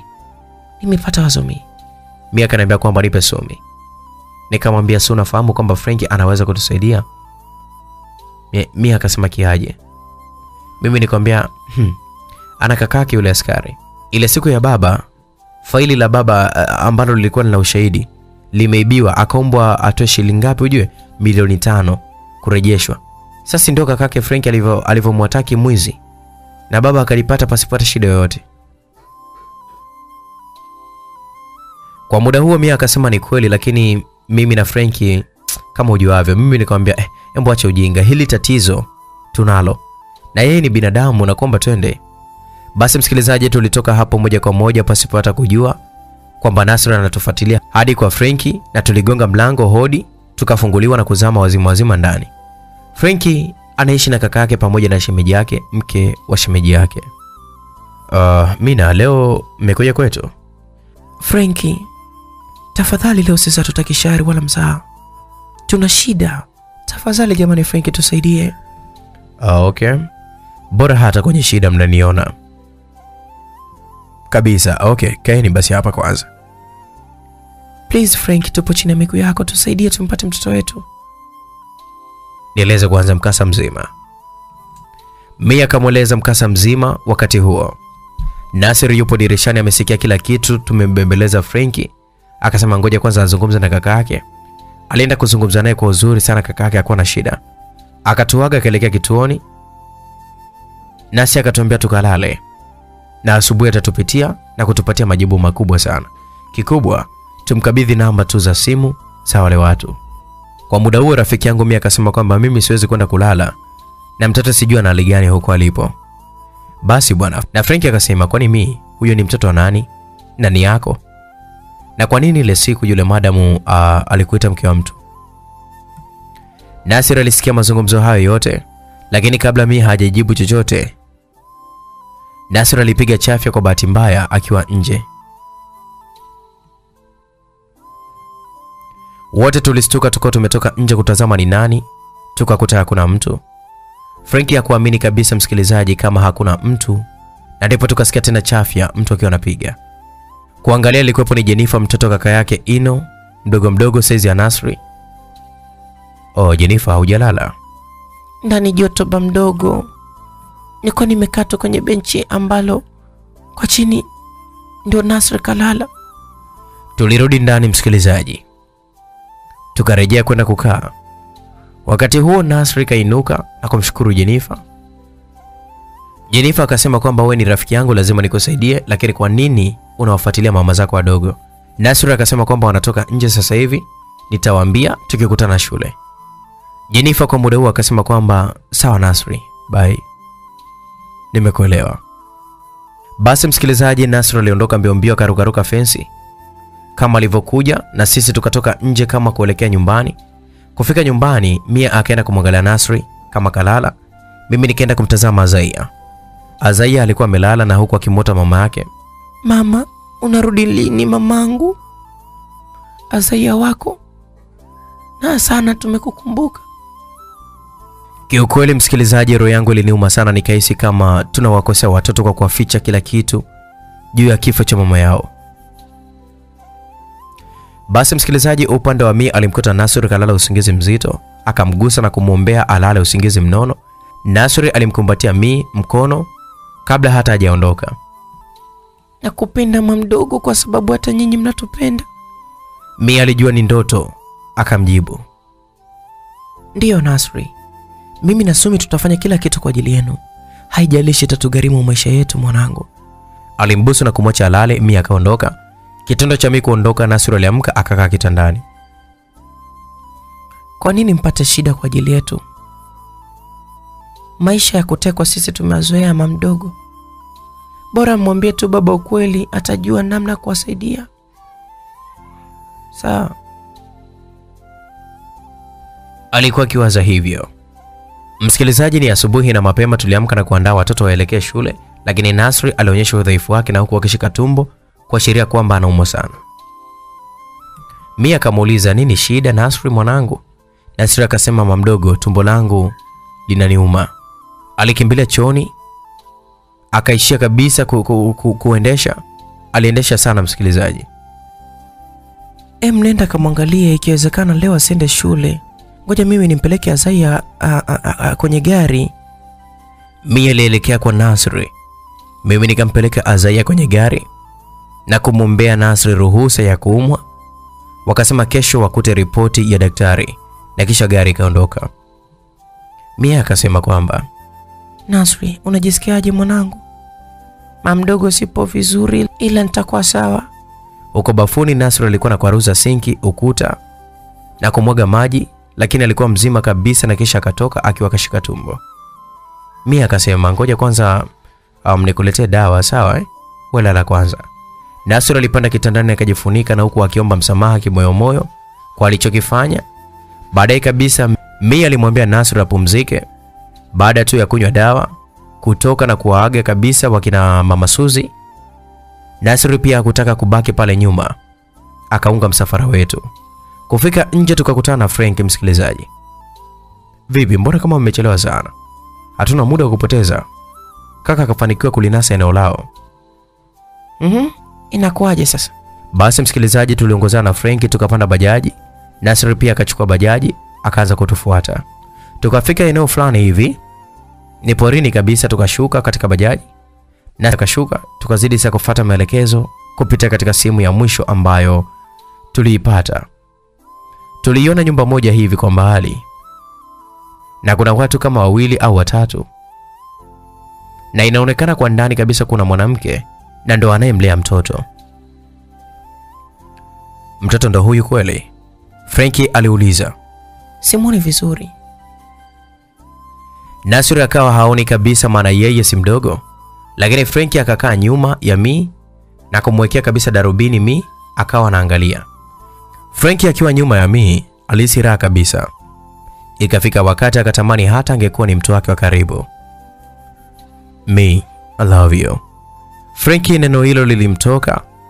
Mi hana hata habari, mawazo yake yote kwa sana, lakini mimi nilimsikia Frenki kasema kitu gani. Nasri akaona bora tu ajitokeze, maana hawezi tena kujificha. Mi, umemwona ni Hasana? Ilikuwepo sauti yangu nikamuuliza Mi. Mi akaniambia Sumi, ni yeye tu, tumwende mtoto wetu. Nasri naye mwenyewe akasema na mimi naenda, tukajikuta tumeitikia pamoja mimi na Mi. Hivi wewe wewe? Tulizungumza kwa sauti hadi Frank akashika kichwa kusikitika kwa ujinga wetu. Yaani sisi wenyewe tuna shida alafu tumesanuliwa. Watu wale nahisi yani kwamba hawakutusikia kwa mbali, lakini wanaangaza angaza tu, macho yao akitazama huku na huko. Frank akatuangukia muda huo na kutulaza chini wote, basi tukawa tumetulia pale tusistukiziwe. Basi msikilizaji, tukiwa pale chini, kuna mtu alipita karibu yetu kabisa, na tena akamkanyaga Nasri kidole kwa kutumia kiatu chake kilivyokuwa kikubwa. Kijana alijitahidi kuvumilia maumivu asitoe sauti. Mimi na mimi tulishangaa sana Nasri kwa ujasiri wake aliokuwa nao, kulingana na kuangaza kwake juu juu. Hakutuona, akaondoka kurudi kwa wenzake na kuambia kwamba hajaona yoyote. Msikilizaji, upande wetu tuliinuka kwanza, tukarudi barabarani, maana Frenki alishauri hivyo. Kufika barabarani, mimi na mi tukaanza kumlaumu ni kwa nini turudi mikono mitupu. Uh, kwani mna akili nyie? Nadhani ni rahisi kumpata mtoto hivi. Eti hivi hivi mnampata tu mtoto, inabidi kujipanga kwanza. Wewe wale watu ungewapataje? Labda ungewapitaje wale wale waliokuwa wamesimama pale hmm? Ni ngumu sana. huwa nadhani baba Nasri atanielewa nini mimi? Mamdogo, mwambieni tu baba. Ilikuwepo ni sauti ya Nasra akimshauri Mi pamoja na Frenki. Mi akasema kwamba Alafu wewe umefikaje fikaje huko? Kwa muda huo, mimi nikasema kwamba huu si muda kuulizana maswali, tutafute kwanza ufafanuzi wa hili jambo, tusikurupuke tu. Basi bwana msikilizaji, kwa muda huo Frank naye akasema kwamba fanyeni kwanza kurudi nyumbani, mkawapigie simu mueleze na mwaulize wale washikaji wanahitaji kitu gani, lakini pia wakishawajibu chochote kile ambacho wao wanahisi ni majibu mazuri kwao, msisite kufanya, lakini mnieleze kila kitu watakachowaambia. Mia akasema sawa, lakini leo tena tulale pasipo sana, sio vizuri. Nasri mtoto akasema kwamba inauma, kama baba angejua kila kitu kingesha kuisha. Nikadakia mimi nikasema, we naye embuka kimya mpaka kesho uende shule huko. Basi bwana msikilizaji, tukiwa barabarani, kuna bajaji ilipita, tukaisimamisha, tukapanda na kisha tukaondoka kufika nyumbani. Cha kwanza kabisa tukawapigia simu, kwani siku ya pili imeisha. Sauti ya kiume ilisikika, msikilizaji. Leo ni siku ya pili, nimeshindwa kusubiri. Semeni tu mnataka nini tafadhali. Mia alizungumza akiwaambia wale watu eh, inaonekana una machungu sana, utafikiri mwanao wa kumza huyo. Tafadhali semeni mnataka kitu gani? Ah, tunaitaka ramani ya mipaka hiyo, ipo ndani ya nyumba yenu. Mi kusikia hivyo aliachia simu hadi simu ikadondoka chini na simu ile ikakata kabisa mawasiliano. Mi, kuna nini? Mbona hivyo? Haiwezekani, sio kweli. Mi alizungumza na kuinuka, akakimbilia chumbani kwanza, akakaa aweze kabisa kufanya kitu ambacho anahitaji kabisa kuwaza. Shida ilikuwa awaze kabisa kuchukua ile ramani aipeleke kwa wale watu ambao walikuwa wanahitaji, lakini akaona kwamba hapa hapana, aombe ushauri kwanza. Mi vipi? Mbona kama hivyo? Sikuelewi. Ujue shoga yangu, Nilimuuliza nikiwa na shauku kabisa ya kujua nini ambacho kilimkuta hadi akapelekewa kabisa kwa hapo vile. Mi alinieleza kila kitu, akaomba ni mshauri, lakini ikawaza kuhusu Hasana pamoja na taifa kwa ujumla, tufanye kitu gani? mi yenyewe iko wapi hicho kitu? Mi hakuwa na shida, linipeleka hadi chumbani, akataka sasa kunipeleka kabatini. Mm-mm.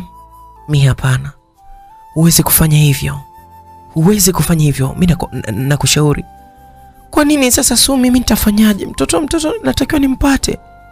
Ujue mi, subiri nikwambie, Nurudini amekuamini sana wewe kama mkewe, na ndio maana akakuonyesha chumba chake cha siri pamoja na vitu vyake vya siri, hivyo usije ukafanya makosa.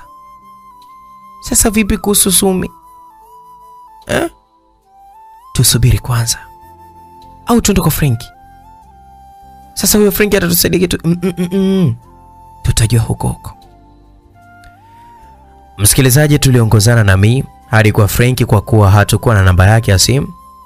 Kufika kwa Frenki kwa bahati tulimkuta, lakini alikuwa akijiandaa kutoka, tukamweleza kila kitu tulichoelekezwa. Frenki akapagawa kabisa, akawaza nini ambacho anatakiwa afanye. Ah, sa mbona mmeniacha? Nasir alifika ghafla kabisa na kutustua.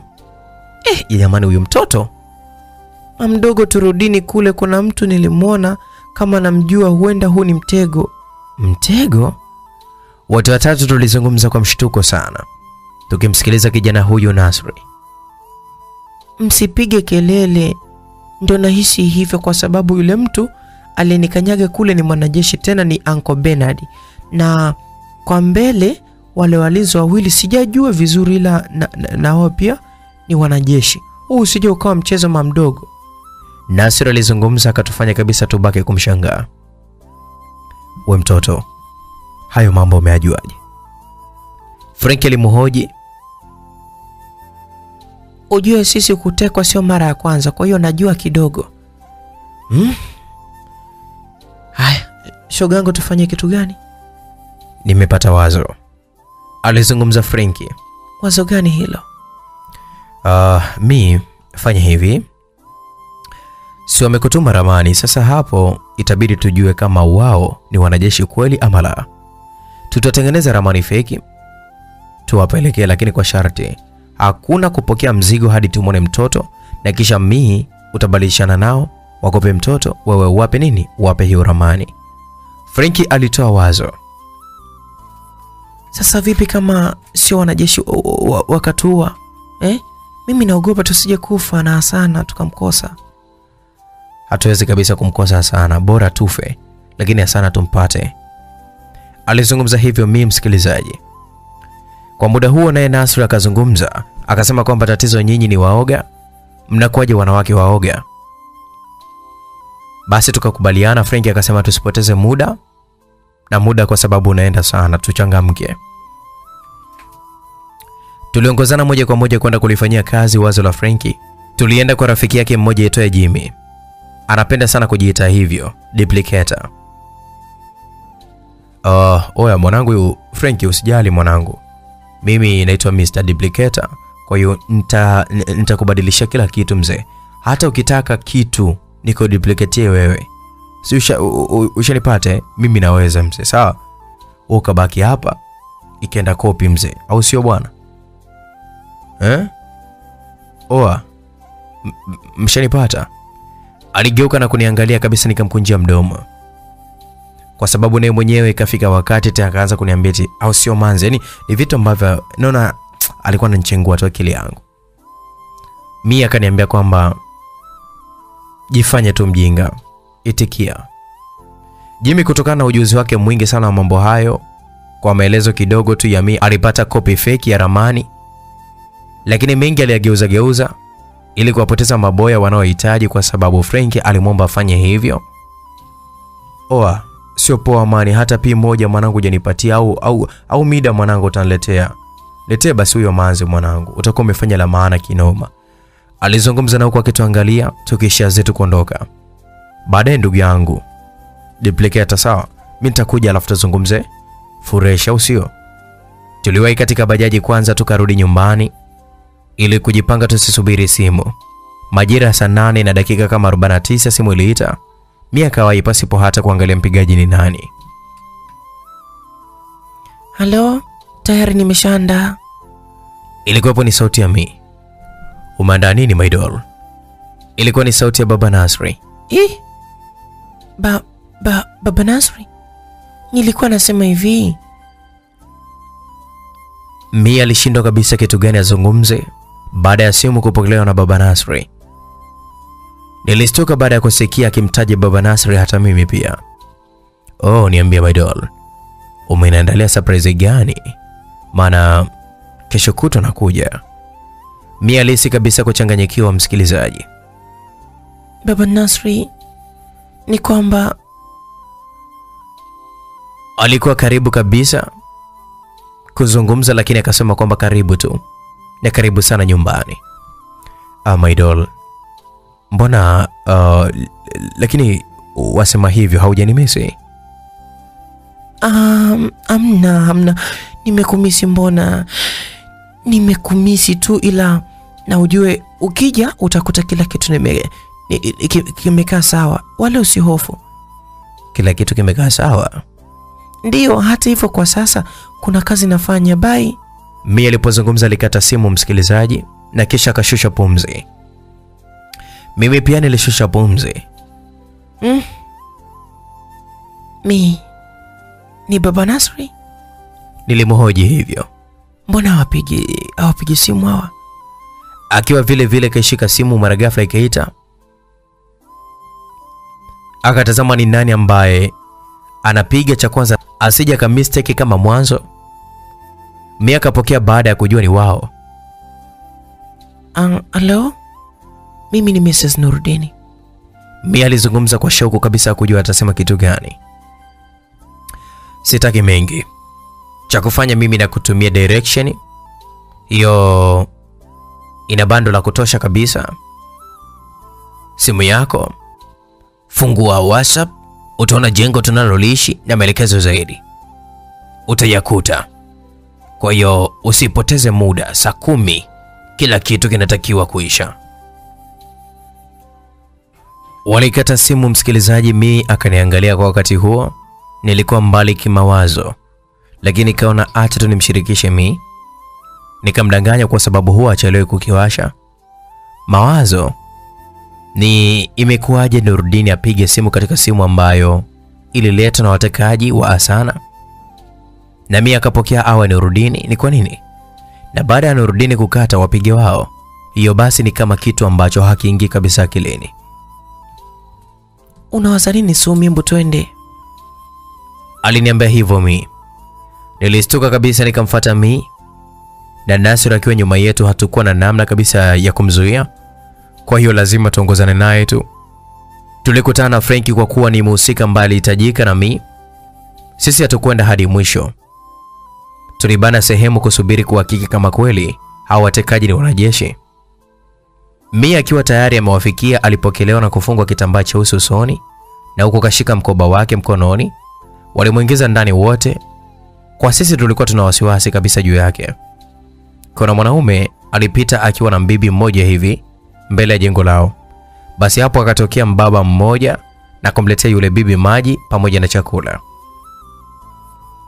Hapana, huenda huu ni mchezo ambao tunachezewa. Yaani tangu mimi ni niwajue majambazi na, na, na, na experience yangu ilivyokuwa kubwa, sijawahi kabisa kuona jambazi anatoa msaada kwa mkongwe kama huyo, alizungumza Frenki. Huyo sio jambazi, ni Uncle Bernard. Alizungumza Nasri. Oh, ni, ni, Ni kweli Frenki, nahisi hata Nurudini pia baba yake n- n- n- Nasr anafahamu hilo. nilizungumza na kuwapa mkasa mzima kuhusu simu aliyotumia Nurdini. Hapo Frank alipata jibu rasmi. Basi msikilizaji, upande wa mi ndani aliingia akamkuta Hasana akakaa katika kitanda cha watoto, ana vitu vingi sana vya kuchezea na inaonyesha dhahiri ya kwamba kuna mtu anayemfahamu alikuwa akicheza naye. Asana, Mi alimwita Hasana akainua mikono yake juu kumshangilia Mi. Mi aliangaza kila kona kama kuna mtu, hakuona mtu, lakini mwisho wa siku alimnyanyua na kuanza kucheza naye kidogo kidogo, na huko machozi akimtoka. Mi hakuamini kabisa kama mtoto huyo yuko salama, lakini pia cha kushangaza msikilizaji, hajaguswa wala afya yake haijatetereka. Kidogo Mi aliingiwa na mashaka na mtekaji wa mtoto huyo, na tena baada ya kuona kabisa aina ya lishe aliyokuwa anaitumia Asana kwa muda huo na baadhi ya vitu vya Asana, hivyo basi inaonyesha dhahiri kabisa kwamba huyo mtekaji anamjua mtoto na anamjua vyema kabisa. Mm, hapana, hapa kuna jambo. Akiwa bado anajiuliza kuna kitu alikikanyaga kwa chini, aliinama kuokota. Ilikuwepo ni saa ya mkononi, akakumbuka siku Nurudini anagusisha mkono kwenye ukuta na kisha akagusisha mkono wake. Alikuwa akavaa ile ile saa. Hapo basi alipata majibu, ni ile ile saa. Mm, kwa hiyo kweli baba Nasri umeamua kunitega. Mm, ongera kwa, ku, kwa kujihisi bingwa wa maisha, lakini mimi um, mimi ni mimi na sio mtu wa kushindwa. Tuendelee na mchezo, haina haina shida.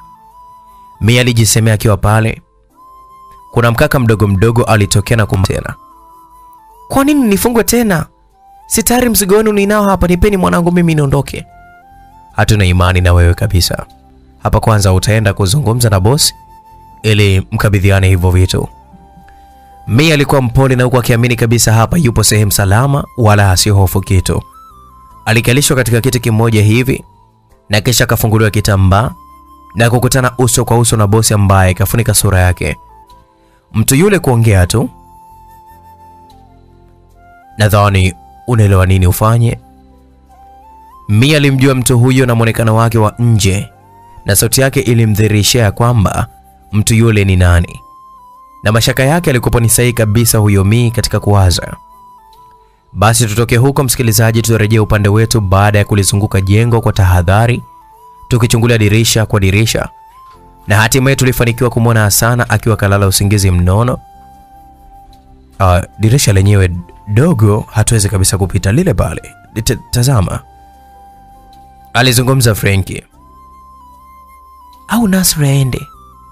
Nilijikuta nimetoa wazo, msikilizaji. Ah, kwenda tutamwingiza, lakini kip, kip, kip, kipengele kitakuwa nini ujue katika ku- ku- kumrudisha huyu mtoto, atarudi vipi? Mimi ni mtoto wa mjeda.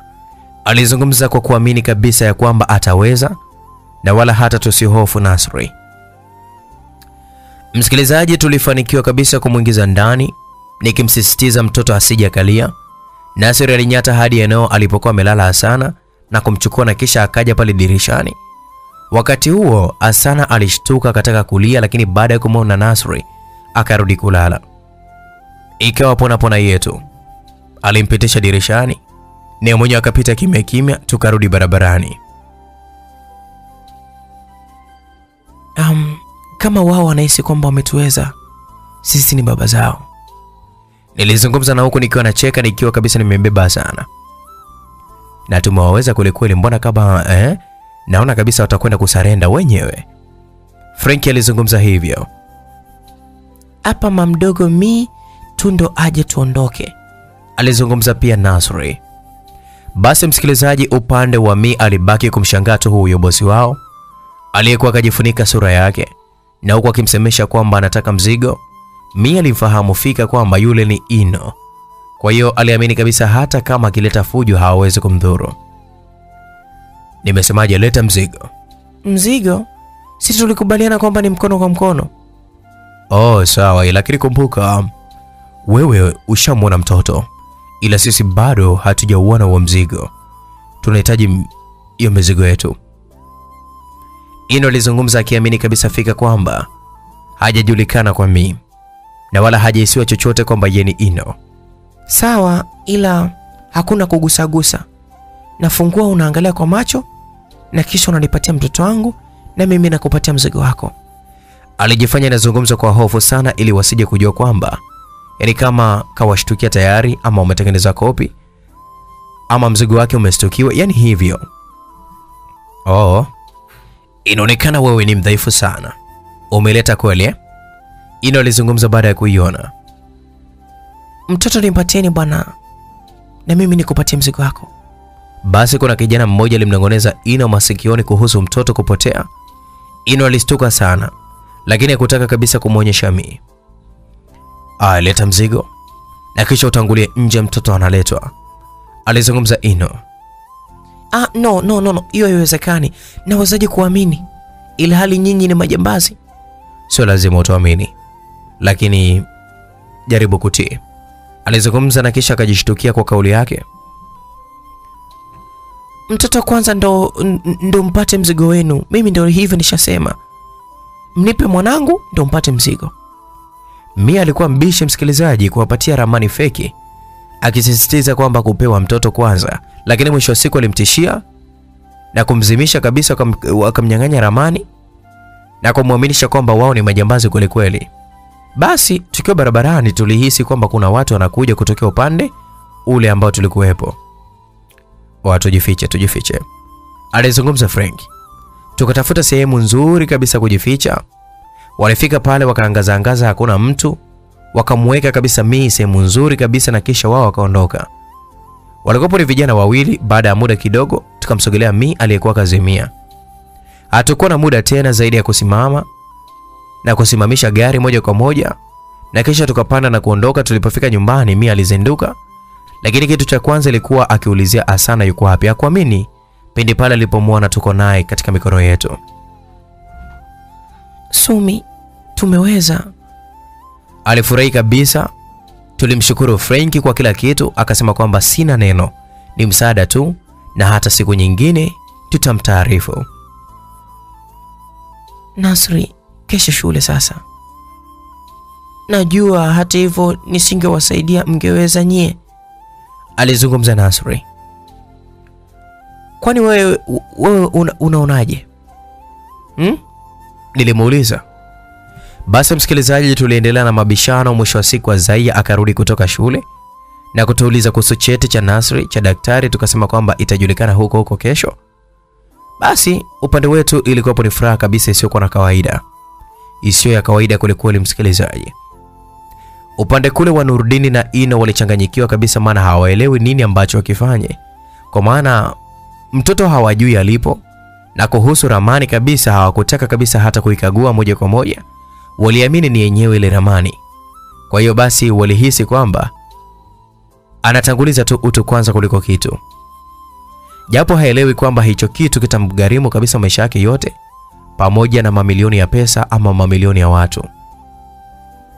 Watafanya nini gwiji? Maana ni kama da, tumepoteza kila kitu mzee wangu. Ase, japo ramani tunayo hii hapa, lakini sio sehemu sahihi kabisa kukaa nayo mzee wangu. Amna kweli mwanangu, tumejichanganya ama kweli, yani uongo zambi. Basi wakiwa pale wanajadiliana, simu yao iliita. Nurdini kutazama, alikuwepo ni Mindo mpigaji, akamtizama Ino. Ino akamwambia pokea simu. Halo, Baba Nasri, naomba unisamehe. Nilikuficha nikiamini kwamba nitaweza, ila naona haiwezekani. unasemaje? bibi? sikuelewi ujue. Baba Nasri, mtoto hayupo, sana amepotea. Mia alizungumza kwa sauti ya kulia. Hembu kwa bwana mvumilivu kwanza. Unasema hata nyumbani uh, Asana hayupo? Nurdini alijisahau kama hiyo simu ndo walikuwa akiitumia kumtega naye Mi. Ndiyo Baba Nasri, kwa hiyo nampa msaada wako. Mi alikataa baada ya kuzungumza hivyo. Alinitizama tukaanza sasa kucheka ile mbaya. Yaani tumewaweza, ngoja tuone sasa wanaume wanavyochanganyikiwaga. Basi baada ya kusema hivyo, msikilizaji, upande wa Nurdin na Ino waliangaliana sana, wakajua kwamba tayari washafanya makosa na likizo yao hawajaifanyia chochote wala haki. Nahisi mtoto wanaye hawa watoto, wasituchanganye kabisa, wasituchanganye hawa, alizungumza Ino. Da, huenda maana hii simu nilikuwa naitumia kumtishia ujue. Ah, e bwana, lakini vipi kama mwanangu kapotea kweli? Alikuwa na wasiwasi sana Nurdini. Hebu tuende kwanza. Wanajua tupo kazini ndugu yangu, hata wao kabisa wana makosa. Si wameleta ramani au? Hey? Hey. Basi walikubaliana kuja nyumbani, sisi tukiwa hatuna hili wala lile, tuko bize kabisa, tunafurahi wenyewe. Mara ghafla Zaia aliyekuwa amembeba sana akasikia, akamshangilia baba yake. Nurudini na Ino walitazamana sana baada ya kumwona sana mimi na mimi tulitoka chumbani mbio kufika sebuleni. Macho yalishtuka kabisa kwa aibu, macho yalitushuka kabisa kwa aibu maana, lakini hata hivyo wao walijiona sijui vipi, yani walijiona kabisa ni wanyonge, si wa kweli. Basi bwana msikilizaji, kwa hiyo ulinidanganya? Nurdin alimuuliza mi. Kwa hiyo wewe ulifanya vizuri, si ndio? Mi naye akamuuliza Ah, yani wewe basi tu. Nurdin alizungumza kwa hasira na kisha akapatwa na hofu kabisa bure. Mnatambua hofu tuliyokuwa nayo? Nyinyi watu mna mioyo yenye hofu, ila sisi binadamu hatuna, si ndio eh? Nyinyi mnayo. Unapotenda kitu kwa mtu, fikiria kwanza, vipi ukitendewa wewe kitakuwaje? Kitakaje kwako? Na ndio umtendee mwenzio eh? Nurdin alimchukua sana na kwenda naye ndani na Azaya. Wakati huo Nasiri yupo biza kabisa kufanya homework alizoletewa na Azaya.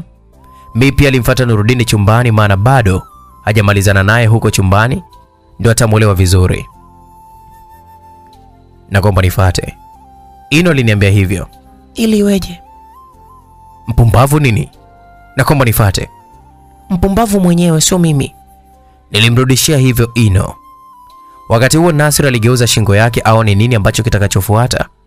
Ino alikasirika kabisa, nikatoka hapo mbio mbio na kwenda kujifungia chumbani, nikiamini kabisa hatu nifikia nikiwa chumbani, lakini nilishangaa mtu kaingia kabisa. Msikilizaji, kaingilia kupita dirishani. Nilishangaa kweli kweli. Si nimekwambia unifuate wewe au eh? Sasa sawa, twende basi. Niliinuka nikiwa nimefumba macho na kung'ata kabisa meno yangu ili nimfate mwenyewe Ino, na Ino alinisogeza kabisa nyuma na kufungwa mlango. Nikatoka kabisa wa kwanza, naye mwenyewe akafuata. Upande wa Miji uko biza kabisa kumshushua Nurdini kwa alichokuwa amekifanya na kujinadi kupitia ujasiri wake. Nurdini akiwa kamwangalia na nampimia tu the way alivyo. Mhm. Hivi unajionaje kwanza wewe mwanaume? Ulihisi ukimteka sana mimi utaniweza? Usione mdogo, usinione umri wangu mimi mdogo, ukanichukulia poa hmm? Ile siku upo kujishaua eh? Oh. Tumeanza maisha mapya kwa utulivu kabisa, na wewe mwenyewe uliniambia hivyo. Kwa hiyo kuwa mtulivu, hatutawahi kugombana. Upuzi mtupu hivi, kwa bahati mbaya mbaya ningekuamini kweli sasa hivi si, si, si, ni- ningekuwa nalia sasa hivi eh? Eti na kwa taarifa yako, inabidi huko jeshini kwenu mkarudie kozi, maana hmm, a- a- a- a- hamkukomaa vizuri, amkuiva vizuri. Mnazidiwa vipi na mabinti wadogo kama sisi? Kwanza watu wenyewe haoga, mlishindwa kumteka wa kiduku bondia maarufu lakini mkamtesti eti mnamteka sana. Kwa taarifa yenu, sisi sio watu poa. Nurudini aliendelea kumsikiliza tu Mia anavyozungumza zungumza sana, na kisha kafaulu kabisa kumwokoa sana kwa mara moja tu. Hajui maana halisi ya kutekwa, akawaza nini ambacho akifanye. Eti eh? Oh, usipoleta mzigo kuwa tayari kwa lolote, huyo mtoto wenu sijui na, na, na, na liramani lenyewe tumwapa feki kama hamjui. Nurdini hakumwelewa kabisa, maana alikuwa kawaza jambo la kumnyamazisha Mi. Mi akiwa bado anazungumza sana, alishtukia lipsi za Nurdini mdomoni kwake. Kisi la Nurdini lilimfanya kabisa sahau kama alikuwa akimshishua. Shahidi alibaki kuwa sana ambaye alibaki kuwakodolea macho pasipo yeye kujua wao wanafanya kitu gani. Unaendeleaje my doll? Nurdini alimuuliza baada ya kumwachia. Mimi naendelea vizuri, wewe je? Nurdin alitabasamu msikilizaji na kuondoka zake, na huku akijua kabisa hakuna mgogoro tena hapo. Safari ya chuki imekwisha. Mia alihisi kuchanganyikiwa kwanza, akawa hajiamini kwa kilichotokea. Akageuka akakutana na uso wa Hasana aliyemkodolea macho, na kisha Mi akajificha. Hasana mwanangu, nishauri nje, mimi natokaje basi? Kuli mapenzi uchize, msikilizaji. Hasana amshauri nini eti?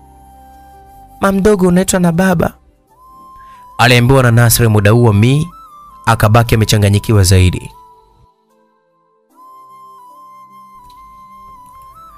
Msikilizaji, baadaye Mi alimbeba Hasana akaelekea kwa Nurudini na huku anaogopa ile mbaya. Kufika akakuta Nurudini kakaa na wanaye wanapiga stori, wanacheka ile mbaya. Mi akafika na kujiinamisha ili asimwone Nurdini, lakini Azaya aliinuka akamkimbilia. Baba, mwambie basi mama mdogo Mi ili tujue Jumamosi tunaandaa nini. Mi alistuka akajikuta kabisa, akamwangalia Nurudini kwa mshtuko. Nurudini wala hana hata shida, yuko bize tu kumwangalia, akijua tayari Mi hana neno la kusema. Eti Mi, umekubali? Nurudini alimuuliza akasema ndiyo, nimekubali. Mi alijibu hivyo, hata ajui nini ambacho kimepangwa siku hiyo. Sasa mamdogo, umekubali bila kujua ni kitu gani? Nasru alimuuliza. Eh, jamani, sasa sinajua kwamba ni kitu kizuri wanangu. Mia alijishaua kuonyesha kwamba hajaenda nje na mada hiyo. Umesikia sasa hivi uh, Jumamosi watoto wanataka kwenda um, kwa bibi yao na mama zao wadogo. Nurdini alimwambia hivyo Mi. Ah, kweli eh? Mi alisogea akakaa karibu yao na kuanza kujadili nini wataandaa. nurudini alijikuta anacheka tu. Upande wetu msikilizaji, tulikuwapo mimi na Ino, tulifika ofisini na kuanza kupitia pitia baadhi ya kazi ambazo huenda hazikuwa sawa. Wakati huo Jessica ananitizama na huku akiwa ananilia timing, nini cha kufanya, nikiwa biza na shughuli za kufunga hesabu. Basi wafanyakazi mmoja baada ya mwingine walianza kuondoka, maana muda tayari ulikwisha kwenda. Tukabaki watu watatu. Nilielekea bafuni kumaliza haja zangu, akaja naye Jessica naye akajihudumia na kisha akanisubiri mlango wa kutokea pale. Basi bwana, nilitoka nikamkuta mlangoni, nikamwomba apishe nipite, akang'ang'ania mlango, nikamsogelea bado akasimama. Nikamwambia we ni kiburi eh? Akaniambia tena sana tu. Nikamwambia unahitaji nini? Akaanza hivi, wewe au ngoja ninyewe wawili wewe na Uyomii, mna mpango gani na, na hawa wanajeshi wa baba? Hamwoni kama sio saizi zenu? Mmekosa watu wa rika lenu? Nioje. Nikamwambia nika nikamwambia kwamba unawataka au kuna siku ambao wewe uliwatokea wakakukataa? Akaniambia usijifanye jeuri, nijibu kwa adabu. Mnawatakia nini wale wa baba wanajeshi hao wawili ambao sio saizi zenu? Nikamwambia ni wanaume na ni waume zetu sisi. Umekubali? eh? Kwa taarifa yako sasa hivi, kama ulikuwa haujui, mi kwa sasa ndo bosi wa hapa. Kama ulikuwa haujui, nakupa hizo. Ukimwona tu tanguliza heshima na nidhamu kwa mi. Eti bosi? Kwani kuolewa na bosi ndo nani? Nurdini ndo kumiliki kila kitu hapa katika ofisi? Haiwezekani. Labda mimi sio Jessica, sio Jessica, labda sio mimi. Kwanza najua kabisa huyo mi na mzee wake walimtishia madamu hadi kumfanya aolewe na bosi Nurudini. Nalijua hilo mm. Kwa hiyo kama alimforce wewe unatakaje? Labda eh? Au ulitaka awe wewe? Na kwa taarifa yako, sasa hivi unaweza kuwa umekaa na Madam Nusfati miaka kumi, lakini bado eh, akakutoa kasoro, na ndio maana hakukuchagua. Lakini Mia aliyekaa mwezi tu alimchagua na kumwona ni, ni mtu ambaye anaweza kuwa bora zaidi. Upo hapo, sijui unanielewa wewe? Nilimwambia na kisha nikamtoa mkono wake ulioziba mlango, nikapita nikaondoka zangu. Hey, mnadhani mtashinda? Wasubiri, labda sio mimi Jessica, nakwambia. Alisema hivyo, nikamwacha akilalama pale, mimi nikaondoka zangu. Nilifika kwa Ino nikakuta kamaliza kila kitu ananisubiri tuondoke. Nikiwa pale, Jessica alitupita na huko macho yake hapo kwangu, kwa kuwa nilikuwa karibu na Ino, niliamua kumchokoza. Eti eh? Wewe si mzee wa madem? Mtokee mtoto mzuri yule, nilimwambia na huku nikimwangalia Jessica. Unasemaje wewe eh? Wewe acha ushamba, Umeacha na mademu wangapi kwa muda mfupi eh? Nenda kwake basi. Nilipomwambia tu nikashtukiwa na kaba wa roba pasipo hata kutegemewa, na kisha akaniachia. Wakati huo Jessica kaona kabisa na kaishia zake huku akiwa anacheka. Mm. Janaume gani ili muda wote tuko kabana kabana tu kama mwindaji wa windo lake sijui nini. Nikabakabe liweje? Wewe ni windo langu mimi. Tambua hilo. Alizungumza na huku akituangalia tukielekea kuingia katika gari. Hmm, nijikute nimelogwa eti ndio nikubali hivyo. Niliingia katika gari tukatoka kuelekea nyumbani. Njiani kila mtu alikuwa biza na mambo yake, nikaanza kumpa mipasho ya wao kujifanya kwamba wamemteka sana, alafu sisi tukawazidi ujanja kwa siku hiyo. Ino alipoona anazungumza sana, alitoa gari kwa spidi ndefu hadi nikaanza kupiga kelele ndani ya gari.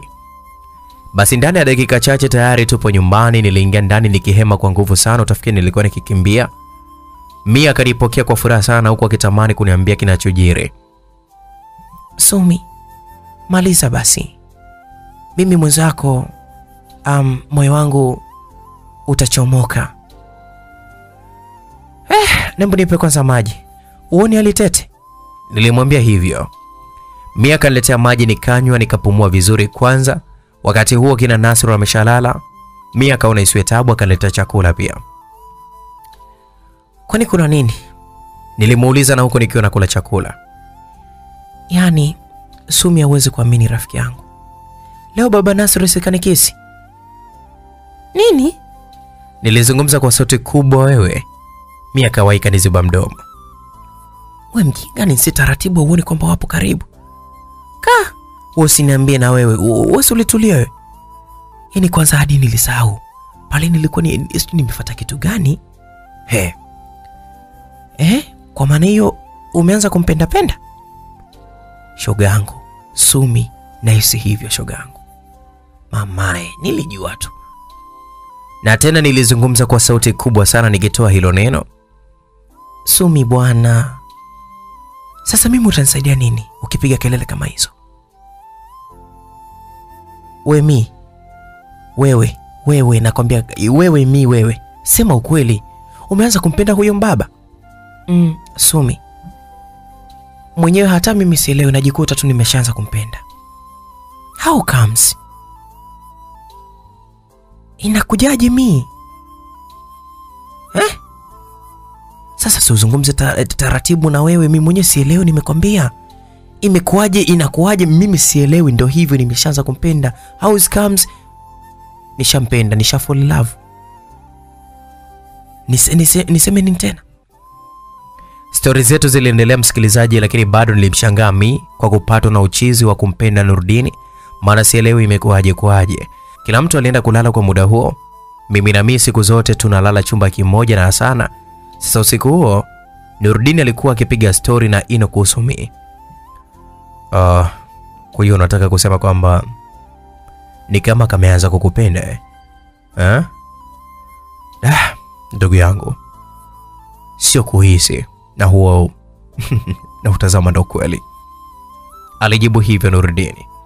Uh, kwa hiyo itakuwaje sasa kaka? Ni kama unafaulu gwije? Um, ila sizani kwa sababu nachokihitaji jeuri tu imuishe huyu binti na um, huu ushauri wa mzee naona kabisa utafanya kazi. Kwa hiyo kifuatacho nini sasa kaka?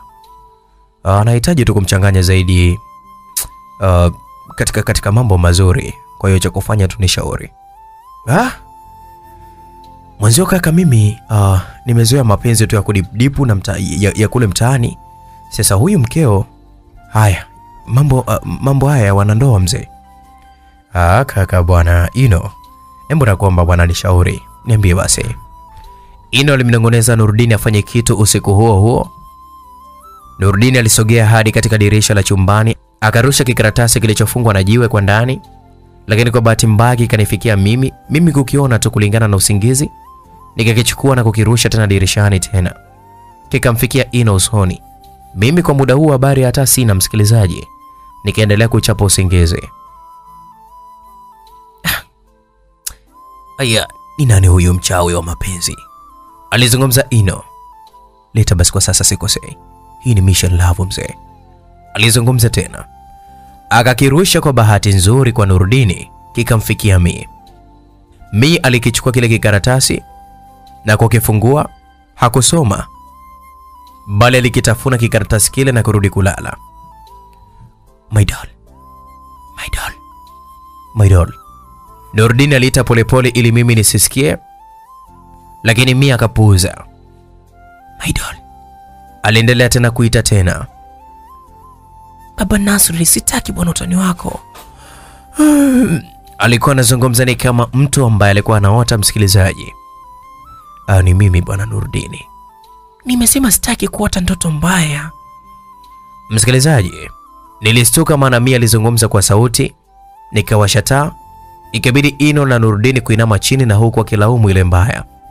Lakini baadaye, msikilizaji, tulilala hadi asubuhi. Kila mtu aliamka na bize zake za kazi, bize za watoto walienda zao shule siku hiyo, wengine tulielekea makazini. Basi kufika huko, Mi kila muda anamchungulia tu Nurudini kwa kumuibia. Baadaye alitamani kukaa karibu naye, akajifanya anampeleka sana. Nurudini naye kumwona Mi akakumbuka kwamba anatakiwa kumdatisha zaidi, akamshika mkono na kumkalisha chini. Baba Nasri, huoni hapa ni ofisini? Watu watatonaje baba? Ah, ah, wewe mke wangu, si mke wangu jamani, wa miaka mitano. Bado minne tu. Hata hivyo, asana akishatembea mimi na kuacha. My doll, ukikaa karibu yangu hivi nakosa nguvu kabisa. Hmm? Mi alinamisha macho kwa aibu baada ya kuambiwa hivyo. Baadaye Jessica aliwaona kwa dirisha, kupitia dirishani pale katika ofisi ya bosi. Kuna kidirisha fulani hivi ambacho Nurdini kwa muda huo hakukifunga, akaona bora tu awaharibie. Yesi sekretari Bwana, mimi naondoka. Mia aliinuka ili atoke, japo alikuwa kama staki nataka, lakini Nurdini akamvuta na kumkalisha tena mapajani kwake, na huku Hasana akiwa mezani biza kabisa anachezea simu ya baba yake. Um, samahani bosi, kuna watu wata Aliacha kuzungumza na kujifanya kushtuka baada ya kuwakuta vile yule sekretari Jessica. um, s- s- samani bosi, sikujua. Aligeuka pembeni Mi akawa anainuka ili aondoke, lakini Nurdini akamrudisha. Usijali miss, ila kikubwa ukiwa unaingia katika ofisi ya bosi huwa unakumbuka kitu kimoja tu katika swala zima la kubisha hodi kwanza na kuingia ndani kwa utaratibu uliokuwa maalum kabisa, sio kuingiaingia tu ndani, sawa eh? Samahani bosi, nimekuelewa. Ah, okay, usijali, umesamehewa, lakini geuka tu na uone, maana huenda hiki, hiki, hiki kitu ambacho uh, ndicho ambacho likizamiria. Fanya haraka na ugeuke. Jessica aligeuka kuwatazama. Nurdini alimnyanyua Mi aliyekuwa na aibu kabisa utazani kwamba kafumaniwa. Alimkalisha mezani na huku Jessica akiona. Akaingiza mkono mfukoni akatoa bracelet pamoja na necklace akamvisha na huku akimsifu. My doll, shingo yako nzuri nzuri hii haifai kukaa emte bwana. Mwisho atajua kwamba mimi nakutesa na kumbe wala hata hakuna kitu kama hicho, bali na kujali tu mwenzio. Lakini kitu kingine, huo mkono wako mzuri mdogo mdogo unafaa kuwa na bracelet nzuri kabisa kama hii hapa. Mm, na kingine darling, usi unavaa misasa mikubwa mikubwa tu na misaa ya mipira mipira, ni kama vile wa, watu wanaocheza judo. Unafaa kung'akwa kwa gold baby. Diamond ikuone katika mkono wako, si ndio eh? Eti bei Baba Nasri, mimi sitaki bwana. alizungumza kimideko kwelikweli. Wakati huo Jessica alikuwa anashuhudia kila kitu na kutazama kwa macho yake. Um, alafu uh, usiwe unaniita hivyo, mimi ni mume wako unajua hmm? Um, bosi, niwie radhi na kuomba nitoke nje. Alizungumza hivyo Jessica kwa sababu aliona kabisa hawezi kuvumilia. Uh, okay, unaruhusiwa kutoka, lakini ukitoka usiwahi kurudi, sio tu ofisini kwangu, hapana, bali hapa kwa ofisi hii usiwahi kukanyaga, maana huu utakuwa ni mgomo wa kukamilisha adhabu. Baba Nasri, mwache bwana. Wewe kuniita baba Nasri, adhabu yake yaweza yaweza kuongezeka pia, itaongezeka. Si- si- Sijui umenielewa? Maskini mrembo Jessica alihisi kabisa anakwenda kuharibu, na kumbe kaenda kabisa kujikomoa mwenyewe. Baada ya muda, Mi alimbeba sana akatangulia mlangoni na Nurudini akawa nyuma yake. Oh, miss, waweza kwenda, adhabu yako imeisha, sawa? Nurudini alimwambia Jessica. Jessica akatoka. Nurudini akafunga mlango. Kila walipopita watu waliwakodolea macho tu, lakini mimi pia macho yangu hayakusita kuwatazama. Nilikuwa nikiendelea kuwakodolea macho wale wapendanao wawili. Mm. Kweli Mika improve, haoni hata aibu sasa hivi. Nilizungumza na huku nikimtafuta mtu wa kwenda kula naye lunch. Alikuja Ino na kunishika mkono. Niachie bwana huko, Iliweje? Sindi kula na wewe. Unaenda na nani? Bahati nzuri nilimwona Juma nikajifanya kumwita. Juma, mbona kama unaniacha nisubiri, mimi nakuja. Ah, kumbe. Okay, sawa, nenda. Aliniachia Ino kishingo upande, nikaondoka zangu kuelekea kwa Juma. Akamwona Jessica hana tara, akaona bora tu aende na Jessica. Basi msikilizaji, upande wa Mi na Baba Nasri, mambo alikuwapo ni moto kwelikweli. Mi na ukubwa wake amepozewa chakula na Baba Nasri. Kila mfanyakazi anashangaa kabisa maendeleo ya mapenzi hayo. Mimi na Juma sasa ikabidi tulizungumzie hilo jambo. Hivi wewe unaonaje kuhusu kinachoendelea? Uh, hakuna anayeamini hadi wewe umejiuliza, basi wewe ndo haujui chochote. Najua na ndio maana wameoana wame wameoana eh? Ila ili jambo mm, paswa kichwa mzee wangu. Uh, kila mmoja anajua wameoana na madam ndo walifanya yote hayo ili wapate kuoana, lakini haya mapenzi ya ghafla sana binvus, unajua tena ni ya kushangaza kweli kweli. Mm, Acha tu basi, tukawa tunacheka. Wakati huo Ino anaona kabisa eh, akahisi kwamba tuna mambo yetu, anatuona vizuri, na kumbe wala tuko bize kabisa na mambo yetu. Baada ya chakula tukarudi ofisini, mi na Nurudini wakawa biza kabisa kuchati, yani hapo hakuna kazi tena. Mi kashapagawa kabisa na penzi la baba Nasri, ameingia kichwa kichwa kabisa, msikilizaji. Basi muda wa kwenda nyumbani ulifika, Ino akanitumia teksti naomba leo tuone wote kwa nini? na kuhitaji tuonane please, na kuomba tuonane. Kuna jipya? Sio jipya, ni la kitambo, ila nakuomba Nikamkatalia, nilimwaga Juma kaondoka zake. Mi pamoja na Nurdin ulipanda gari na kuondoka, nikabaki sasa na Ino. Sasa mbona umekubali? Nimekuhurumia tu. Alicheka na tukaelekea kwake. Kufika kwake, nyumba ilikuwapo ni chafu sana, msikilizaji. Tukaanza usafi, tukaanza kusafisha kila kona. Nikiwa nafanya fanya tu usafi, niliokota picha moja hivi ya kitambo sana. Picha ile ilikuwa imejaa vumbi. Nikaifutafuta pale na kitambana kisha nikaitizama nikaitizama vizuri. Ilikuwapo ni picha ya baba watatu, mwanamke mmoja na mtoto mdogo wa miaka kama kumi na mitatu. Ilibidi tu nimuulize kuhusiana na ile picha. Ino, Ya, naam. hii picha ni ya kwako? Ya ndiyo, lakini achana nayo tu, Kwa nini sasa? Ni wazazi wako? Achana nayo Sumi. Hauelewi? Mbona kama unakuwa king'ang'anizi? Si nimekwambia achana nayo. Hebu ilete bwana hapa. Alichukua ile picha kwa nguvu sana kuitupia pembeni na huku akisema kwamba endelea na kazi zako. Niliendelea na kazi, lakini moyo wangu haukunituma kabisa. Nikarudi kuichukua ile picha, nikamfuata tena Ino. Una shida gani? Mbona kama sikuelewi?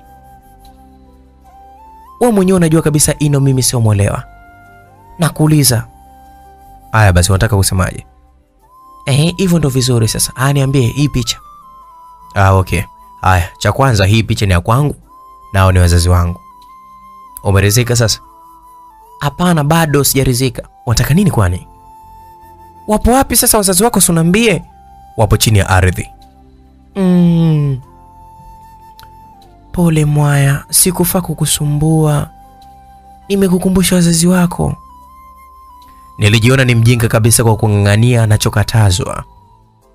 Usijali. Alichukua picha na kuitupa tena chini hapo hapo, na ndipo akanichanganya kabisa na kufanya nitake kabisa kujua ni kwa nini afanye hivyo. Msikilizaji, upande wa mi alikuwa akipanga nguo katika begi ambazo watenda nazo kesho huko Mikese, na huku akiwaza mahaba mapya kati yake na Nurdini. Asana akiwa amelala, Nurdini aliingia pasipo hodi. Uh, samahani my doll, sijapiga hodi. Ingia tu. Ah, okay, ni hivi, shika kwanza hii. Alimpa glasi ya maziwa. Mi sipendi maziwa. Kunywa kwa sababu wewe ni mke wangu, lazima uyapende kwa ajili yangu. Mm, Hapana bwana, baba Nasri mimi siapendi. Kunywa basi, na huko mimi nakuimbia. Kunywa. Nurudini alimbembeleza Mi akawa anakunywa polepole, na huku akimwangalia Nurdini anavyomnywesha Mi, alijikuta kabisa kayamaliza maziwa yote. Msikilizaji, nipende nikukumbushe katika simulizi yetu hii inaitwa How you Comes, inakujaje? Ni simulizi iliyotungwa na mtunzi wetu Sumi Azizi. Upo nami Elnaid Fantastic kuanzia mwanzo mpaka hapa tulipofika, lakini bado tuendelea na simulizi yetu. Lakini cha kufanya usiache kusubscribe hii chaneli, lakini pia usiache kunifollow Instagram natumia at official L9 lakini kwa wapenzi wa TikTok natumia L9 Fantastic ama Fantastic Boy. Mbele katika boy kuna kikofia fulani hivi cha blue, embo ni follow pale, nami nitakufollow back inshallah. Tuendelee na simulizi yetu. Baada ya kupewa maziwa na kuyamaliza taratibu mpaka hapo yalipokwisha kabisa. Basi msikilizaji, mi baada ya kunywa alikaa vizuri kumsikia mumewe atasema kitu gani. Nurdini alimtizama tu. Um, my doll, nikuuliza kitu. Niulize tu. Mi alijibu na huku akiwa anaanza kuhisi kihali fulani hivi, ni kama vile kizunguzungu sio kizunguzungu, au ana mawenge kama sio mawenge hivi. Kipenzi my doll, kwani ile siku mnafuatilia kuhusu sana mlikuwa na nani? Tulikuwa na Sumi. Mi wenge lilimzidi akaanza kumwona Nurudini mara mbili mbili. Huyo tu Sumi peke yake, amkuwa na mtu mwingine? Baba Nasri, mbona maswali mengi sana? Mi alisimama na kuchukua mtandio uliokuwa karibu yake akaanza kumfunga Nurudini. Kwani unafanya nini sasa? Hebu niambie kwanza. Aliyewapa location ya sisi tulipokuwa na kuwatengenezea ramani feki ni nani? Baba Nasri, ukivaa ushungu unakuwa mzuri kweli, yani bonge moja la handsome. Nilikuwa wapi kukuona toka mwanzo, mrembo wangu? Acha basi ujinga bwana, emtulia kwanza. mbona mi nimekupa dawa tu ya, ya kusema ukweli? Sio siri, we ni mzuri, lakini tatizo lako ni, ni, ni, ni mkubwa sana umri. Hebu shut up. Alizungumza kwa sauti hadi Hassan akaamka na kuanza kulia. Jamani switi, tazama umemwamsha mtoto. Mia alimwendea sana akiwa na yumba yumba. Upande wangu nilishika picha nikamuuliza tena Ino, Um, samahani lakini nakuomba unielezee japo kidogo tu, kwa nini unaitupa hiyo picha? Sumi, tafadhali, ukiwa mvumilivu, ipo siku nitakwambia, lakini ukiwa hivi kila siku hivi msumbufu msumbufu, siwezi kukwambia mimi. Um, hilo ndo tatizo. Mimi kiukweli uvumilivu sina, sina kabisa, ukweli ndo huo. Ino aliinuka akasogea kabisa dirishani akiwa anatikisa tikisa kichwa. Mara ghafla akaona watu wananyata eneo lile. Kwa mahesabu yake haraka haraka aliona vizuri tu, akagundua kabisa kwamba wamemfata yeye na wanamtafuta. Alichukua simu yake na kumpigia Nurudini. Oya mtambo. Nurudini alimchukua mtoto kwa mii akasogea mbali naye kidogo, maana mwanamke wake huyo alikuwa amelewa. Oya gwije, fanya chapo mwanangu, waondoe watoto hapo. Kama ni safari wasafirishe sasa hivi kwenda Mikese, maana watu wa Mr. Robson wapo hapa mzee. Oa, unasemaje mtambo? Fanya chapo mzee, mpe madami watoto waondoke naye, tukutane kazi yanze mzee, maana hapo washanipata washa- mimi, bado wewe tu. Basi wakati huo, msikilizaji, mimi nipo bize bize tu kupanga vitu vyangu nisijue kuna hatari. Nikamfata Ino pale dirishani, aliwaangalia wale watu akajua kabisa ya kwamba hawezi kupambana nao mtaani kwa wingi wa watu ambao walivyokuwa hivyo. Hapa ni kutoroka tu. Ino, niambie basi kuhusu hii picha. Aliniziba mdomo msikilizaji, nisizungumze chochote, nikamng'ata. Akaona sasa hapa solution moja tu. Nyumba ya Ino mahali alipokuwa kapanga ni flo ya juu. Alinivuta mkono akafungua dirisha, tukaruka na huku akiwa ameniziba mdomo. Niliogopa kwelikweli, kweli, nikajikuta nafumba macho nisione kabisa tunakufa. Kishindo kilisikika, Ino akiwa chini na mimi nikiwa juu yake kwa muda huo. We chizi nini? Niliinuka nikasikia kitu kinapita karibu na masikio yangu kwa mlio mzito. Kwa maana hiyo ni risasi sasa. Ilinikosa kosa kweli kweli. Ino alinishika mkono na kunirusha chini, na hapo ndipo nilijua kabisa ni hatari. Usiongee kitu Sumi, nimekwambia usizungumze chochote, nielewe basi. Msikilizaji, kwa uoga niliokuwa nao, hata kuzungumza kwelikweli kweli hata sikuweza. Nilijikuta nashindwa hata kuinua mguu nipige hatua. Ino alinivuta akisema kwamba Sumi na kwamba tukimbie. Tulianza zoezi la kukimbia na huku nyuma tukiwa tunakimbizwa na risasi kabisa zinatoka sakosa. Mimi sikuelewa hiki wala nini, zaidi tu ya kupelekwa na Ino popote alipokuwa anaenda. Kuna mahali tulijibana katika ukuta mmoja hivi. Ino akanikumbatia na huku akihema na kuniomba kwamba niwe mtulivu, nipunguze hofu. Sasa msikilizaji, upande wa Nurdin alimshika mimi mkono akiwa kambeba sana, akawachukua Nasri pamoja na Zaia akawapakiza kwenye gari na mlinzi mmoja na dereva wa gari. Hakikisha unawafikisha salama. Ile anamwachia tu mi aliyekaa katika gari alimshika mkono. Baba Nasri, unaenda wapi unitelekeze? Au unaenda kwa Jessica? Watu wote msikilizaji walishangaa wakahisi kwamba huyu kalewa, lakini Nurudini akaona ni makosa yake. Dereva aliwasha gari waondoke, mi akaanza kupiga kelele wasimamishe.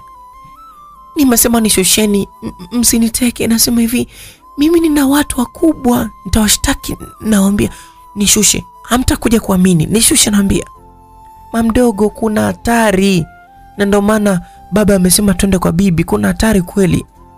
Nasri alizungumza hivyo. Nasri, mpige simu baba yako, mwambie wananiteka. Mi alipiga kelele hadi Nurdini akawaambia kwamba wamshushe tu ili wasiwaletee shida huko mbele. Nurudini alimshika mkono Mi ili waondoke. Mi alijitoa kwa Nurudini na kumwacha pale chini, eti kanuna kwelikweli. Ni kwa nini alimwacha atekwe? Mi, hatuna usalama jamani, kuwa mpole bana. urudisha akili yako, kuwa mpole, alimwambia hivyo. Baba Nasri, wewe ni mrembo kwelikweli na kupenda ujue. Alizungumza na huku akimshika mashavu yake akiwa bado hajakaa sawa. Aliwaona watu wamevaa nguo nyeusi, hao wanaangaza angaza. Ni usiku. Muda huo Nurudin alimuinua Mi na kumweka mgongoni, akaanza kukimbia naye. Mi hakuacha kabisa usumbufu wake. Basi bwana msikilizaji, upande wetu Ino aliniachia baada tu ya kuona kuna mtu ambaye anajipendekeza akamshika kisawasawa na kumnyonga mbele ya macho yangu. Sikuamini kabisa kuona mtu anakufa mbele ya macho yangu. Niliishiwa nguvu, nikajikuta kabisa nadondoka chini. Nilidondoka kwelikweli, wakati sasa mimi nikiwa nashuka chini, na kumbe wakati mimi nadondoka chini, na kumbe nyuma yangu kulikuwa kuna jambazi ambaye alikuwa ananyemelea, alikuwa ameshikilia panga. Sasa Ino alichomoa bastola yake, alimlenga risasi ya komwe, akadondoka moja kwa moja pale chini. Basi huo usiku ulikuwa ni wa mauzauza kwangu. Nilikuwa najihisi kufa kufa tu, msikilizaji. Ino aliniinua tukaendelea kukimbia, na huku nashindwa kabisa kuiweka sawa akili yangu. Nilihisi kuchanganyikiwa. Sumi, punguza hofu, hii ni sehemu ya maisha yangu. Alizungumza hivyo, na huku tukijaribu kabisa kukata mitaa tusijue ni wapi tunakwenda. Wakati huo machozi mimi yananitoka pasipo hata kutoa sauti. Basi upande wa nurudini alijibana sehemu, akamweka Mi pembeni ili atafute njia ya kuwakwepa wale watu. Wakati huo tayari kuwasiliana na baadhi ya wanajeshi wengine, alishawasiliana nao. Mia akamwona Nurudini anahangaika kwelikweli. Aliinuka pale alipokuwa amewekwa, akaanza kufata kwa mbele alipolenga bastola yake na kushika mdomo wa bastola. Baba Nasri, hii ni nini sasa nikiwa mbeleni kwako? Nurudini aliona hiki kibarua kingine, alimshika Mi kwanza. Wakati huo kuna mtu anakuja kama anakaribia karibia kabisa. Nurudini akapata hofu kwamba Mia atazungumza kitu, akafanya kumsiba mdomo na kisha akajilaza chini, akiwa kamlaza na Mi chini. Oya oya, atakuwa upande huu, twendeni twendeni. Kuna mmoja aliwashtua yule aliyekuwa amewakaribia, akawa sasa ameondoka. Nurudini alipumua baada tu ya kutukaribia, alafu akaondoka. Hata mimi pia akanitoa ule mkono, na huku akiwa anachekacheka tu Nurdini. Usicheke bwana Mi, Mi nimekwambia usicheke, tuko tu, tuko hatarini mama. Kwani nani kasema tucheze kombolela? Sio kombolela, nyamaza bwana. Ah, alizungumza na huku akiangaza huko na kule. Kwa bahati akaona pikipiki kwa mbele, akawaza namna ya kuifikia ile pikipiki, na mbele kidogo kuna majambazi wawili. Alisogea mbele kidogo, na huku akichukua tahadhari asiwe katika hatari, akachuchuma kidogo, ili hata ikitokea kaonwa, basi iwe rahisi sana kwake kujificha. Akaiandaa bastola yake ili aweze kumshuti mmojawapo ammalize na mwingine chapchapo, lakini kabla hajafanya hivyo, Mia alikuja akapanda mgongoni kwake na kumzubaisha kabisa, na huku akizungumza, Nimekuwahi baba Nasri, ni bebe. Sauti hiyo iliwapelekea majambazi kuelewa ni wapi walipo. Wakamgeukia. Kwa bahati, Nurudini alikuwa tayari kabisa kashawalia timing. Aliachia risasi mbili kwa wakati mmoja, kila mmoja akapokea zawadi yake, ila mlio ule uliwashtua wengine waliokuwa mbali kabisa, wakaanza kurudi nyuma. nurudini bila kupoteza muda alimnyanyua Mi aliyekuwa mgongoni pasipo hata kuelewa chochote. Tayari akawahi pikipiki, safari ikaanza. Mi alikuwa anapigapiga tu makelele akilalamika baba Nasri apunguze mwendo, maana yeye hajazoea kabisa mwendo mkali kama hivyo, amshushe tu. Mi mi nakuita tena, nakuomba nyamaza. Nurudini alizungumza na huku kaachia kabisa mafuta ya pikipiki, spidi mia mbovu kiukweli, na huku akipepesa risasi kwa hesabu za haraka haraka. Akaona sasa huyu Mi aliyekuwa nyuma yake na jinsi haelewi kama wapo hatarini atampa shida, kwa hiyo alimvuta akamweka mbele yake kwa muda huo. Oh, mahaba alioje!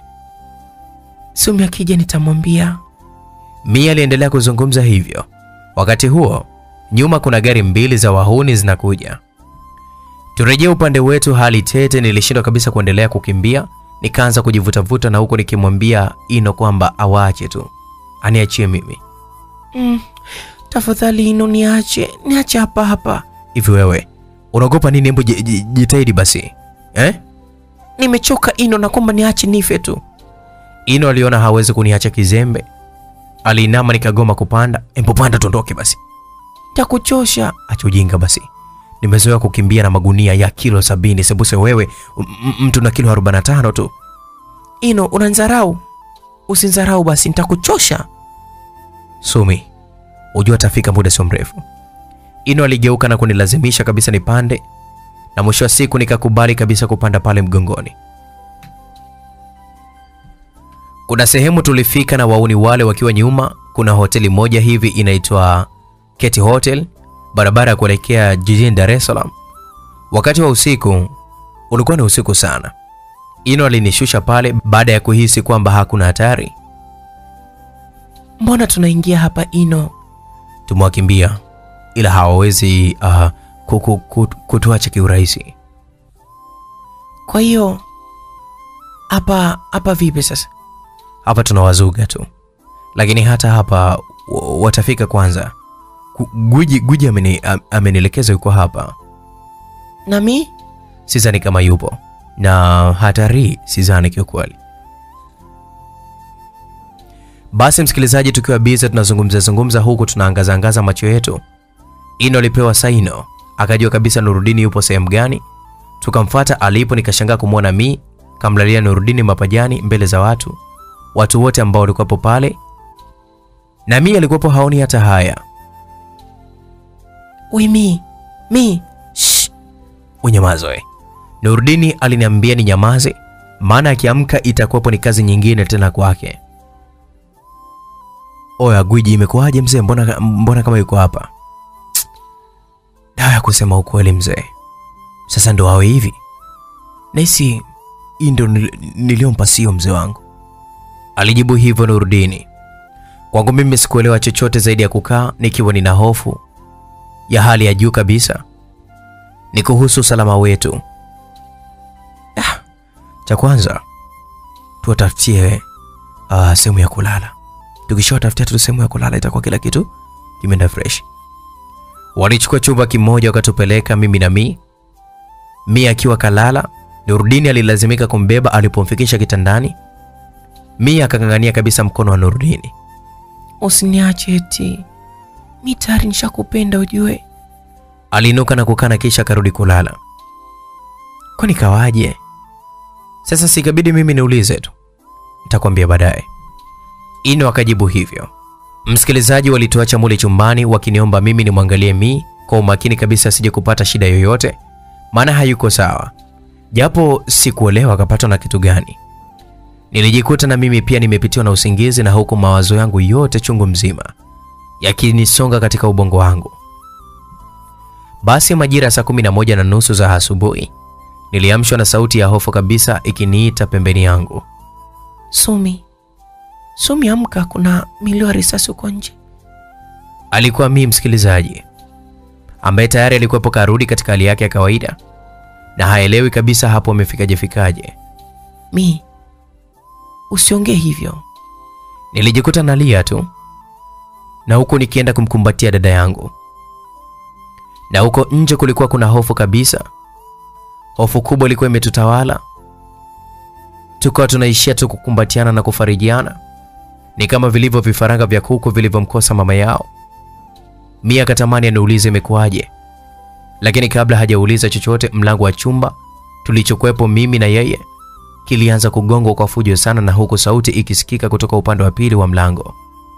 Embo, fungua mlango haraka wewe, fungua mlango. Mi, tunafanya nini sasa? Nilimuuliza Mia ambaye hakujua kabisa nipe jibu gani. Kama hamfungui mlango tunavunja mlango. Sauti ya nje ya chumba ilisikika. Kwa uoga tulijikuta kabisa tunalia, na huku tukilaumu kabisa kujuana na Nurudini pamoja na Ino. Somi, kwani hapa tumefuata nini?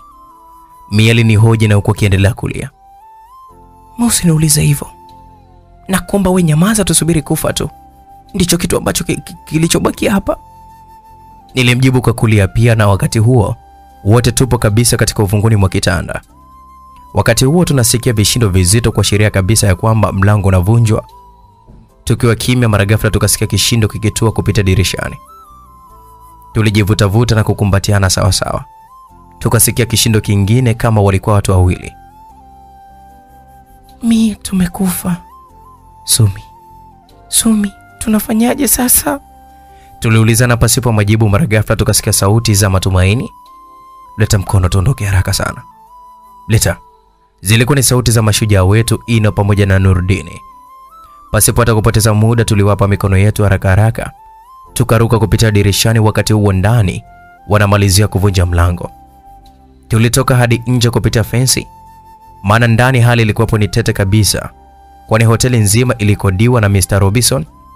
Basi hapo ndipo tulipohisi kuchanganyikiwa kwelikweli na kujiuliza huyo Mr. Robinson ana pesa kiasi gani?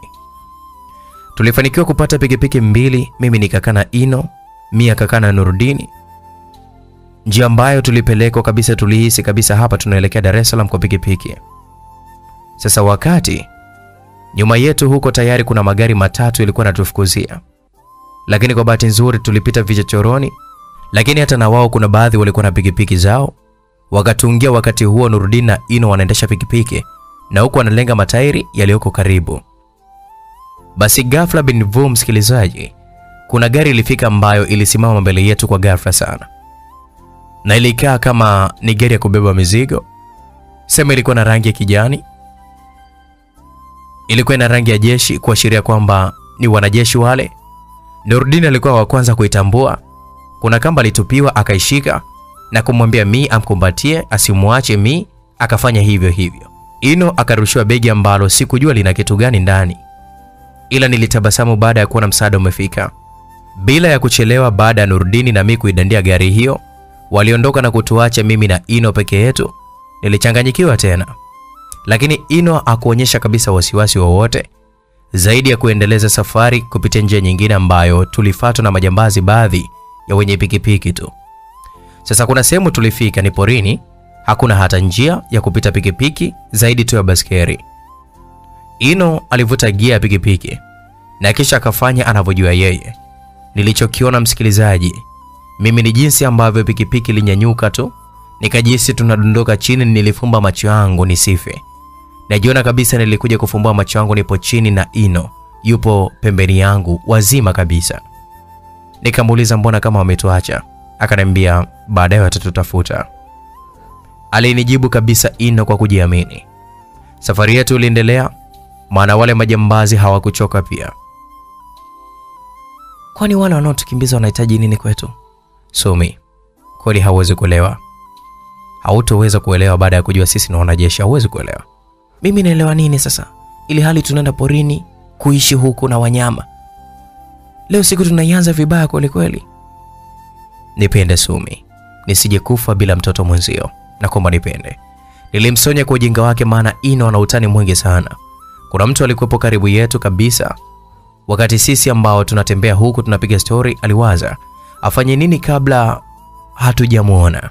Tukiwa tunasonga mbele, nilisikia sauti ya risasi, nilistuka kwelikweli. Sasa Ino faster aliinua mkono na kumlenga mtu yule, akakwepa. Sasa kukwepa hapo ikawa ni changamoto. Tulijikuta tupo katikati ya watu watano, msikilizaji, na wote walikuwa wameshikilia bastola zao. Hapo sikuwa na neno zaidi ya kwenda nyuma kwa Ino. Yule ambaye alitulenga risasi zilizotukosa alikuja karibu yetu na huku akipiga makofi. Sasa tutoke huko upande wetu turejee upande wa kinami pamoja na Nurdini. Walifika kambini jeshini kule. Mi alikuwa na uoga sana baada ya kuona watu wote aliokuwa nao hapo serious na wengine wameshikilia kabisa mabunduki. Mi alihisi kuchanganyikiwa kabisa, akamkumbatia Nurdini kwa uoga. Oya mwambie huyo manzi ache wenge, hatupo fungate hapa, alizungumza mdada mmoja hivi kaksi sana. My doll, usiogope, tuko salama sawa, alizungumza na huku akimtoa Mi aliyekuwa amemkumbatia. Basi walishuka kwenye gari na Mi pia akashushwa pamoja na Nurdini. Mapokezi yenyewe tu yalimchosha. Watu wapo serious kwelikweli, hakuna anayecheka ovyo ovyo. Mkuu, kuna vijana walipita pale na kuwapa saluti wale wengine waliokuwa na Mi katika gari. Katika vijana, Mi alimwona mtu kama Frank, lakini hakutaka kabisa kufuatilia chochote, wala hakutaka kabisa kufuatilia chochote. Madam Mary. Alikuja binti mmoja sezi kidogo na mi kavaa nguo za kinesi na kumtolea salamu huyo madam.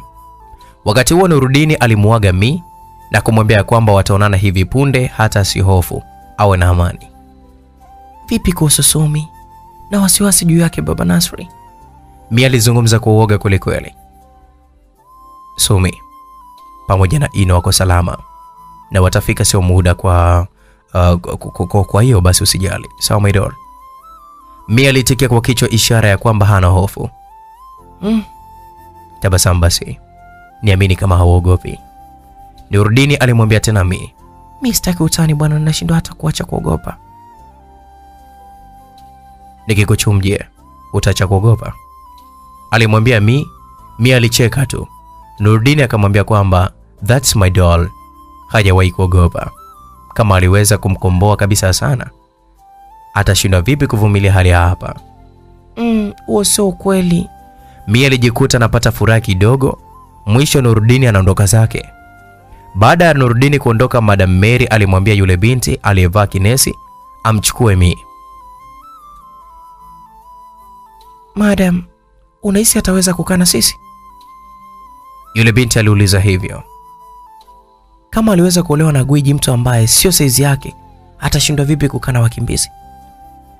Huyo madam alikuwa na maneno makali sana ambayo yalimuuma sana Mi na kujikuta anapata uoga kukaa pale. Yule madam aliondoka kuelekea ofisini kwao. Mi alichukuliwa na huyo mdada anayeitwa Jessica. Usiogope, hapa kila mtu ama kila mmoja yupo huru tu, japo mwanzo huwa ni mgumu siku zote, lakini sio muda utazoea. Nitazoea? Nitazoea kivipi? Unataka kumaanisha yani kwamba nitaishi hapa kwa muda gani? Hmm. Ah, ni kwa kweli sijui, lakini mumeo sikamanda si- si kamanda gwiji? Mimi sifahamu, mimi nasikia tu anamuita hivyo, wakati jina lake ni zuri tu. Mi alijibu asijue hata hilo jina la gwiji limetokana na kitu gani. Ndio yeye sasa hilo jina. Sasa hapo um, utakaa hapa ikiwezekana hadi wakamilishe hiyo mission yao wanaoifanya. Mission? Mission mimi hata sielewi kuhusu watoto wake sijui ndo wako wapi. Rafiki yangu naye hata sijui uko wapi. Sina hata amani ninavyokwambia. No, unaanza kuleta masuala ya mission tena hapa. Mimi hata sielewi. Basi sawa. Tumefika na hiki ndicho chumba chako wewe.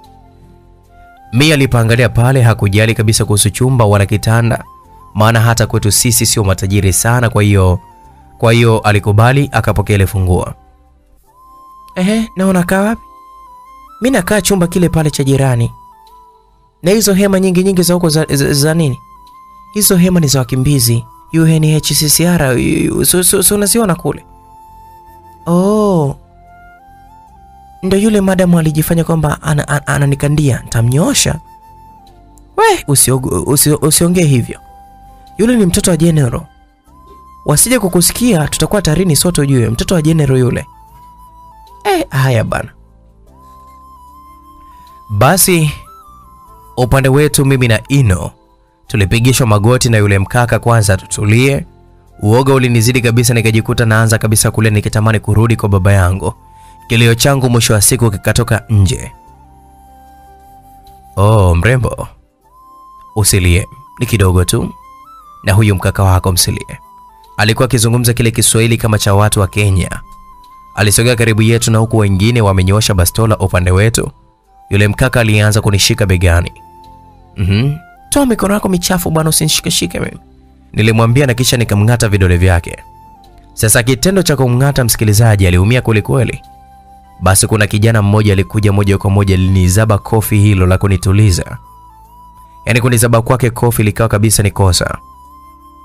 Yule mkaka wa Kenya alimfyatua risasi ya moyo moja kwa moja. Mkaka yule ambaye aliyenipiga akawa sasa hapo hapo amekufa. Mtu yoyote asisubutu kumgusa huyu dada, asisubutu kumgusa tena hata kabla yangu, alizungumza yule mtu ambaye nilikuja nikamng'ata. Nilimwangalia sana Ino aliyekuwa katulia pasipo hata kuonyesha hofu yoyote juu ya watu wale, lakini ukimwangalia dhahiri alikuwa akinihofia mimi tu. Ino, nifanye nini? Nilimhoji huku nikiwa nalia. Oh, hana msaada wako huyo. Msaada wako ni mimi tu. Alininua pale nilipokuwa nimepiga magoti, akaniacha huru. Nikamkimbilia Ino, nikamkumbatia. Usifanye hivyo mrembo wangu, nasikia wivu ujue. Hmm? Niko na wewe hapa hapa, nimekaa kimya tu hapa pasipata kufanya kitu chochote. Ni vile tu mimi nimekupenda, usije kusababisha mimi kufanya vitu vibaya, my love. Sikumsikia, nilimsukuma huko baada ya yeye kuja kunitoa kwa Ino. Kitendo cha mimi kufanya hivyo, aliwaamuru vijana wake wanne waanze kumpiga Ino. Sasa zoezi la kumpiga Ino likawa ni gumu sana kwangu, maana aliwapiga wote, msikilizaji. Ino aliwachakaza chakaza, wakaanguka chini wote na kuinuka tena. Sasa ile anataka tu awape kichapo kingine, alisikia nguo inachanwa. Nakomba niache, niache bwana, usinishike mimi. Nilipiga kelele, maana mimi ndo nilikuwa nachaniwa nguo beautiful yangu niliyokuwa nimeivaa vizuri na kubaki kwenye crop top niliyoitanguliza kabisa ndani. Msikilizaji, ilianza kuonekana vizuri. Wewe unafanya nini? Wewe unafanya nini? Huyo mwanamke Ino alizungumza. Kama utaendelea na mishe zako za kipumbavu za kupiga mbwa wangu hawa mazee, namaliza hamu zangu kwa huyu demu yako mbele yako hapa, na mbele ya macho yako inaona napiga mazehi. Alizungumza akiwa serious sana na kufanya Ino atulie naendelee kupigwa kabisa. Kila akipigwa mimi nilikuwa napiga tu kelele, wamwachie wasimfanye chochote kile. Nilimng'ata tena yule mkaka jambazi mkono wake, nikamkimbilia Ino alipokuwa amefungwa kwenye mti huku na huku akisulubiwa. Basi nilienda kumkumbatia, nikaambulia kichapo cha mgongoni na kudondoka chini kwa kupigwa fimbo moja tu. Unafanya nini mshenzi wewe? Alimshuti mkaka mwingine alinipiga kwa bahati mbaya risasi ya kichwa na pia akadondoka chini. Kulingana na alivyokuwa karibu yangu, damu ilinirukia kwelikweli, nikahisi ni Ino ameshauliwa, maana sikuona ni nani ambaye alipigwa risasi. Nilipoinuka nikamkuta Ino ametapakaa damu, nilijua sasa moja kwa moja ni yeye. Hivyo basi nilikosa nguvu na kuzimia papo hapo.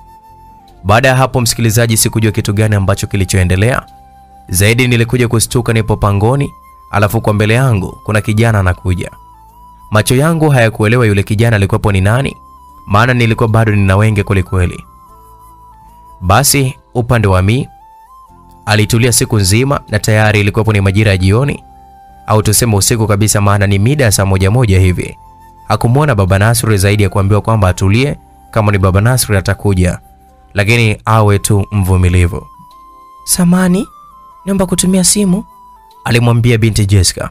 Madam, naomba nisikilize, madam wa hapa amekataa kabisa usitumie simu, kwa hiyo utuli- u- u- utuie radhi tu. Hivi hii haki kweli? Nataka kuwajulia hali wanangu huko walipo, sijui anaishije. Vipi kuhusu Hasana, yule mtoto mdogo sana? Angalau nijue tu kuhusu Hasana. Hamwezi kuninyima haki zangu zote jamani, ni makosa mnaonifanyia. Mi alilalamika sana baada ya kuona kwamba hatendewi haki, ananyanyasika. Ningekupa simu dada, lakini ikigundulika tutakuwa tarini sote. Nisamee kwa ajili ya wanao, lakini pia um, maana hata na wao pia wanaweza kuwa tarini. Sawa? Yaani kisa tu nikitumia simu ndio wanangu watakuwa tarini? Basi wachini mimi nife. Siwezi mimi kuishi kama mfungwa kiasi hichi. Niachini mimi ni, nife tu pia. Sisi siwezi, siwezi kukubali. Oh, Mm-mm. Unataka kwa huru, si ndio? Mrs. Gwiji, unataka kwa huru? Hmm?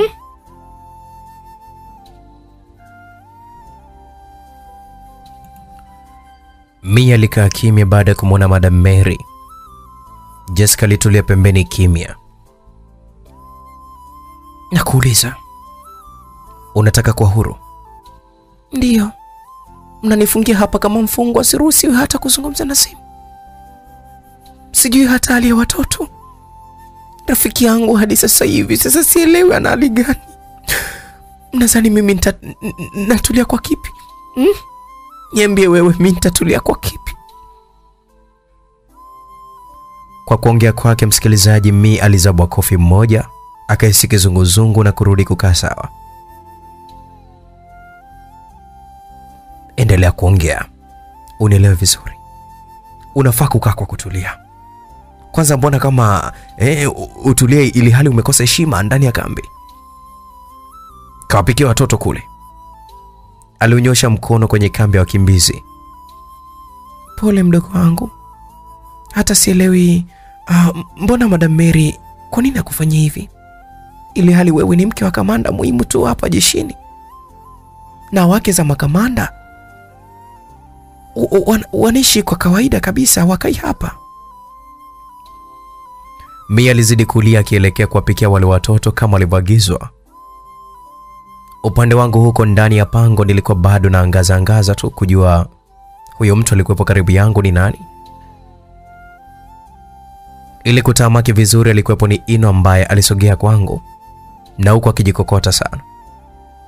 Sikuamini kuona bado yupo hai.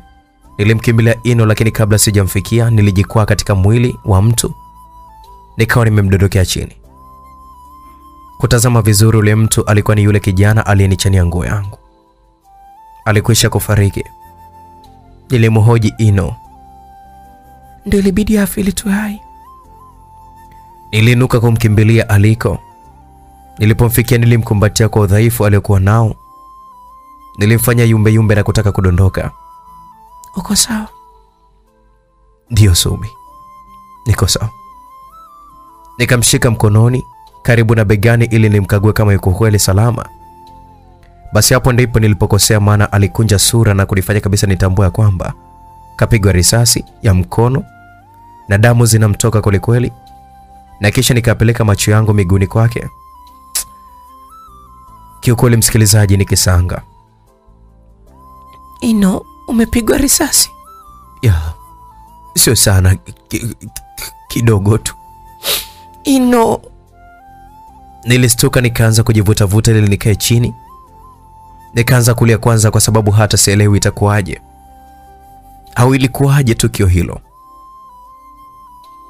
Ino alikumbuka kwamba baada ya mimi kuzimia, yule mkaka aliyekuwa kiongozi wao alininyanyua na kusema wamlinde Ino asiende popote. Ino alitulia pasipo wasiwasi, akiamini ya kwamba mimi nikiwa sipo atajimudu vizuri tu ila kikubwa hawai kabla sijafanywa chochote. Kitendo cha kuondoka kiongozi wao, Ino alitumia miguu yake kama silaha na kuwapiga walipo karibu, na kwa sekunde kadhaa akafanikiwa kabisa kujifungua kamba, na kisha akamwendea mwingine aliyekuwa bado ana nguvu, akamtuliza vizuri. Baada ya kuwamaliza wale watatu ambao hawakumpa shida yoyote, aliondoka ili amtafute yule mwingine. Alipopiga hatua akiwa na begi lake mgongoni pamoja na bastola yake mkononi, alishtushwa na risasi ya mguuni kutoka kwa adui mmoja. Alipogeuka akaona hapa hana haja ya kuacha hai. Aliwapa risasi za kutosha kabisa wale wote watatu, na kisha akageuka kuendelea na safari yake akiwa bado na maumivu kabisa mguuni. Wakati huo mimi, msikilizaji, yule kijana akanifikisha kabisa pangoni akiwa na lengo lake. Aliniweka chini kwanza, akatulia ili afanye anachokitaka kukifanya akiwa mtulivu, kwa kuwa juu sikuvaa kitu chochote zaidi ya kitovu. Akaona hapa kikubwa tu atoe nguo ya chini, aliweza kufanya hivyo, lakini kabla hajafanya chochote, Ino alifika na kumwambia kwa sauti, acha ujinga huo. Mtu yule alistuka sana, akageuka akiwa na bastola yake mkononi, akiwa amedhamiria kumua Ino. Kwa bahati, Ino pia alijipanga katika hilo hilo. Mwisho alifanikiwa kumlenga risasi ya moyo mkaka yule, na pia hakufa kizembe alimwachia risasi ya begani Ino. Baada ya hapo aliniwahi na kunivisha nguo kama awali nilivyokuwa na kunifunika vizuri na koti lake,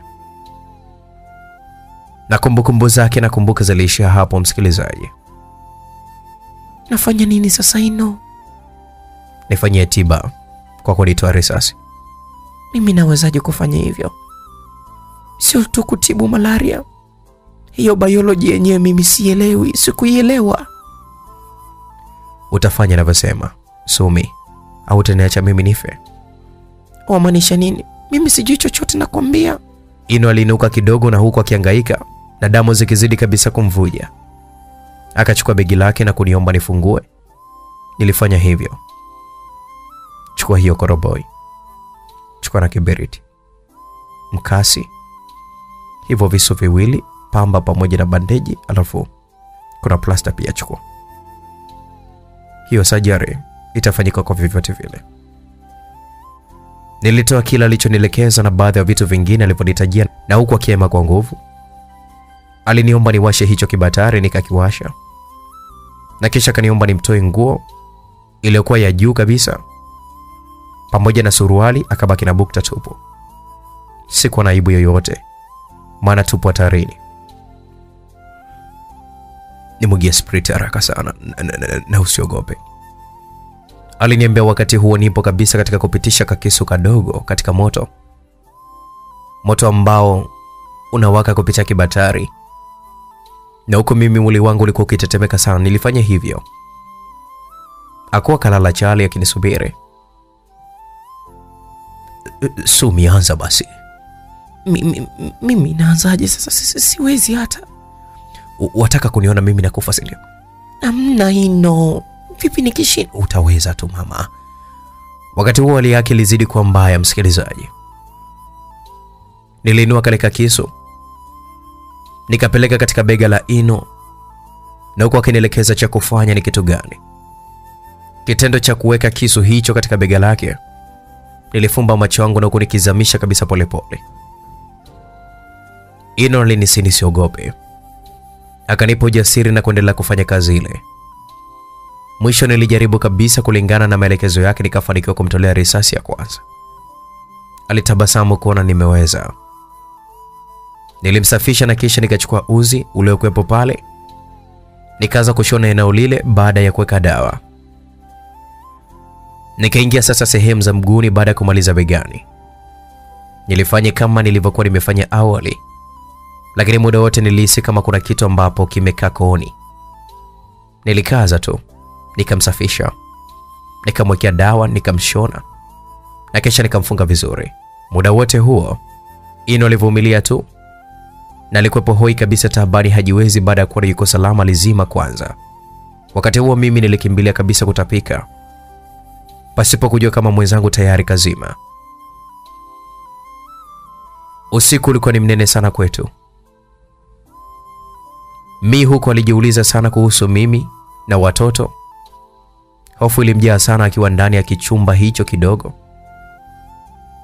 Alinimisi sana na huku akijisemea, Najua huwezi kuwa na furaha Sumi, ila najua upo salama na hivi karibuni tutaonana. akiwa bado anajiuliza, aligongewa mlango, akainuka kwenda kufungua. Wewe unafanya nini hapa? Alimuuliza Frenki baada ya kumwona. Mi mi nakuomba tuzungumze. We Frenki, kwani nao uko upo huku kozi? Bado ni mazoezi tu, ila bado kurasimishwa zaidi. Mi hayo sio muhimu sana ulileta hapa, lakini nimekuja kukuuliza kuhusu hiki ambacho ninachokisikia. Kipi? Njoo kwanza tukae sehemu, maana nikionekana hapa na wewe, kesho adhabu yangu itakuwa ni kubwa sana. Mi hakuwa mbishi, walitafuta eneo wakakaa kwa kutulia kabisa. Uh, mi eti ni kweli wewe ni mke wa kamanda Gwiji? Na nikasema mbea huyo? Mi huko katika kota zetu watu ndo walikuwa wanajadili hilo na kulisema. Mm. Yaani watu kusema umeumbiwa, lakini ila ni kweli. Mi, mi ni kweli walichokuwa walichokuwa nakisema. Frank alihoji kwa kutia huruma, lakini mwisho akaanza kumpa ukweli wa jinsi ilivyokuwa hadi yeye kuolewa. Frank alisikitika alipojua kwamba Mi kaolewa ili kumwokoa Aunti Sonia. Kwa huzuni, Frank alijikuta akilia sana. Mi akamkumbatia kwa kumwonea huruma. Wakati huo alifika Nurudini akiwa na Madam Mary, wakawakuta watu wanabembelezana. Nurudini alikuwa akijipa moyo kwamba anamfanyia Mi kila kitu ili ampende, lakini hakujua kama yeye mwenyewe tayari kashampenda Nurudini. Alijikuta akijawa na wivu usiokuwa wa kawaida. Gwiji kama gwiji. He. Nilikwambia mimi um, ni ngumu sana kuishi na mtoto mdogo alafu akupende eh? Wewe ni ngumu. Alizungumza Madam Mary. Mi. Hey Mi. Nurdin alimuita na kumfanya Mi kabisa ashtuke na kumwacha Frank. Unafanya nini hapo na huyo ni nani kwako? Narudia, unafanya kitu gani na huyo ni nani kwako? Nurdin alihoji kwa hasira na ndipo Frank akasogea karibu yake. Mkuu, Frank alimpiga saluti na kisha akasimama kusubiri hukumu yake. Ni Frank rafiki yangu kutoka shuleni. Tulikuwa ni mimi na Sumi, ni rafiki yetu. Ndio mkuu. Nurdini aliwatazama vizuri, akamrudia Frenki, akamwangalia vizuri, akawa anavuta picha aliwahi kumwona wapi. Hakupata jibu, akamwambia aondoke tu Frenki, na kisha Frenki akaondoka. Unaenjoy na watu wasezi yako Mrs. Gwiji? Mary, tafadhali acha kumkejeli, huyu ni mke wangu bwana. Haijalishi ni mdogo kwako au sio saizi yangu kwa maneno yako, lakini thamani yake ipo kwangu, jiheshimu sana. Mia alifurahi sana kuona Nurudini kamtetea. Alisogea hadi kwa Nurudini, kulikuwa kuna mwanga hafifu sana. Nurudini aliingia katika hicho chumba na kuchukua vitu vya Mi na kisha akamshika mkono na kumhamisha pale, akaelekea naye katika nyumba moja hivi, ina vyumba viwili pamoja na sebule na ina kila kitu ndani. Mia alipata amani kidogo. Kwa nini walau nisikae na Hasana pamoja na Zaya huku? Watakuja usiovu Lini baba Nasri? kesho akitoka shule, lakini Hasana ataletwa hapa asubuhi. Mia alijihisi kufarijika kidogo. Msikilizaji, upande wangu nilipitiwa na usingizi baada ya kuhisi labda Ino kasinzia. Kulipovambazuka tukiwa bado tupo mule pangoni, nilikuwa nina njaa kali sana na hakukuwa na chakula cha aina yoyote ile, na isitoshe tupo katikati ya pori. Niliwaza natakiwa kuandaa chochote kabla Ino hajamka, maana hayuko sawa Ino. Nilitoka pangoni pale na kuanza kutangatanga mule porini pasipo hata msaada wowote. Mwisho nilibatika matunda, sikuchelewa kabisa, niliyachuma matunda yale kibao, nikapitapita baadhi ya maeneo, nikabahatisha maji.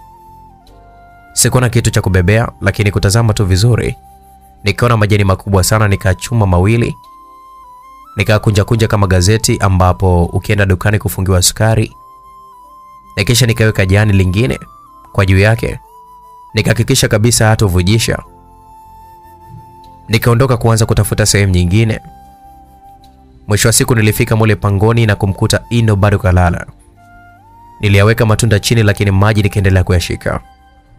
Nilisogea kumwamsha Ino aliyekuwa kalala, lakini kwa akili yangu ilivyonituma, Ino, Ino, amka ule chochote. nilimwamsha akawa haamki kabisa, na hapo ndipo akili yangu ikanijia, da, huyu atakuwa salama kweli. Nilimtizama vizuri, ndipo kugundua kwamba huyu kazimia. Wakati huo wote sikuwa na uoga kabisa. Nilimnyunyizia maji kidogo ili yasiishe, na ndipo nikamsikia kihema kwa nguvu sana kuashiria kwamba ameamka. Ino, amka. Ino alifumbua macho akanitizama jinsi gani nilivyokuwa nikihangaika naye, na mwisho wa siku akasema kwamba maji ni sikio. Nilimsaidia kuinuka, akawa ameinuka, lakini mwisho wa siku nikamsaidia kunywa maji, nikampatia pamoja na matunda, akala kidogo tu akapata nguvu. Uh, Sumi, Abe, inabidi tuondoke, tuelekee, tuendelee na safari yetu. Ino, safari gani tena hiyo? Kwanza asante kwa msaada wako, bila wewe kwa sasa ningekuwa nimeisha kufa. Usiseme hivyo Ino. Kwanza wanajeshi wenzio wako wapi? Mbona kama walikuacha hadi sasa hivi hawajakutafuta wala kukufuata? Kwani hawa- ha- ha- ha- hawakuhofii? Asante, kula na wewe, tumia matunda haya, utakuwa na njaa. Usinikwepe Ino, kwa nini hawajakutafuta eh? Kwa nini hawajaja kukuchukua? Kwa sababu sijahitaji msaada. Mpaka hapo anajua kabisa niko salama na sijamaliza kazi ilionileta huku. Kazi gani kwani? Sumi, mkono unaniuma sana, usiniulize maswali mengi. Nilikaa kimya, nikamsogelea kutazama mkono wake vipi unavyoendelea. Nikamwangalia na mguu, nikaona sio mbaya, lakini bado. Wewe ni daktari mzuri sana, Kwa nini? umenitibu na tena sio kitoto. Acha ujinga bana, Mungu kasaidia kwa sababu hakutaka we ufe. Hmm? lakini ndio hivyo. Ino aliinua mkono wake wa kushoto ambao ulikuwa salama, akanishika begani na kuniomba nisogee karibu yake. Nilisogea karibu yake kama alivyosema, akanikumbatia. Uh, siku zote unapokuwa karibu na mimi usiwahi kumwaza mtu yoyote zaidi yangu tu mimi, yaani kama hivi wawili tu ndani ya pango si tayari tumeandika historia mama. Ni watu wawili tu, mimi na wewe. Ino, unaumwa ujue. Nilizungumza na huku nikiwa nainuka, nikasogea katika mlango wa pango ili nitoke. Nikashangaa kuona kama kuna manyunyu nje, lakini ghafla radi zikaanza, zilianza kumulika kuashiria mvua inataka kunyesha. Niliogopa sana radi, nikakimbia kurudi kwa Ino na huku nikiwa napiga kelele, msikilizaji. Wakati huo Ino alinyanyuka baada ya kusikia kelele zangu. Ah, Sumi, Sumi, kuna kitu gani kwani? Alinihoji baada ya kuniona mimi sikujibu. Nilisahau kabisa kama ni mgonjwa. Nilimkumbatia na kumtonyesha vidonda vyake vya mguu pamoja na pale begani. Basi katika kumtonyesha mguuni akakosa balance na mwisho tukadondoka, akiwa chini, mimi nikiwa juu. Msikilizaji, embo tutoke huku turejee kwa Mi. Akiwa chumbani kwake, radi ziliendelea kupiga. Alipiga kelele kabisa ambayo ilimfanya Nurudini aliyekuwa chumbani kwake amke na kumfata huko alipo. My doll, uko sawa? Mi kumwona Nurudini akaona hapa ni msaada tayari. Alimkimbilia akamkumbatia ili ajifiche kwake kwa kuogopa radi. Mm, my doll, usijali bwana, zitakwisha tu sasa hivi. Naogopa mwenzio na si- si- sijui Sumi huko alipo atakuwa na hali gani kwa hizi redi kama hizi. Uh, Sumi wako yuko salama kabisa na hata usimhofie kabisa kwa chochote, sawa my doll? Mm. Mi akiwa karibu na Nurudini anaona kabisa usalama ndio huu sasa. Alitulia kifuani kwake mpaka radi zilipoisha. Mvua ikachanganya kabisa, lakini Nurudini hakumwacha. Aliendelea kukaa naye na huku akimsomea baadhi ya vitabu vya hadithi, na mwisho wa siku Mia aliacha kabisa kuogopa, akabaki kumsikiliza tu. Sitaki kusikia kitu kama hicho kutoka kwako. Nakwambia nakuchukia kuanzia sasa hivi. Mimi naweza kuwa mdogo sawa, lakini na thamani. Vipi ningezungumza ujinga wote ule kwao? Mm? Ningezungumza chochote kibaya.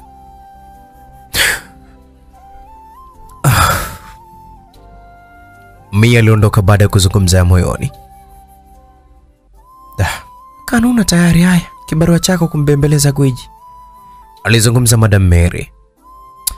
Mary, Mary, nakuomba acha ujinga. Hii ni issue serious ujue. Alielekea alipo Mi. Mi alikuwa kajifungia chumbani na huku akiwa analia na kulalamika. Kadanganywa, hakuna upendo wowote ule kutoka kwa Nurudini. Mamdogo, mamdogo, fungua mlango basi. Asana analia. Nasema ondokeni hapo Nasri. Mamdogo, tafadhali fungua mlango. Nurudini alifika na kuwakuta wanawe wanambembeleza mamdogo wao wafungue mlango. Sifungui mlango, naombeni muondoke hapo Nasri. Mi, acha basi, acha basi utoto mama, fungua mlango. Kwani usi unaniona mimi mtoto? Niache na utoto wangu baba Nasri, na tena usiniangaishe. Kwani mi sifungue tu mara moja mama? Mi kutaka kufungua kabisa mlango. Nurudini akapiga hesabu akainama na kuambia wanawe waondoke tu, wambebe Hasana, alafu yeye ajifanye kwamba anaye mwenyewe anaondoka. Mbona tu atafungua mlango? Sawa basi, sisi tunaondoka.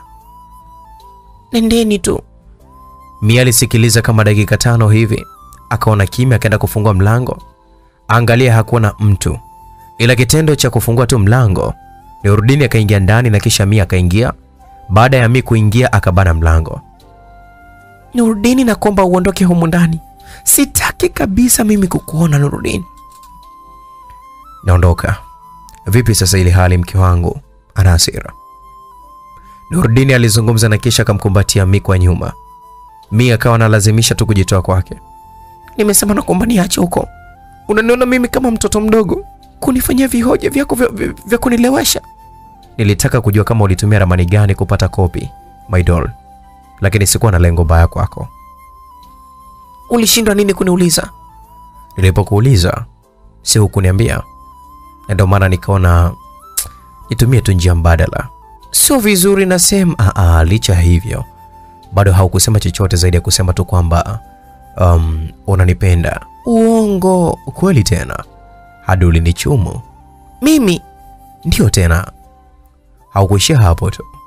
mm, kuna nini kingine nilifanya? Uh, kingine um, nikisema utanibishia, lakini ngoja tu nikiseme. Uh, ila si sio cha aibu, si ndio baba Nasri? Ah, Ni chaibu kidogo, na ndio maana siwezi kabisa kukisema. Um, hapana bana, Hu- hu- hu- huo sasa utani. Kweli tena, kwanza um, nikwambie, ulinikumbatia na kisha ukaniambia kwamba nakupenda sana Nurudini, nataka tuishi milele, na kingine um, wewe ni mzuri, na kisha ukanikisi tena deep kiss, alafu mimi nilitulia tu, maana nilikuwa uh, nilipotu- nilipokuwa nikihitaji kuondoka. Unajua ulikifanya kitu gani baada ya mimi kutoka kuondoka? Um, mm, mm, mm, aibu. Nilifanya nini kingine kwani? ulianza kuvua nguo moja moja, ndugu, ukiniambia ukiondoka na vua nguo zote, la sivyo rudi hapa hapa. Uliniambia hivyo hivyo. Hapana, Mm-mm, Hapana, hapana, mi sikubali, si- si- sijawahi na sikuwahi kabisa kwa hivyo. Huo uongo. Hapana, ni kweli, ni kweli tena. Ulikuwa ukizungumza eti kwamba unanitaka mimi na kutaka sasa hivi nirudi rudi, mimi nakutaka eti ulikuwa ukiniambia hivyo hivyo. Mm. Mi alijionea aibu na huku Nurudini akimcheka sana, maana alikuwa akimwongopea hakuna kitu kama hicho kilichotokea. Mm, Amna bwana, sio kweli baba Nasri, mimi siwezi kuwa hivyo eti. Nurdin alimbembeleza, mwisho wa siku akamwambia kwamba anamtania na kisha akamkisi Mi, akatabasamu kuashiria kwamba hasira zake zote zimekwisha, na kisha walifungua mlango na kuwakuta kina Nasir wanawasubiri wao tu. Upande wetu msikilizaji, tulimaliza kula tukalala, na kesho yake Ino aliamka akiwa na nafuu, tukaanza safari ya kuitafuta barabara, na mwisho wa siku tukafika, tukachukua taksi hadi kambini. Nilipokelewa na Mi, sikuamini kabisa kumwona tena katika macho yangu akiwa mzima na yeye pia mwenye afya. Wakati huo kina Nasiru ameenda shule, nilimbeba sana aliyekuwa kanimisi kweli kweli, na mwisho wa siku furaha ikarejea tena kwetu. Baada ya Ino kufika kambini, msikilizaji, ikabidi apewe utaratibu wake wa kazi na kuambua ya kwamba nini ambacho kifanyike, na kisha jenerali akawashauri ya kwamba watafute wanawake ambao watawaamini katika kazi zao. Walibaki kujiuliza na kujifikiria nini ambacho kinatakiwa kifanyike, lakini mwisho wa siku Nurudini akatoa wazo. Ndugu yangu, unaonaje tukiwatumia Tuki na Amina pamoja na Sumaia? Wegwiji? kwa jinsi walivyo wanawake hawa maji, nini majeuri jeuri hawa wataweza kuelewa? Ah, ah, Sasa kwa sasa yule mtoto ananielewa ndugu yangu, haitakuwa na ugumu wowote kumshawishi mwenzie. Lakini labda mwanangu, lakini nani sasa wa, wa, wa, wa kuwafunza? Maria ama Mary atamtafuta mtu. Huwezi amini ndugu yangu, mi ana kichwa chepesi sana sana sana. Ramani ile ujue alikopi kichwani tu kwa siku moja tu, na tena hata saa haikufika, sijui unanielewa? Kwa hiyo hata siku ya kutengeneza fake alitumia maelekezo ya kichwa chake, hakupeleka kabisa ramani yenyewe. Ah, kweli gwiji, kama hilo tutafanikiwa mzee wangu. Ana kichwa chepesi sana mwanamke wangu yule, nahisi hata mwenzie watakuwa kabisa wapishane. Kwa hiyo haitamchukua muda katika kuelewa mafunzo yote, haitachukua muda. Basi msikilizaji, mpango wao ulikuwepo ni huo. Nurdin alifikisha Mia kawa haelewi kabisa kama ataweza, lakini mwisho wa siku akaja kwangu kuniambia kwamba tunatakiwa tufanye hivi na hivi na hivi. Kwangu mimi sikubisha, nikamwelewa tu. Hiyo siku ilipita na kesho yake huyo Madam Mary alitupeleka shopping, tukanunua viwalo vya maana kabisa, vipodozi kama vyote, maurembo kibao, vingongo vyenyewe vya mitego mitego, msikilizaji. Lakini mwisho wa siku kuna huyo mdada tulimpitia, akaja na mawiving kama yote. Tukarudi sasa kambini. Huyo madam alikuwa kajipura, alikuwa anaitwa Rachel. Mimi na mii tulisimama kabisa kumtazama kwanza alivyokuwa. Ehe, sogeni hapa warembo. Alizungumza kimadaa kweli kweli. Mwendo wake kwanza ulitufanya tuchanganyikiwe na huku tukitazamana. Okay, njoeni hapa, njoeni. Nadhani muda unakwenda sana. E, mnatembeaje hivyo? Si akaanza kutuhoji msikilizaji. Sisi tukamwambia si tunatembea kawaida tu.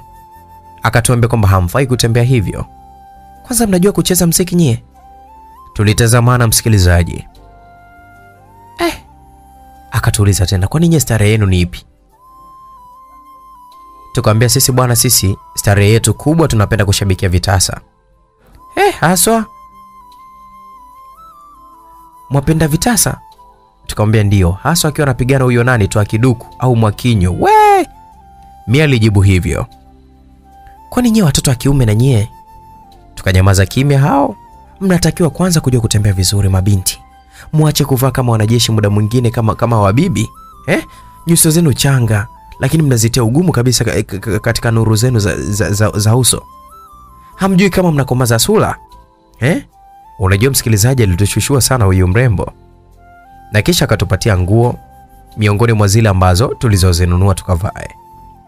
Baada ya kuvaa, tukaanza sasa kusukumana, nani aanze kutoka, maana sasa kwa hizo nguo sio kwa zile nguo, msikilizaji, ni kama anafaa kabisa kuvaa sana mtoto huyu mdogo mdogo, kinguo kikivaa kinakufika magotini. Mungu wangu, Eh, come on. Msiniweke bwana, mimi nawasubiri ladies. Mi, anza wewe. A, Anza wewe bwana Sumi. tukaanza tukaanza kuambizana sasa, nani atangulie, nani abaki, nani hivyo. Mi, mimi naanzaje sasa? Najionea aibu mwenyewe. Na tulivyozoea kabisa kujiachia. Eti mwisho tutakaa uchi kwa watu. Where are you lads? Come on. Where are you? Eh, yule mrembo akatupigisha na kizungu pale pale. Tulitoka na huko tunang'atang'ata tu kucha zetu kwa aibu. Ai, stupid. Kama mnanionea aibu mimi, huyo huyo Mr. Robson na, na watu wengine mtawezaje sasa uh, kuwa ku, ku face? Kweni nomo. Mchukule kama life lenu la kawaida sana. Taratibu tuliondoa aibu, tukawa majasiri. Msikilizaji, Kisura alianza kutupa mafunzo ya kutembea. Mchuchumio mwanzo ulikuwa kabisa mgumu, tulikuwa tunadondoka dondoka kwelikweli, ilikuwa ni kama kote, lakini mwisho wa siku tulijaribu na hatimaye tuliweza kiasi fulani hivi na namna ya kulainisha sauti. Kesho yake tuliweza zaidi. Baadaye tulielewa kabisa, hiyo siku alituomba kabisa tutoke nje kama tulivyo na tusiogope kabisa chochote kitakachotokea katika macho yetu. Basi tulianza kupitapita maeneo ambayo wanajeshi wanafanyia mazoezi. Kila tukitembea wanaacha mazoezi na kutugeukia kutuangalia sisi. Mwanzo tuliogopa, lakini tukakumbuka hatutakiwi kuwa waoga, maana itatubidi tu to face umati wa watu. mm. Ka e bana, mi ndo amekuwepo hivi kweli? Alizungumza Frenki akiwa na wenzia mazoezini na huku akitamani kabisa kuendelea kumwona. Ah, mke wa kamanda gwiji yule, lakini yule mwenzie yupo singo, mi namtaka na, na, se. Alizungumza mkaka mmoja mwenzie na Frenki. Ah, we Sumi, mi namtaka wewe, mi Sumi ndo namtaka. Frenki naye mwenyewe akakanusha, akamwambia mwenzie ya, ya, ya kwamba sifikirie kwamba kuna nafasi pale. Ah, wa hivyo hivyo mwanangu. Oa, wenyewe mnajadili nini? Eh, nyewe wawili hapo. Haya, haraka sana piteni mbele. Waliitwa kina Frank na kupewa adhabu msikilizaji. Lakini mwisho tulifika eneo walilopo kina Nurudini na Ino wakiwa mazoezini, tuliwapita na huku tukiwa tunakodolea macho pasipo aibu, na wao hawakutoa macho. Sio wao tu, hata wenzao ilikuwepo ni mtihani kabisa kwa wanajeshi wote mazoezini. Lakini mwisho jenerali wao akaguna na kuwashtua. Mwisho yule madam akatuomba tukagawe vinywaji wanapokula chakula. Hatukusita msikilizaji, kufanya mwanzo mwisho. Mara ya kwanza tulikuwa tuna hofu sana, lakini baadaye tukaona ni jambo la kawaida baada ya hofu kutoweka. Hey, mi mbona hamji huku? Amoni kwamba kuna watu wengi? Nurudini alimhoji baada ya kuona wanajeshi wote wametuangalia. Ah, Jamani, no, ni vile tu nipo kazini. Darling, see you later. Alimwambia Nurudini na huku akimtizama kwa kumshikashika pia. Akamlegeza kimahaba. Nurudini alihisi joto kupanda, akaacha kumuuliza. Um, vipi, kuna kingine nu wangu unaweza kwenda my dear? Mia alimuuliza hivyo, akasema endeleeni tu. Msikilizaji, upande wangu kila mtu nilikuwa namlegezea sauti hadi Ino akakasirika jinsi nilivyokuwa najishaua kwa wanaume.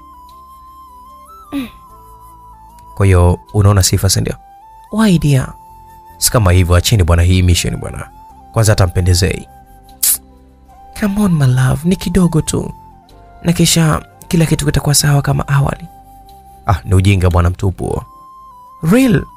Nilizungumza na huko nikikaa kabisa mbele yake. Nilikaa kimapozi na kuinua miguu yangu ili niweke nne. Ino alibaki akinimezea mezea tu mate na macho yake yakashindwa kabisa kutoka kwangu. Vipi mister, kuna kitu unahitaji? Niambie kama unahitaji nikupatie. Sumi, Sumi, Nakusikiliza. kiukweli ondoka, urudi kambini. Kila mwanaume kwa, kwa, kwa, kwa kujua kwamba upo single anakukuta, anakutaka bwana. Nimpondoka bwana. Oh kipenzi, mbona hicho ni kitu cha kawaida sana. Mimi ni single girl. That's why my dear. Niliinuka nikamtomasa tomasa mabegani na kisha nikainama karibu yake, nikaanza kumnong'oneza. Ukiwa na Julius unapendeza sana. Huenda mdogo mdogo naweza kufall kwako. Nilitabasamu msikilizaji. Ino aliinuka kunifatisha na viondoka, na huku akiacha tabasamu, nami nikageuka na kisha nikamkonyeza, nikaendelea kutembea kabisa kwa madaha msikilizaji. Mi pia alifanya vivyo hivyo hadi Frenki akamtangiza kwa mbele, na huku Nurudini akiwa anatazama kila kitu. Oh, um, Frank, nakomba nipite. Ah, kwani Sumi, hiki nini sasa ambacho mnakifanya? Utaelewa tu maidia, usio na haraka. M- m- mi mi mbona kama sielewi mina Frenki alimwambia hivyo mi mi alifanya kumpa fly kiss na kumfanya Ino akae kwa amani kabisa. Nurdin alikasirika, lakini akazuga tu kurudi kuketi kwa wenzie. Tuliondoka na kurudi kwa madamu wetu aliyetufundisha mambo hayo yote, na kisha akatuambia tujiandae jioni kesho yake ndio siku yenyewe katika hilo swala ambalo tunatakiwa tukalifanye. Kwa hiyo tuwe standby. Msikilizaji, usiku nilienda kulala katika kile chumba cha mi kile ambacho ni cha mwanzo kabisa, ndipo nalala toka mimi nifike hapo. Usiku nikiwa nimepumzika, niligongewa mlango, nikafungua mlango nikiwa na usingizi kweli kweli. Nani wewe kwani? Nilihoji badala ya kujibiwa. Nilibanwa mdomo na kisha Ino akaingia ndani. Sumi, mimi nimekumisi tangu muda ule maondoko umenichanganya kwelikweli, ujue. Una akili kweli wewe? Ile ni kwa ajili ya kazi, hakuna yani, hauna akili eh? Hauna akili vizuri. Ile ni kazi Ino. Sumi, vyovyote vile sema, lakini mimi nakupenda. Kwa hiyo Sio kwa hiyo nimeshindwa kulala pasipo kukuona. E, e, Sumi, kwa nini unanifanyia hivi? Ino, na kwamba ondoka hapa. Nilimsukuma huko akanirudisha na kunikamata kwa nguvu na kisha akaanza kunikisi. Nilichanganyikiwa kwelikweli, nikabaki nimedua pasipo hata kujua cha kufanya. Alinikisi nikatulia kimya, na kisha kaniachia nikabaki kabisa nimedua. Okay, Sumi, bye, kesho angalau sasa nitakwenda kulala. Na kisha akafungua mlango na kuondoka. Nikarudi kwenye fahamu zangu, nikafunga mlango Ah. Kweli ni nimefanya hivi? Ah, ah, Hapana, sio kweli, ni uongo. Nilijiambia na huku nikipanda kitandani, lakini baadaye nikaona huu ni ujinga. Nilifungua mlango nikamfata kwa hasira. Ino, nakomba simama, nakomba simama, nimekwambia. Alikuwa hajafika mbali, alisimama na kunisikiliza. Sume vipi? Alinihoji nilipofika. Sikuwa na neno zaidi ya kumzaba kofi na kisha nikageuka na kuondoka zangu. Ino akaona huyu sasa atahisi kwamba mimi namtania. Alinifuata tena akanishika nikiwa kabisa na tahamaki. Mbona anishike hivyo eh? Alinivutia kwake, msikilizaji, kwa muda huo akanikisi tena nikiwepo pale nje ya chumba, na majira alikuwa nasomwa ni usiku sana, kwa hiyo nilibaki tu kuduaa. I love you, aliniambia baada ya kuniachia. I really love you, sitani Mai, sitani Sumi, mimi nakupenda kweli. Nilibaki nimemtolea macho tu msikilizaji, lakini mwisho niligeuka nikaendelea kuondoka kuelekea chumbani nilipokuwa nimelala. Ino alinitazama mpaka nikaishia huko chumbani. Nilifika na kujilaza na huko nikitafakari kabisa alichoniambia Ino kuhusu kunipenda. Neno hilo liligonga kabisa kichwani kwangu kwa muda wote. Upande wa Ino pia alikuwa akiniwaza sana mimi na jinsi alivyoniona leo, ndo kabisa kachanganyikiwa kabisa kabisa kweli kweli, hadi akakumbuka kisi. Kwa hiyo usingizi ulikuwa ni mzito sana kwake. Aya bwana, ni upande sasa wa Nurudini alikuwa akimfikiria sana mi na pia jinsi alivyomwona leo, na akachanganyikiwa, katamani hata akamwone tu, maana yeye alikuwepo kalala na Nasri, ila mi kalala na Asana pamoja na Zaya. Kwa hiyo aliofia kabisa simwamshe, lakini aliona hebu akamchungulia tu walau kidogo tu. alipofungwa mlango akafika sebuleni na kisha akaelekea mlangoni kwa mi. Alipotaka kugonga mlango pasipo hata kugonga, mi alifungua mlango na kukutana uso kwa uso na kijana Nurdini. Hata mi alishtuka sana kwa sheria ya kwamba hata yeye pia alikuwa akimwaza sana huyo Nurudini. Umefata nini hapa? Nurudini alihoji ili hali yeye ndo alikuwa mlangoni kwa mi. Eh, eh, unaniuliza mimi au wewe? Mimi nilikuja kuangalia kama umejifunika vizuri shuka. Aha. Hmm, nimejifunika. Waweza kwenda sasa vizuri tu. Mi sikia. Sana kusikia. Uh, mimi naondoka, naondoka sasa. Sawa tu, usiku mwema. Mia alimwambia hivyo Nurudini. Ana na kwako pia, alijiuliza. Basi Mia alifunga mlango na kumfanya Nurudini aondoke kurudi chumbani kwake, na huku akiwaza kama kuna kitu ambacho amekisahau. Alifikiria ni kitu gani ambacho amesahau kwa Mia. Hakuna. Basi palipopambazuka asubuhi, kila mmoja aliamka akiwa na mawazo juu ya mwenzie. Watoto walienda shule, maandalizi ya sisi kwenda hotelini kukutana na Mr. Robson katika hoteli ya Morena yalikuwa akiendelea kwa upande wao, na hata kwa upande wa kwetu sisi tulikuwa tunaendelea kabisa kufanya maandalizi vizuri. Tulikuwapo mimi na mi hiyo siku kabisa, hatukuwa hata na stori nyingi sana, maana kila mtu alikuwa na fikra zake za kumfurahisha moyoni. Basi kwa pamoja tulijikuta tukitamka how comes, yaani inakujaje. Tulitazamana na kisha tukarejea katika vicheko. Msikilizaji, upande wa Nurdini, baada ya kupiga suti kali, suti ya kupendeza na kukabidhiwa mafaili ya watu wawili, walijitazama katika kioo. Kila mmoja alijihisi kabisa tayari yupo na mwanamke wake. Kwa pamoja walijikuta kabisa wakizungumza how comes, yani inakujaje. Walitazamana vizuri na pia wakaishia kabisa kujicheka. Hakuna aliyejua mwenzie kawaza kitu gani. Kuanzia hivi sasa mpaka pale ambapo mission itakapo uh, itakapokamilika utaitwa Victoria ama Mrs. Galu, sawa eh? Alimwambia mi kwa maana Nurdini ni Mr. Galu, kwa hiyo awe Mrs. Galu. Uh, sasa na wewe hapo hadi mission itakapokamilika utaitwa Lisa. Wewe ni girlfriend wake na Mr. Daniel ambaye ni Ino. Basi tulitoka na vitu vyetu kuelekea Morena. Wakati huo Madam Mary na baadhi ya watu walitangulia na kuchukua nafasi mbalimbali katika hoteli ile ile, na kisha tulichukua kabisa vyumba viwili ambavyo kimoja kilikuwa cha Mr. Galu na mkewe na kingine cha Mr. Daniel pamoja na girlfriend wake. Uff, Hatimaye leo tunalala chumba kimoja Sumi. Sitaki ujinga wako Ino. Shh. Lisa na Daniel na sio Sumi na Ino, sijui umenielewa? Oh my god, nilishasahau ujue. Eh, Okay, can you massage me? usijali dia, nipo kwa ajili yako. Nilimsogelea na kisha nikamshika kama mtu anayetaka kabisa kummasaji mtu, nikimfinyafinya na kisha nikamnong'oneza. Huu ujinga muda wake bado, mpuzi wewe. Basi alicheka na kisha akaniambia kwamba I love you Lisabela, na mimi pia nikajikuta nimetabasamu tu. Msikilizaji, upande wa mimi na Nurdini, Nurdini alikuwa akihisi hewa ni ndogo sana akiwa karibu na mi, maana sasa hivi anampenda kwelikweli. Hata hiyo atashindwa eti kuakti kwa sababu hata kumtongoza kiukweli, um, ni ukweli bado alikuwa anampenda na si kumdanganya. Darling, kuna nini? Mbona kama nahisi kama bando limeniishia eh? Oh, about bando. Usiwaze, ngoja kwanza um, nimwagize Jero hapa atakuletea.